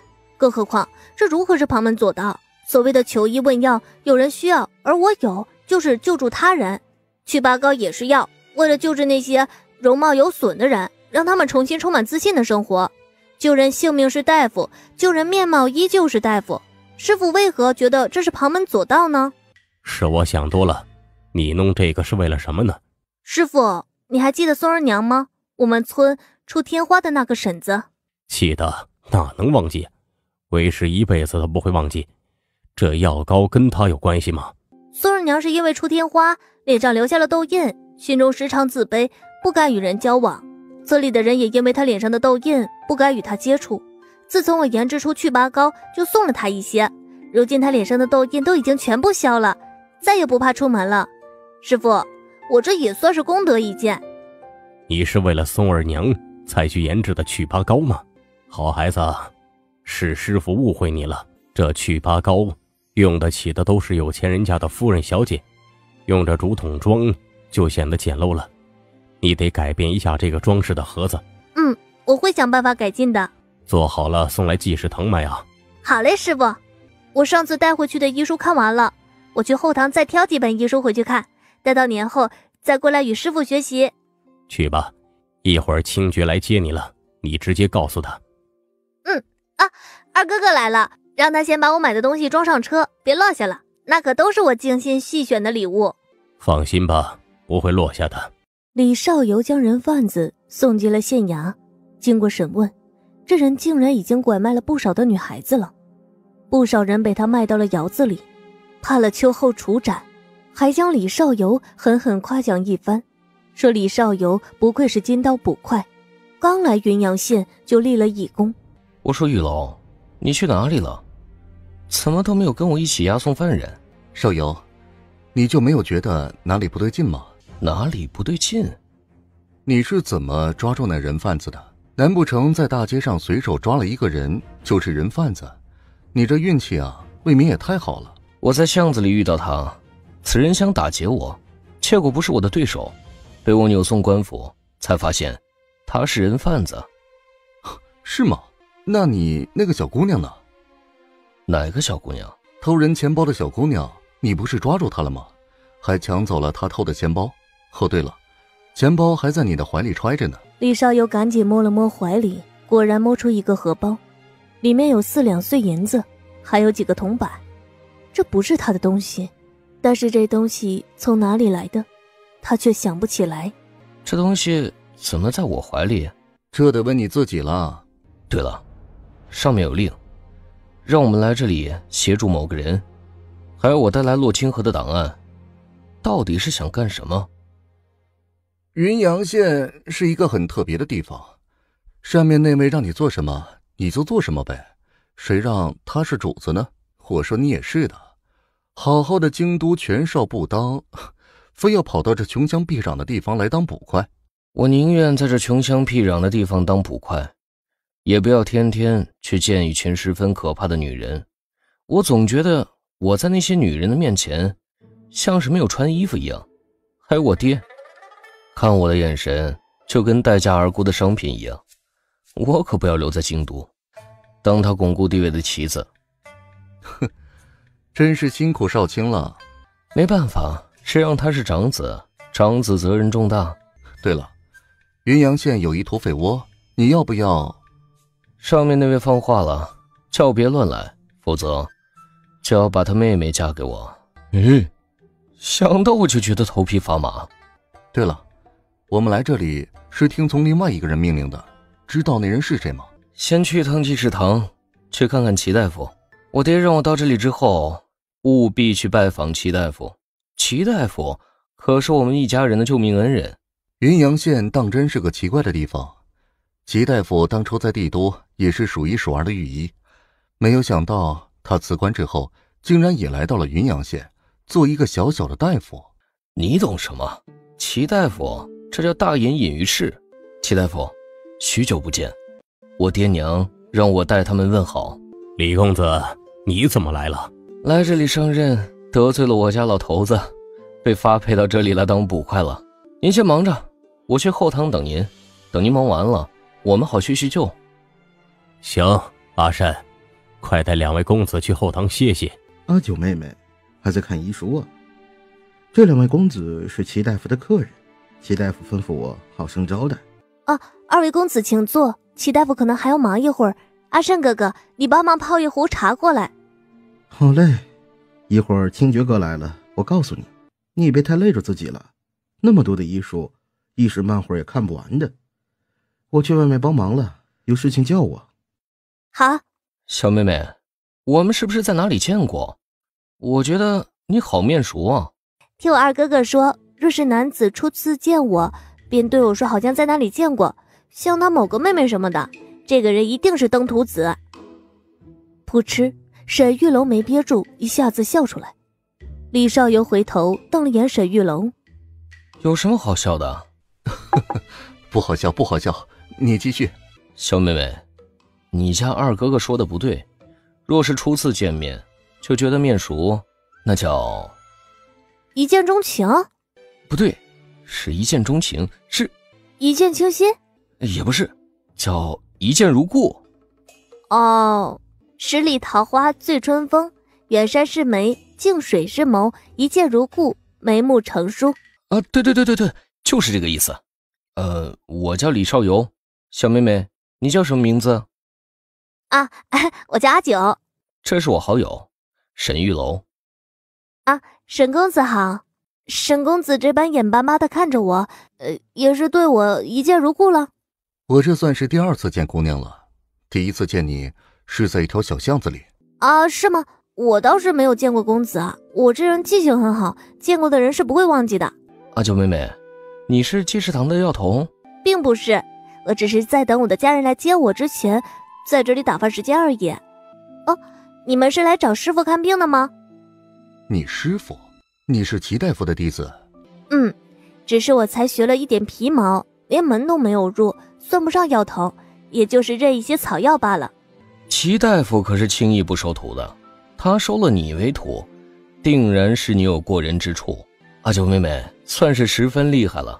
虽然京都也有医女，但是那些医女都只是干杂活的。两位公子来云阳县是做什么？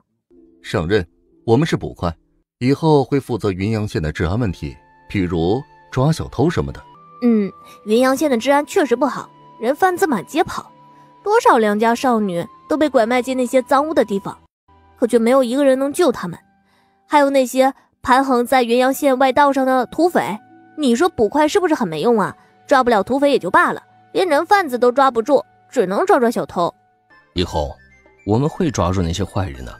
阿秋妹妹，你就尽管放心，保证没有人敢拐卖你。那就好。我知道少游哥哥，你是个古道热肠的人。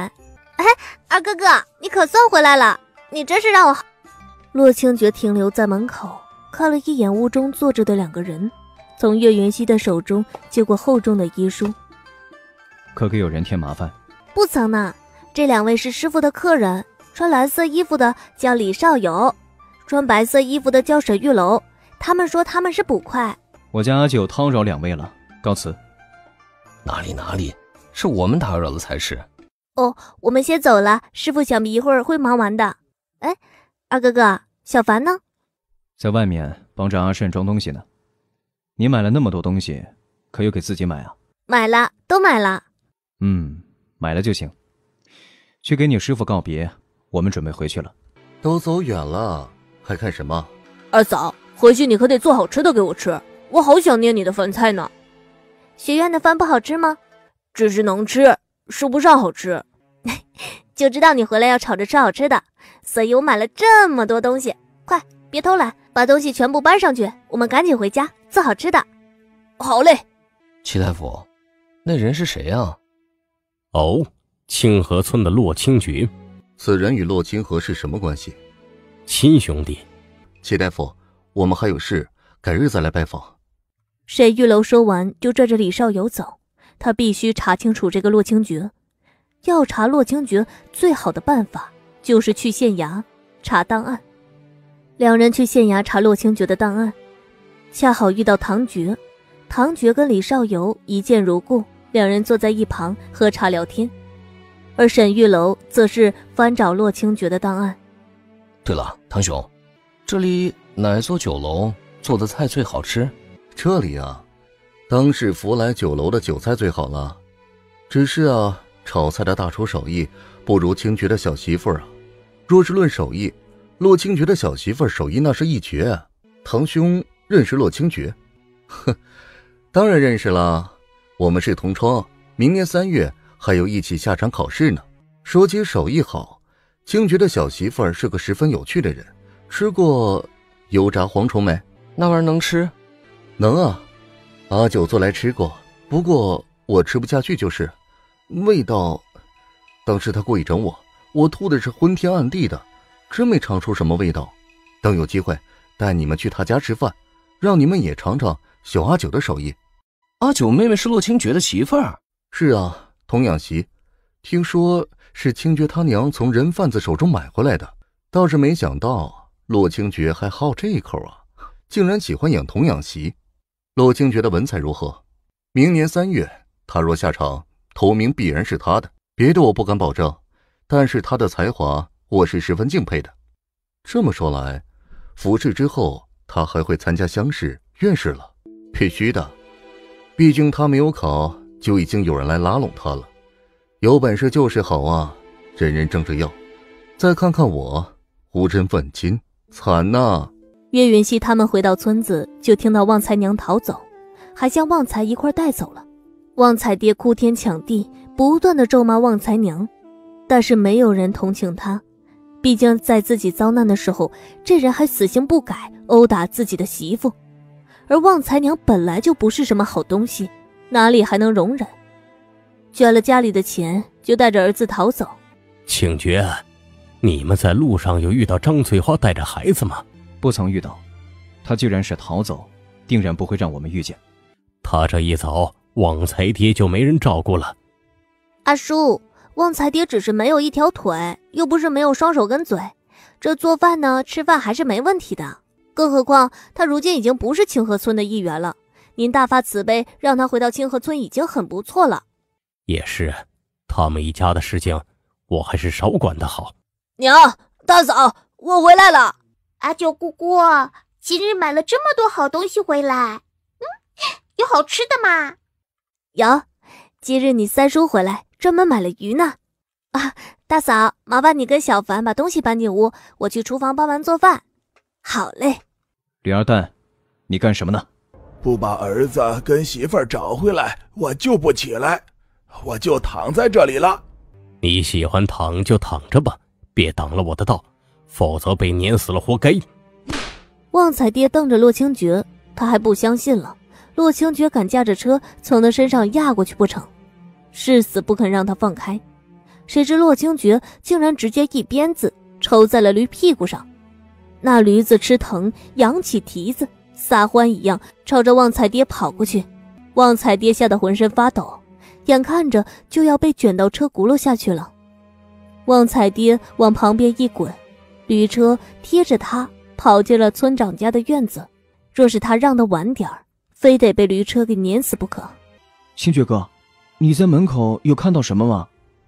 嗯，看到躺着一个人。村长，我就先回去了。等等，你怎么把驴车赶进来的？就这样赶进来的，他不让开，撵过来就行了。你把人弄死了？没，他自己让开了。他喜欢躺在那里，就让他躺着吧。冻得不行了。自己就知道回去了，他可不是那种不怕死的人。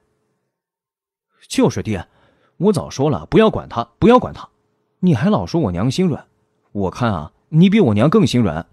就你话多，这人要是冻死在我们门口，我这个村长岂不是见死不救啊？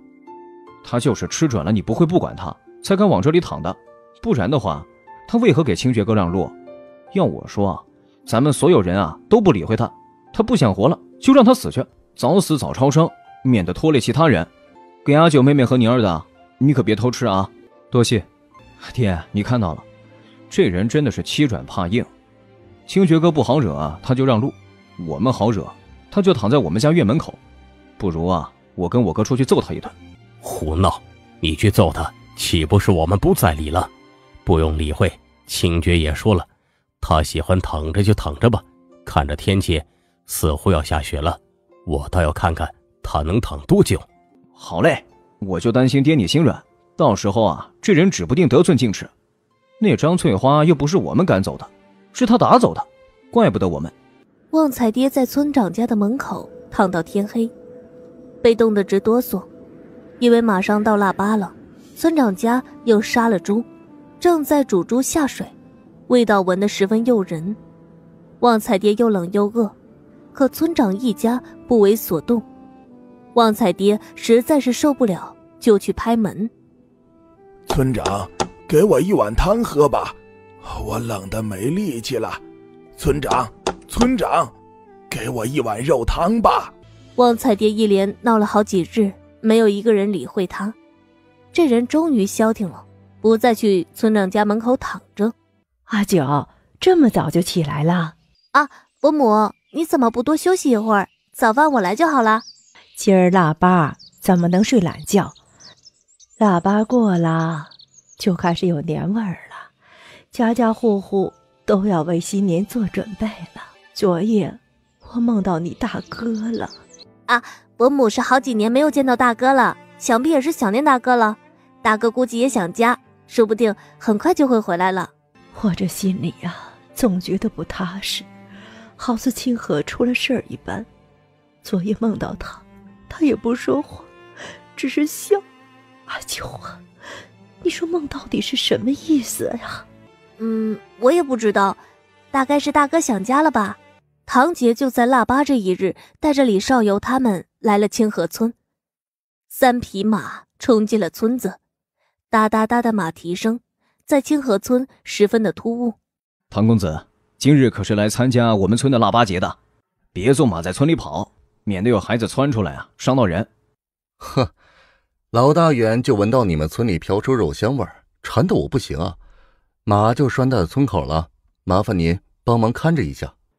好嘞，唐公子是去找清绝的吧？哎，快去快去吧，马儿我给你们拴好。这清河村风水不错，人也好相处，唯有一家人是个例外，但愿不会遇上他们。哎，唐公子，李捕头，沈捕头，去找清爵哥呀！来参加村里的腊八节，有才啊！明年三月下场考试，有把握没有？哎，心里没底。喷，不懂的就去问清爵呀，反正他跟你一个村，你怕什么？哦，对了，你去哪里啊？去村长家品尝腊八粥的时间快到了，去看看今年做评委的都有哪些。哎，唐公子，你们三人想不想做评审，吃遍全村每一家的腊八粥？想。走去村长家，今年的评审就是村长和你们了。唐公子，这两位是？这两位是县衙里新来的捕头，李少游、沈玉楼，我的好友。听说村里的腊八宴就要开始了。不知道人定好了没有？若是没有啊，我们三人是否能做这个评审呢？甚好甚好，我正在纠结今年该请谁家出来。今日有你们在，真是太好了。既然如此，腊八宴现在就开始吧。今年的评审是村长唐杰、李少游跟沈玉楼。村长是村里的老资格，威望也高。唐杰是县太爷的公子，也时常来村里走动。不少人都认识李少游跟沈玉楼，虽然初来乍到，可两人是捕头，又长得十分俊俏，村里的人都十分的欢喜。雷老四提着锣在门口敲三下，高声的呼道：“腊八宴开始啦！”听到锣声，家家户户开始准备出粥，只等村长他们一到，就可以品尝热乎乎的腊八粥。因为从村长家出发，最先品尝的腊八粥。传统腊八粥是包含八种材料，有些富贵人家则会准备十多样。村长家算是条件极好，也只是煮了八种材料，熬制了一锅浓稠的腊八粥，又配了爽口的小菜。只不过为了不让评审们后面吃不下，都不会准备太多，小碗装半碗，唐杰三两口就将粥给吃光了。他也算是贵公子。腊八粥吃过无数，但今年还是第一次在清河村吃腊八粥。村长家的腊八粥虽然没有家里做的食材多，但是味道也不差，配着爽口的小菜，甚是可口。村长家吃了之后，按照抽签的顺序去吃，抽中谁家就去谁家，而第二家就抽到了秦有才家。清河村总共十五家人，零零散散数下来也有几十号人。十五家吃下来，估计吃到一半就饱了，所以谁家都想排在自家的前面。胡婶一听自己排到第二家，赶紧将自己熬了一夜的腊八粥端出来。胡婶动了动小心思，在腊八粥里加了桂花和糖，煮了一锅香甜浓稠的腊八粥。唐杰他们依然吃完，接下来又是石头家，然后是雷军家，一家家下来。唐杰吃的有些撑了，不想再吃了。哎呀，村长还有几家呀？老二，还有几家粥没有品尝啊？爹，还有三家人，有一家是李二蛋家，李二蛋怕是没有做粥，他们家就不用去了，那就只剩下松二娘跟清觉他们家了。先去谁家？松二娘。那行，就先去松二娘家吧。松二娘，腊八粥准备好了吗？村长，三位公子，腊八粥已经准备好了。我们家准备的腊八粥跟蒸馒头，请四位品尝。嗯，好吃，馒头也好吃，又松又软。呵，最后一家是清绝家，这次清绝家可吃亏了。我们都吃饱了，他家却排在后面，只怕他家的八宝粥做的再好吃，我们也吃不下了。这是什么味道啊？好香啊！这个季节像是，是梅花的香味。对，是梅花的味道。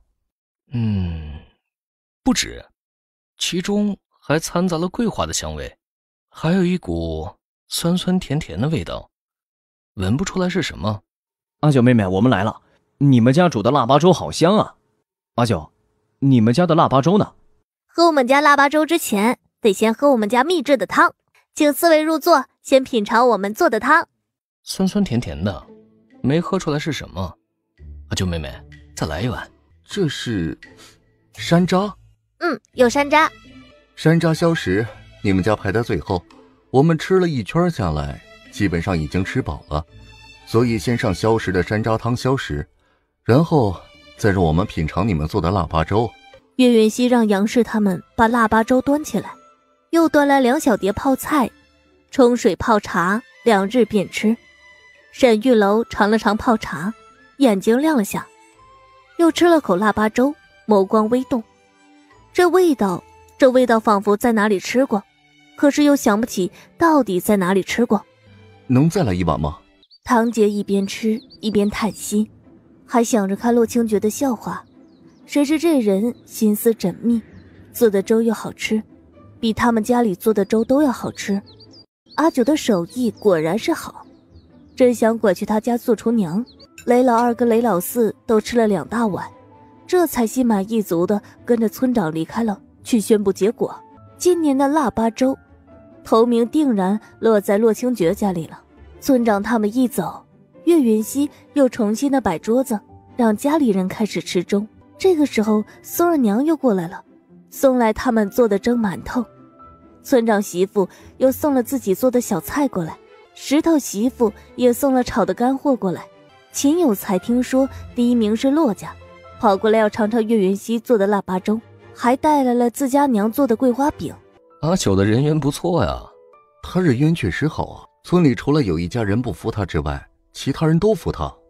怎么样，腊八粥好吃吧？这丫头的手艺好着呢，我都想拐去我家做厨娘了。嗯，阿九妹妹做的腊八粥啊，吃起来有股家的味道，像我娘做的。阿九妹妹，你这八宝粥怎么做的？很简单啊，昨夜就将熬粥的高汤熬好。用的是野鸡熬的汤底，熬了三个时辰，然后用汤底来做粥。因为每样食材都需要煮的时间不同，为了能同时煮烂，所以不容易煮好，要先用水泡发。等熬制的差不多了，再放入一些腊肉粒，在里面熬煮一会儿，撒上我特制的佐料，就可以出锅了。阿九可是去过京都？哦，不曾。是吗？嗯，从未去过，不过有朝一日。总想过去看看，岳云熙说的毫无破绽，然后又出去准备回礼。各家送了东西过来，自然也准备相应的吃食还回去，这叫礼尚往来。我家妹子怕是要哭了。那这些是我准备除夕夜守夜时候吃的。离除夕还有好多日，阿秋妹妹，你再准备一些便是。少游哥哥，你儿叫你哥哥的话，那你是不是应该叫我姑姑？小宁儿，叫少游叔叔。哥哥，叫叔叔。哥哥，阿九妹妹，我们在打赌？赌清绝跟玉楼谁会赢？你有参加吗？那二百两银子，买二哥哥赢。二百两，这可不止二百两啊！那二百两银子到你了，赔率是多少？一赔二。那行，那若是我赢了，你就给我四百两银子就够了。唐杰哆哆嗦嗦将玉佩放到岳云熙的手中。你没银子，我借给你便是了。只是二百两没有，十两银子行不行啊？好呀，若是我赢了，那就还你十一两；要是我输了，就把这玉佩当给你。清绝，你可一定要赢啊，不然我担心我见不到明天的太阳啊！洛兄，还下吗？要不你们平了吧？二哥哥。可不行，今日一定要赢才行，不然的话我可不依。他穷啊，如今送上门个冤大头，不宰白不宰。他就是想试探一下这两人是不是和轩辕永照有关系。没想到一试一个准，果然这两个人和轩辕永照有关系，是帝都来的人。下棋的风格瞬间变了，凌厉万分，杀气腾腾。沈玉楼纵然是回防及时，也溃不成军，最终输了一个子。那唐杰哥哥，玉楼哥哥输了，给我九两银子吧。给你十两。谢谢唐姐哥哥，我再去给你们做些糕点吧。清绝啊，你家小媳妇太狡猾了，空手套白狼，赢了我九两银子。愿赌服输。你这人重色轻友，自从有了你家小媳妇儿，你都不喜欢我了。好似说的没有阿九之前，我就喜欢你了似的。不知道我只喜欢我家阿九，不喜欢男人吗？少游，你也不帮我，我我也不喜欢男人啊。洛兄，听闻明年三月你要下场考试，嗯，有把握吗？我在京城有些人脉，可是需要帮忙。多谢，不需要。小生虽然不才，但是答应了他人的事情，都必须尽全力做到。更何况我家阿九说了，无功不受禄。听说阿九是你的童养媳，嗯，可还要下一句。好，以洛兄的才华，门当户对的女子应该很多，怎么会选择童养媳呢？家母喜欢。这么说，只是因为伯母喜欢，你就娶了个童养媳？家母喜欢，我也不反感，自然就娶了。事实证明这是对的。我家阿九简直就是个宝贝，当然，我的宝贝。对了，你可知洛清河？啊，沈公子，你知道我家夫君呢？我家夫君他还好吗？他前些日子还送了信回来。哎呀，但是我还是很担心他呀。送了信回来，我听说西北战场有个洛清河将军屡建奇功，想着洛兄也姓洛，所以十分好奇，就问了一下。没有想到，那位洛将军竟然是洛兄的家人，失敬失敬。啊，他没事就好，没事就好。大嫂，你去厨房给阿九帮忙吧。啊，好，好，好。你什么都不要问，也什么都不要说。洛清绝摸出一块令牌，放在棋桌上。沈玉楼和李少游顿时倒吸了口凉气。原来他们来这儿真正要找的人不是岳云溪，而是洛清绝。那位让我们来这里助你一臂之力，听你吩咐，什么都不要做就行了。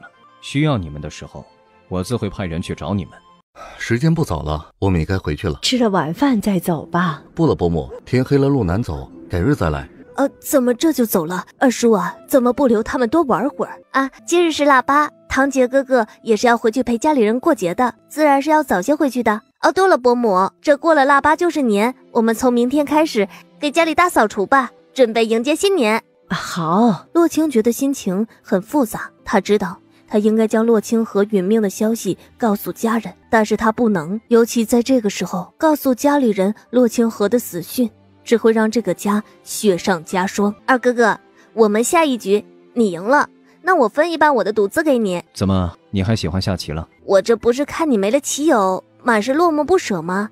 只好舍命陪君子，用我不忍直视的棋艺来博你一笑喽。虽然我的棋艺不好，但是我还是会下的。哦，既然你都舍命陪君子了，我怎么也得陪你下一场。只不过你确信你下在这儿？就走这儿。一盘棋下来，岳云熙输的惨不忍睹。哭丧着一张脸，啊，伯母，二哥哥欺负人，他把我杀的片甲不留，我不依。你棋艺差，不能怪我欺负人啊。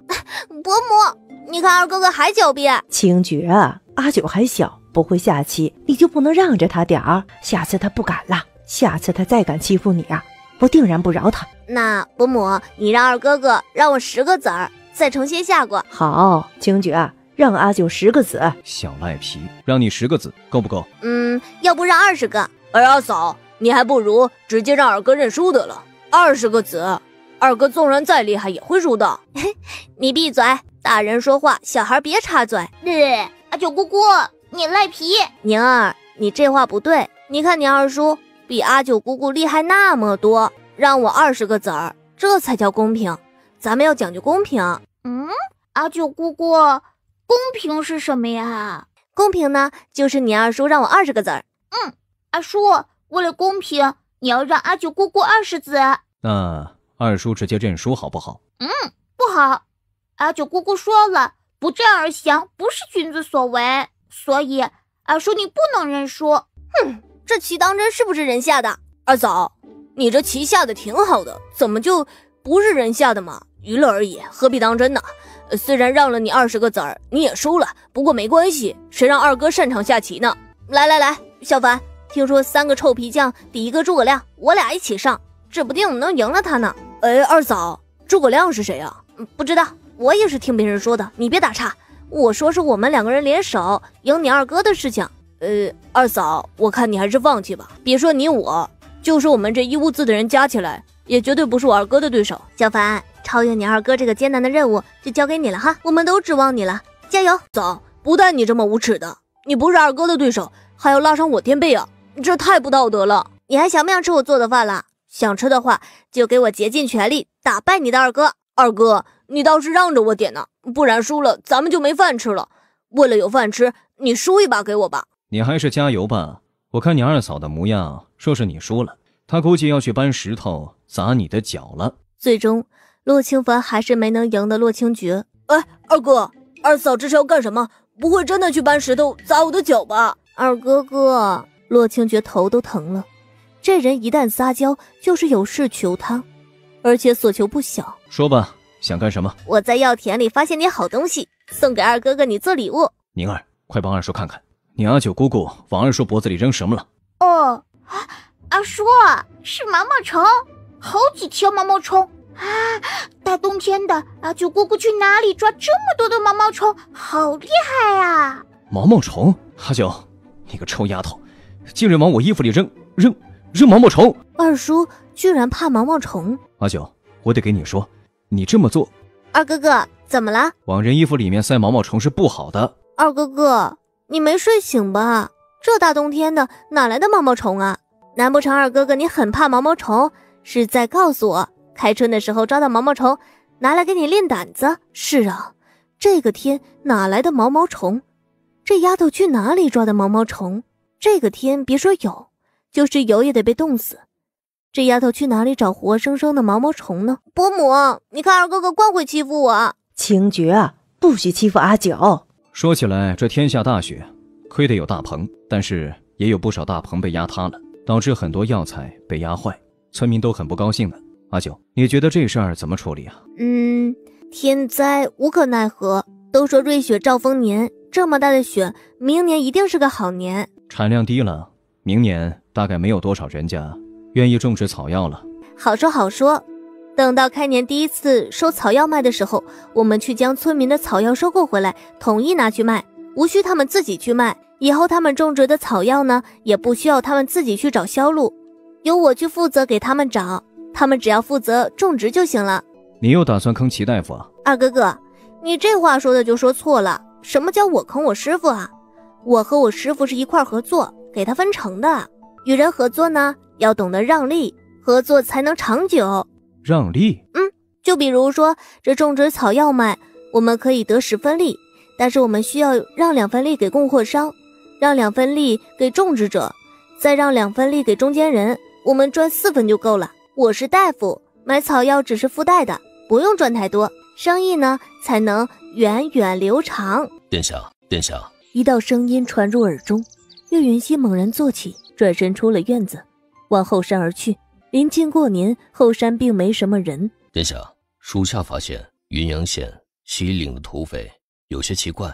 土匪和我们有什么关系啊？陆清觉跟西岭土匪有联系。你找我就是为了说这件事儿？上次守在村子外的四个人，都是西岭山上的土匪，而这几人好像是陆清觉请来的。陆清觉他……介意叔叔。你到底想说什么？殿下，我们离开清河村吧。贸然离开，你知道后果吗？你知道兄长派了多少人出来抓我吗？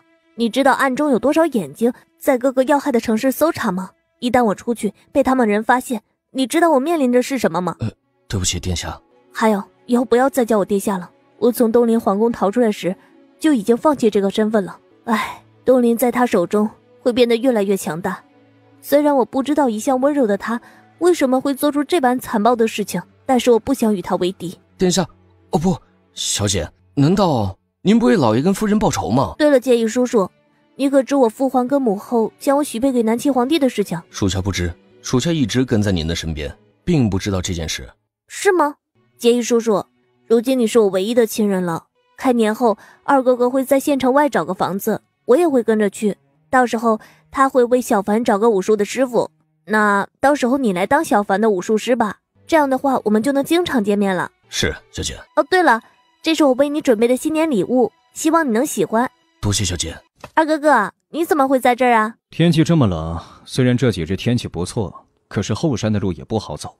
没事就别上后山了。再说这个天气，后山上也没有什么东西可以采摘的。嗯，我知道了。开了年就要去县里了，到时候我与清凡白日里都在学院，到时候找个护院吧。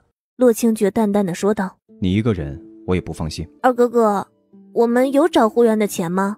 钱你不用担心，到时候找个什么样的人你说了算。”只要人可靠就行。到时候我给你介绍几个人，你看看，说是喜欢，就留在身边保护你。我有二哥哥保护就够了。就你嘴甜，二哥哥怎着我嘴甜，而不是我说的是实话呢？行，知道了。你说的是实话。自己则是替了他的位置来洗碗。二哥哥，我会洗。女孩子把手冻伤了不好看，洗碗这种小事交给男人就行了。呃。二嫂，你去歇着吧，洗碗这种小事交给我二哥就行了。那行，那我去帮伯母。二哥心疼二嫂了。你这么闲，碗就全部交给你洗了，赶紧洗完，别拖累了你二嫂。伯母，人都请了吗？请了，请了村长他们一家，松二娘他们家，胡婶子他们，石头他们一家，还有雷军他们，石头他们一家。还有雷军他们，算一算呐，能坐两三桌人呐。来清河村这么多年，多亏了他们的照顾，不然的话，我一个人带三个孩子也不容易。嗯，那明日我得大展身手，犒劳犒劳大家才行。哦，伯母，菜够吗？不够的话，我去山上寻一些野味回来。你去山上怎么寻野味？这个天，连兔子都藏起来了。哪儿还有什么野味可以吃？别担心，吃的都够。上次你们去县城买了那么多东西回来，足够了。伯母，不若将红薯煮一些，明日用来炸红薯汤圆招待大家，圆圆滚滚又一年嘛。哎，小凡，你二哥呢？哦，在屋里呢。去哪里啊？去上山找野味。最近天气好，肯定能收获到不少的好东西。这个天蛇已经冬眠了，兔子也几乎见不到了。你要找什么野味啊？谁告诉你啊？野味就是兔子跟蛇。我们出来呢是要找好的东西。前些日子不是下雪了吗？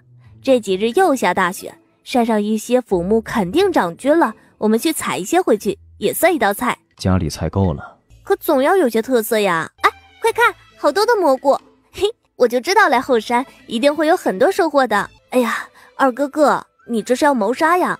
这些色彩鲜艳的蘑菇是吃不得的，是有剧毒的。想不到无所不能的二哥哥竟然不认识毒蘑菇。这彩色蘑菇有毒，有多毒啊？嗯，这种蘑菇呢，只要一个就可以毒死五六个人，毒性很强的。很多不认识毒蘑菇的人呢，若是误食了这种毒蘑菇，基本上是救不回来了。这般厉害？当然，这毒蘑菇可比砒霜毒多了。砒霜吃了一时半会儿还死不了，可这个不一样啊，死的老快了。哇，好香啊！在做什么呀？当然是好吃的。哎，有才哥哥，你有事吗？哦，是这样的，我娘让我送一些黄豆过来，说是用来做豆花。如今豆老头的豆花很少做了，家里种黄豆也少，所以送一些过来给你们。谢谢胡婶子。哎，有才哥哥，明年你也去参加院试吗？嗯，应该会跟清觉哥一块下场，只不过清觉哥是胸有成竹，我就惨了。我只能临阵磨枪，但愿有个好名次吧。哦，对了，这次的药材什么时候可以采摘呀？应该在大年过后吧。大年过后，我负责把草药收购过来，不用你们自己去卖。你们自己去卖的话太麻烦，由我们统一收购，付钱给大家，然后再负责卖出去。那真是太好了，要麻烦你们了，阿九妹妹啊，春花嫂子，多多，快叫姑姑。春花嫂子，多多长得可真不错，断奶了吗？啊，还没呢。打算等他再大一点再断奶，虽然现在日子比以前好过了些，再断奶，虽然现在日子比以前好过了些，但是有一口啊，也算一口。不过，我婆婆最近倒是改了不少呢。啊，那是好事儿。大嫂子，让你们过来吃个便饭，感谢你们对咱们家的照顾。你看你还带吃的过来，我都要不好意思了。嗨，瞧你这话说的。咱们阿九帮人的时候，也不见得讨要什么。这难不成我这做婶子的还还不能拿几块肉给几个孩子吃吗？阿九，你去将碗筷都摆上。嗯，好嘞，伯母。上次你酿的枇杷酒还有吗？有的，想着今日也要喝酒，所以准备着呢。然后我去拿过来，中午啊，让你们喝个够。哎，你脸脏了，你多下来点我给你擦掉。哼，世风日下呀，这青天白日的，清绝，你也不收敛点你们怎么来了？今日你们宴请客人，怎么我们就不是客人了？还是说你不欢迎我们？哎，小阿九，啊，来者皆是客，众位的到来。寒舍蓬荜生辉，又怎么会不欢迎呢？上游哥哥、玉楼哥哥，还有这位漂亮的姐姐，这是我妹妹唐怡，是不是闭月羞花、沉鱼落雁呢？果然是亭亭玉立，秀色可餐。阿九，你比清绝有眼光。二哥哥，你来招呼客人，我去帮伯母忙了。我也去看看有没有什么好吃的，正好我饿了。锅里正在炸红薯汤圆，一会儿我给你们送来一些。厨房的人本来就多。少游哥哥，你就别去添乱了。哈，唐公子这人颇为好相处，虽然是县太爷的公子，却没一点架子。哈哈，可不是，我看着这唐公子人也不错，不知道这唐公子说了亲没有啊？不曾呢。听二哥哥说，唐杰哥哥和他同岁，唐夫人天天逼着唐杰哥哥去相看女子，唐杰哥哥都躲开了，不愿意呢。那。两位公子是啊，是县衙新来的捕快，京都人士，外出历练而已。穿蓝衣服的叫李少游，穿白衣服的呢叫沈玉楼。这两人可有说亲呐？呃，这我就不知道了。毕竟少游哥哥和玉楼哥哥才来云阳县，我们也不知道他们家里有没有给他们说亲。一会儿去问问就知道了。胡婶笑得一脸意味深长。阿秀不明就里，当真盛装打扮过来了。因为胡婶竟然直接带着阿秀上去自我介绍了，伯母，胡婶子她。胡婶看中沈玉楼，沈玉楼生的是仪表堂堂，风度翩翩。沈公子，夫人你好。听说沈公子是从京都来的？是的。不知家里说了亲没有啊？在下有一个指腹为婚的未婚妻。李公子，你家里说亲了吗？李公子没有说亲，那正好。你觉得我家阿秀娘姐阿九妹妹找你呢，你去看看她是否需要帮忙。哎，你这死孩子，做什么呢？娘，你不是说过来帮忙的吗？跑这里来做什么？快去帮忙！啊，我娘冒昧了，还请诸位见谅。无碍，只是随便说两句而已。清觉哥，开年以后，你什么时候来教我学习啊？正月初十，学院就正式开课了。我会在下学后去县衙教唐小姐一个时辰的课程。清觉哥叫我姨儿就行了。你跟我哥是好友，叫唐小姐太见外了。礼多人不怪，且女子闺名，岂是外男可以随便叫的？哥哥，那位阿九妹妹便是清觉哥的童养媳吗？嗯，别看年龄小，清觉护着呢。多大了呀？好像翻年我才十一岁吧？过门了吗？啊，还未过门呢。清觉哥，翻年你可就十九了，还未过门也是好事，可以趁机找个门当户对的姑娘。阿九妹妹毕竟还小，等她及笄还要好几年呢。唐小姐这话倒是提醒我了，我得提醒一下我娘，过了年准备准备一下，先将阿九娶进门，挣了身份先，等她及笄后再正式成亲。怎么也不能亏待了她。阿九，你这手艺呀越来越好了，做的东西真好吃。婶子喜欢吃就多吃点啊。阿九啊，你这枇杷酒是怎么酿的？也教教我们。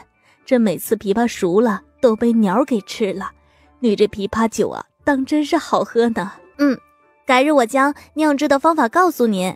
等到枇杷成熟的时候，你也可以在家里弄些枇杷酒了。阿九妹妹八面玲珑。跟你倒是有的一拼，瞧瞧，村里的人待阿九妹妹都十分和善。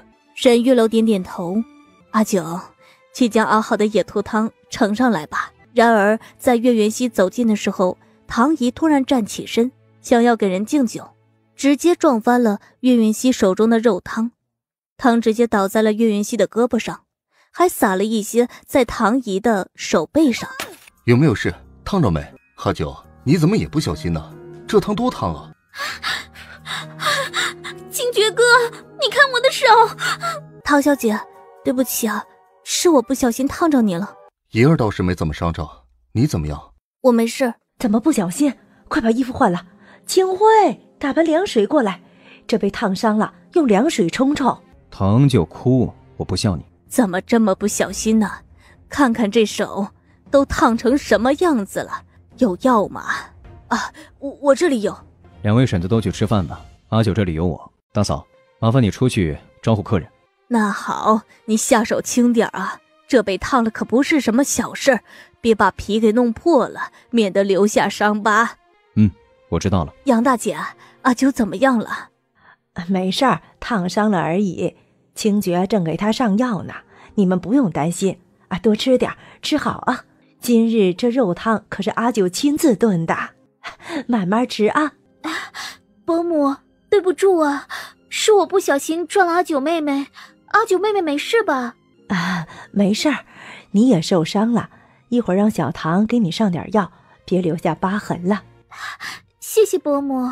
玉宁露，给她擦上。小女娃子，别留下伤疤。清觉哥，阿九妹妹没事吧？真是对不起，是我没看到阿九妹妹过来了。够了，清觉哥，阿九她没事，你不用担心。妹妹，我们先走吧。马车出了村子，往县里而去。今日怎么回事啊？哥，我的手好疼啊！我问你，今日是怎么回事？你，哥，我也受伤了。你不关心我，倒是关心起别人来了。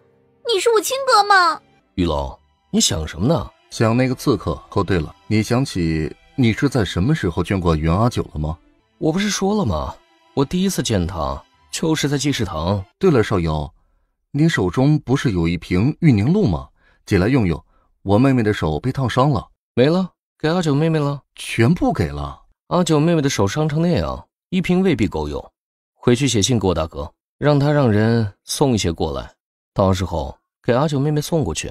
你是没看到阿九妹妹明明疼得厉害，又不敢哭的样子。不过，你看到洛星爵那难看的脸色没？跟要吃人似的。那是阿九自己不小心，怪得着谁啊？说起来，青菊跟阿九感情倒是不错。明明阿九九岁还那么小，今日清却说翻年后要先将人娶进门，也不知道是什么时候。到时候。我们一起去讨杯喜酒喝，好呀！我最喜欢喝喜酒了。哎，不过玉龙，你什么时候有指腹为婚的未婚妻的？我怎么不知道？不过是用来搪塞他人的借口而已。你也信呢？总不能给人难堪吧？所以让人知难而退。说起指腹为婚，我大哥跟我大嫂就是指腹为婚。我看他们俩相敬如宾，相亲相爱，似乎也不错啊。嗯。童养媳也可以啊，你看清觉跟阿九不也是相亲相爱的？你要不要也弄一个啊？不了不了，女人太麻烦了，我还是过我自己的逍遥日子。李少游将脑袋摇得和拨浪鼓一样，他才不要成亲呢！不管是指腹为婚还是童养媳，他都不要。阿九姑姑。你是不是很疼啊？宁儿给你吹吹，吹吹就不疼了。有你这个开心果在，阿九姑姑已经不疼了。那宁儿给阿九姑姑再吹吹，这样阿九姑姑的手就能很快好起来啦。可是疼得厉害啊！嗯，都走了，委屈你了。哎，来者是客，我是主人，自然要大方些。不过仅此一次，若有下次，我可不会客气了。我早说过，对于任何欺负你的人都不用客气。今日你那一碗热汤就该泼他脸上去。他或许不是，你知道他是。我只是不希望因为我让你和唐杰哥哥起了嫌隙。二哥哥，我手疼，我给你吹吹。我想睡会儿，回房间去睡。虽然天气好。在这里睡也容易着凉。阿九睡着了，洛清觉点点头。洛清觉发现岳云熙做噩梦，正在安慰岳云熙。想什么呢？脸色这么难看，可是伤口疼啊。在想什么样的情况下，一个人才能做出丧尽天良的事情呢？对于疼爱我的父母，只要是个人都不可能对自己的父母举起屠刀吧？或许他有不得已的苦衷。什么样的苦衷，值得他弑父杀母？啊，对不起，二哥哥。我不是故意吼你的。我知道你想你的家人了，别担心，你还有我们，我们都是你的家人。二哥哥，别怕，二哥哥会一直陪着你，没有人可以分开我们。陛下，出去！今日朕谁都不想见。陛下，陛下恕罪。暗卫传来消息，似有九公主的消息了。她在哪儿？根据暗卫回报，似乎是去了北越。当时第五位护着九公主离开，而后我们追踪到边境的时候。他们的人分成了好几波，我们的人沿途追过去，九公主极有可能去了北岳。找，掘地三尺的找，一定要把人给朕找回来。还有第五位一个不留，给朕全部杀光。是，属下立刻去办。你们全部都出去吧。白景，怎么，陛下又去九妹的宫殿了？哈哈哈。他不会以为这样九妹就能活过来了吧？该二王爷请安了，陛下有吩咐，静白先告退了。白静，你到底在找什么？二王爷，陛下最讨厌有人打探他的事情了，纵然是您也不能，否则触怒了陛下，对您对我都没有好处。这不是年三十了吗？按照惯例要宴请百官的，可是陛下却取消了，百官都来问问到底是怎么回事。除了你，谁能进那里面去？所以我只好来问你了。陛下心情很不好，王爷。还是不要去触眉头了，静白告退了。除夕守岁，洛家所有人都坐在一块儿，果然只有宁儿才是我的心肝宝贝。你确信这是残棋？嗯，曾经有人破过这个棋局。二哥哥，你要不战而降吗？怎么可能？我认输。哎，二哥，你怎么可以这样？你不能因为是二嫂就举手投降啊！哎，你二哥认输了。这也是我的了，阿九，这棋局真的有生路吗？有的，这棋局呢叫生死局，生即死，死即生，要置之死地而后生。据说当初破掉这个棋局的人是一个刚学会下棋的人，其他擅长博弈的人呢，没有谁能破解这个棋局，因为他们都想找生路，谁也不愿意往死路上走。娘，有件事我想跟您商量一下。什么事儿？三月我就会下场参加院试，院试之后，请娘做主，迎娶阿九过门，走个过场。正了他的名分，在官府备好案，待到他及笄之后，再正式成亲。您看可好？啊，是娘疏忽了。虽然说阿九是你的童养媳，但是没有走过场，也没有去官府备案，算不得数的。行，娘会准备好一切。等你院试结束后，娘就为你们主持娶亲仪式。多谢娘。二哥哥，我们住这里吗？嗯，这院子小了一些，但是。一人有一个房间也够住了。等我以后赚了钱啊，给你换大房子。那我住哪一间？你想住哪间就住哪间，你先挑，挑完之后就是我们的。我就住这间了。一边搬东西，一边欢快的唱：我有一只小毛驴，我从来也不骑。有一天我心血来潮，骑着去赶集。嘿，小毛驴，明日上市集去买一只小毛驴回来。估计这丫头整日看着村长家的毛驴，觉得十分的羡慕。还编成了儿歌唱出来。二嫂，二嫂，你唱的是什么呀？啊，我有一只小毛驴，好听吗？哦，好听是好听，就是摔了一身泥，想起来不太好。二嫂，你会骑小毛驴吗？我不只会骑毛驴，我还会骑马呢。哦，是吗？二嫂，你还会骑马吗？当然呢，可惜咱们没钱，不然真的买匹小马驹回来。我们有钱，给你。哇，五十两银子，二哥哥，你哪来这么多银子啊？赚的哇，二哥哥你好厉害！明日你可以去市集上买一只小马驹回来，大概要不了多少钱，让清凡陪你去。反正啊，他还不曾开学。好，小凡，我们出去买些菜回来吧，家里没有菜了。岳云熙招呼着洛清凡出门，不过出门前，岳云熙换了身男装。二嫂，你穿男装也太好看了吧！赶紧去买菜，一会儿二哥哥就要回来了。岳云熙推着洛清凡出门。洛清凡对这市集比较熟悉，毕竟在县城生活了好几个月了。岳云熙虽然来过几次，但是没有具体的逛完过，所以对有些地方并不熟悉。两个孩子在市集买菜，难免吸引人眼球，不少人都觉得这两个人不会买菜。谁知岳云熙看中了什么就问价格，问了还要讨价还价。市集的小贩见了。纷纷推销自己卖的东西。哎，清凡，清凡，哦哦，江正，是你啊。洛清凡回应着打招呼的少年。二阿阿九，呃，这是我的同窗江正，这是阿九。江正看了看岳云熙，觉得这人长得真漂亮。呃，这是你弟弟啊，我二嫂。洛清凡凑到江正的耳边，小声的说道。喂，别声张。哦。江正一副崇拜的模样看着岳云熙，看得岳云熙莫名其妙。呃，经常听小凡说起来，今日还是第一次见到真人，真是闻名不如见面呐。这是你家卖鱼？呃呃，对，呃，我家里卖鱼的，要买吗？那我要一条。我们现在住在县城，有时间过来玩呢。呃，好嘞，有有时间一定过去。看什么呢？干活了。呃呃，来了，爹。岳云熙跟洛清凡刚回到他们住的巷子口，就看到不远处有两个人在等候。哎，少游哥哥，玉楼哥哥，你们在这做什么？还不是听说你们今日搬到县城来了，所以我跟玉楼过来给你们庆贺一下。哎，谢谢少游哥哥。哎，你们怎么知道我们住这儿啊？因为这房子是我们帮着找的。阿九妹妹，你的伤都好了吗？哎，说起来还没有谢过少游哥哥呢。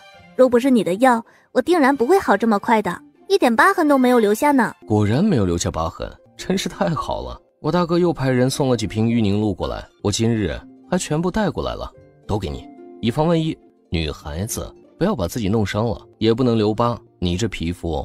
细腻白净又光滑，要是留下伤疤就不好看了。阿九妹妹，县衙里的厨子做的菜太难吃了，今日你可得好好犒劳犒劳我们。我跟玉楼最近都瘦了。县衙的厨子做的饭的确难吃。那行，既然你们都来了，又有这么多食材，小白，你去告诉我师傅，让我师傅晚上过来吃饭。嗨，别愣着了，快去快回！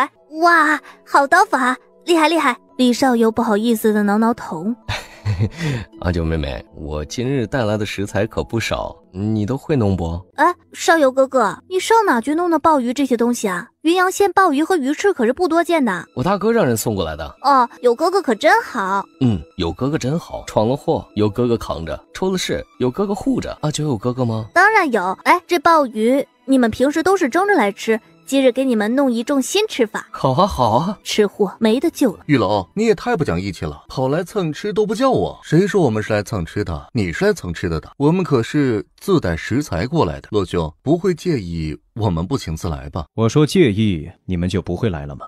自然是不会了，因为我知道你是不会介意的。在说什么呢？这么开心啊？是这样的，我们打算对盘横在西岭的土匪出手。这是西岭的土匪神出鬼没的，打劫的。又都是些奸商贪官，且每次动完手就跑得不见踪影，我们一时之间无从下手啊！正在研究云阳县的地图，想看看有没有别的办法能找出这群土匪的老巢，好将西岭的土匪一网打尽。你们怎么想起对西岭的土匪出手了？我跟玉龙来云阳县没有一点建树，正好。倒了西岭的土匪窝，也算是一功。毕竟府衙对西岭的土匪束手无策，总不能让一群土匪在云阳县任意妄为啊！西岭土匪可不好抓，你们有计划吗？我跟少游想先去踩点，看看西岭土匪究竟盘亘在什么地方，摸清楚了他们的大本营在哪里，再来计划剿匪。总不能一头黑的直接带人上西岭去找吧？别匪没有找到，反而把自己坑进去了。堂姐，你知道这里是什么地方吗？哦，对了，县里不比在村里。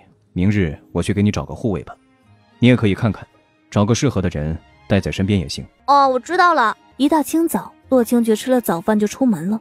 洛清觉一早，岳云熙就拖着洛清凡上集市，说是去买小马驹。岳云熙站在小马驹的前面，怎么看，怎么觉得这小马驹长得有些特别，耳朵特别直，特别长。哎，小凡，你有没有觉得它长得很好看？二嫂，你要买这个呀？啊你不觉得它长得很漂亮吗？小凡，我就要它了。你不是说要买小马驹吗？这不就是小马驹吗？呃，要不我我们再看看。二嫂，你靠谱不啊？那小毛驴和小马驹差别很大呢，这分明就是小毛驴。不了不了，我就要这只小马驹。老板，这小马驹多少钱？二十两。二十两？你怎么不去抢啊？二十两银子不买。二嫂，我们走。十五两，十五两，我亏点卖给你。五两成交，二哥，别怪我，我拉都拉不住。二嫂非要把小毛驴当成小马驹，我也无可奈何呀。哎，二二嫂，你突然跑这么快做什么？二二嫂，他是谁啊？我家以前的护卫长，家里出事后就一直没见过，也没有想到会在这遇上。他叫剑一。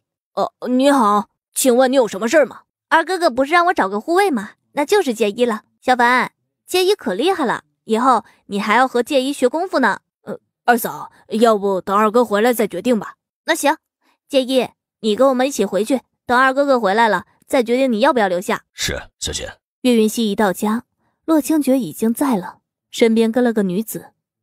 女子的年龄看起来不大，十七八岁的样子。二哥哥，你回来了，快看，我买了一只小马驹，是不是很可爱？嗯，可爱。我花了五两银子买的，是不是很便宜？嗯，便宜。啊，对了，二哥哥，还没有给你介绍呢。介一，我们家以前的护卫长在街上遇到了。二哥哥，你不是让我找个护卫吗？那就是他了。你看我能留下他吗？以前是阿九家里的护卫长。回公子，是的，在举家搬迁的途中遭遇盗匪，我与小姐失散了。今日恰好在街上遇到了。既然如此，就留下吧。谢谢二哥哥。岳云熙欢喜不已。对了，他以后也跟在你身边。月红，月红见过小姐，不用客气，不用客气。二哥哥，简一叔叔跟月红姐姐住哪儿啊？将柴房收拾出去，隔成两个房间给他们住。洛清觉当即说道：“我还有事要出去，记住，一会儿要去齐大夫那里。”放心，我知道的。岳云熙将小毛驴拴在了树下，就进屋换了身男装出来，让岳红跟洛清凡在家里打扫。自己则是带着剑衣去济世堂找齐大夫了。阿九，还好你来了，否则的话，我还真不知道该怎么办了。以后我要来济世堂跟师傅学医，你能轻松一点。齐大夫说了，开了年你要来，没有想到，这么快就来了。哎，累死我了。齐大夫一边说道：“张大夫有事回老家了，这两天生意特别好，得再请个坐堂大夫回来才行。”济世堂里面才三个大夫，实在是忙不过来。济世堂生意这么好，多请两个大夫回来也可以呀。到时候将济世堂开遍天下，无论是南齐、北约还是东林，都有咱们济世堂的店铺。你想开药铺？师傅，我是要当神医的人。若是我们的药铺不能开遍天下，那么天下人又如何知道我的名字？如何找我治病求药呢？医书看完了吗？师傅。后堂的医书我已经倒背如流了，还有别的吗？全部记下来了吗？嗯，全部都记下来了。近日阿九还帮着我抓药呢，好厉害，抓药速度比我这个抓了好几年的药的人还要快呢。阿九会摸脉吗？哎，会一点。那行，吃过饭之后你来坐堂，我来把关。齐大夫呢？我师傅在休息，由我代替他坐堂。你是齐大夫的徒弟？嗯。我是齐大夫的徒弟，几年多大了？十一岁。十一岁，你行不行啊？十一岁就坐堂的小大夫，没见过。你脸色发黄，眼底有着淤青，舌苔也很重，走路的时候轻飘飘的，是不是最近总觉得头晕目眩、四肢无力？哎，是这样的，是这样的。你怎么知道？看出来的。不止如此，你还食欲不振，腹胀不消化。师傅，你看我开的药方对吗？没问题，完全没有问题。去抓药吧。啊，小大夫，你也替我也看看。从明天开始，我打算让阿九坐堂，成为济世堂的一个大夫，当然也给钱的。会不会早了点啊？不会，他已经可以出师了。如今他缺少的是经验。说起来，我都不曾教过他什么，反而是他教了我不少。你老实交代，这人。你是从哪里拐回来的？我是说，以他的年龄，是不是小了点？不，就是要从现在开始。毕竟，他说他是要做神医的。二哥哥，我厉害吧？今天下午我可是看诊了十三个病人呢。嗯，厉害。那我要怎么奖励你呢？将岳云熙的小手掌握在手心，两人一起走出了济世堂。嗯，请我吃糖葫芦。好，请你吃糖葫芦。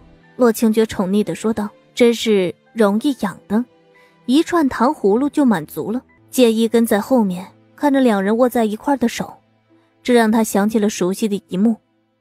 在东林的时候，太子殿下也总这样牵着殿下的手。岳云熙回到清河村，阿九啊，你回来了！你不在呀，这村子里都不热闹了。这次回来待多久啊？啊，大概要住些日子。阿九妹妹，听村长说你在集市堂当坐堂大夫，是真的吗？嗯，师傅说让我练练手，看的都是些小病小痛，难杂症什么的，还是要师傅出马的。嗨，那也很厉害了。集市堂坐堂的大夫都是十分厉害的，以后啊，咱们村里也有个厉害大夫了。怎么这个时候回来了？阿舅想家了，就送他回来住一些日子。我明日还要回县城准备院试的事情了。啊，好，好，好，快进来吧，别待在外边了。灵儿，阿九姑姑不舒服，你可不要闹她啊。该，谢谢阿九姑姑啊。二叔和阿九回来了。嗯，大嫂，怎么回事？阿九怎么看起来病恹恹的？没事，最近太忙了，没休息好。他呀，总不放心村里的事情。我看他那么挂念，就送他回村里住几日。哎，没事就好。阿九，你上次让阿叔带回来的种子，都已经兑换出去了，只能一场春雨之后就全部种下去。收上来的药材也送去济世堂了。今年大家商量了一下，想着除了必要的粮食，都种草药。你看如何呀？嗯，可行。大家都种了草药，也不用担心没有销路。济世堂会一直负责收购的。阿九，若是村里家家户户都开始种草药的话，我担心济世堂怕要不了这么多草药。嗯，阿叔，你放心吧，草药有多少，济世堂要多少。更何况草药的生长环境要求没有那么高。阿叔，你可以带头将一些荒地开垦出来，种植草药。该种粮食还是得种粮食的。阿九，你跟清爵接下来有什么打算？不如先给阿叔说说。我们想将清河村整个都发展成一个专门种植草药的地方，专为济世堂供药。专门种植草药，不只是清河村。到时候，我想将整个后山和太阳山都圈进来种植草药。到时候寻专人来管理。济世堂以后会开到全国各地去，到时候需要的药材种类数量很多的。现在我们种植的种类不多。只是为了试水而已。一旦成型，整个清河村会专门种植草药的。齐大夫会将济世堂开遍全国？不是我要将济世堂开遍全国，我要让济世堂成为闻名天下的药堂。行，到时候咱们清河村整个村都来种植草药。到时候后山跟太阳山开荒，也需要不少时间。我们现在可以着手准备了。嗯，我也是这么想的。所以我就回来了，而且我们还要试着种植珍贵的草药。我们需要做到大多数药材我们都能提供，成为济世堂的倚仗。好，阿叔就舍命陪君子，陪着阿九你一起做这件事儿啊。阿九妹妹，啊啊，少游哥哥，你怎么来这儿了？可是寻我？嗯，你在山上做什么？我想将整个后山开发出来，种植草药。但是开发整个后山需要不少的钱，可是我又没钱。你要把整座后山开荒出来？嗯，只是开荒需要人，请人要花不少的钱。村里的男丁都上山开荒了，但是力量远远不够。不过也没关系，慢慢来，一天做一点，迟早有一日，整座山都会变成土地的。要不，我也参与进来吧？不过我不出力，我出钱，如何？好呀，到时候给少游哥哥分红。那少游哥哥，你打算入股多少？入股五千两，若是不够，等我回了县城，再取一些给你。银子大多数存在银号里面的，要去取。不过我也没带多少，我最多能取五万两银子，到时候都取来给你。呃，够了，够了，差不多了，五千两已经很多了。那我便将附近村民都招募过来开荒，还需要准备需要药材的种子，同时还要试着种植一些稀有的药材。少友哥哥，到时候年底分红给你分两成。那我留在这里给你帮忙吧，正好最近待在县里也十分的无聊。再来一碗，阿秋妹妹，你做的饭太好吃了。呃，李公子打算什么时候回县城啊？再过两日吧。还要过两日。我说，到处寻不着你，感情你跑这里蹭饭来了，还乐不思蜀。你忘了自己是捕快了吗？嘿嘿，县衙里饭菜太难吃，来换换口味。伯母，少游给你们添麻烦了。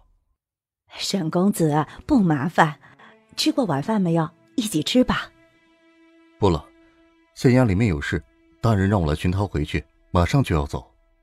天都黑了，我饭还都没吃完呢，我不走。李少游，别忘了你是捕快，是吃公家饭的。玉楼哥哥，再怎么样也得让人把饭吃完了吧，免得少游哥哥一会儿噎着了。伯母，阿九妹妹，打扰了，我们现在就将人带走。你去洗洗睡吧，这两日忙着开荒的事情，你也累得够呛。伯母，我不累，我只是动动嘴皮子，做事的都是别人。阿九，可还习惯县城里边的生活？嗯，还习惯，比村子里方便多了。想要什么，出门就可以买。就是没有人陪我玩，多无聊的。还是咱们清河村好，出门都是熟人，进门又有伯母和大嫂陪着我，我都不想去县城了。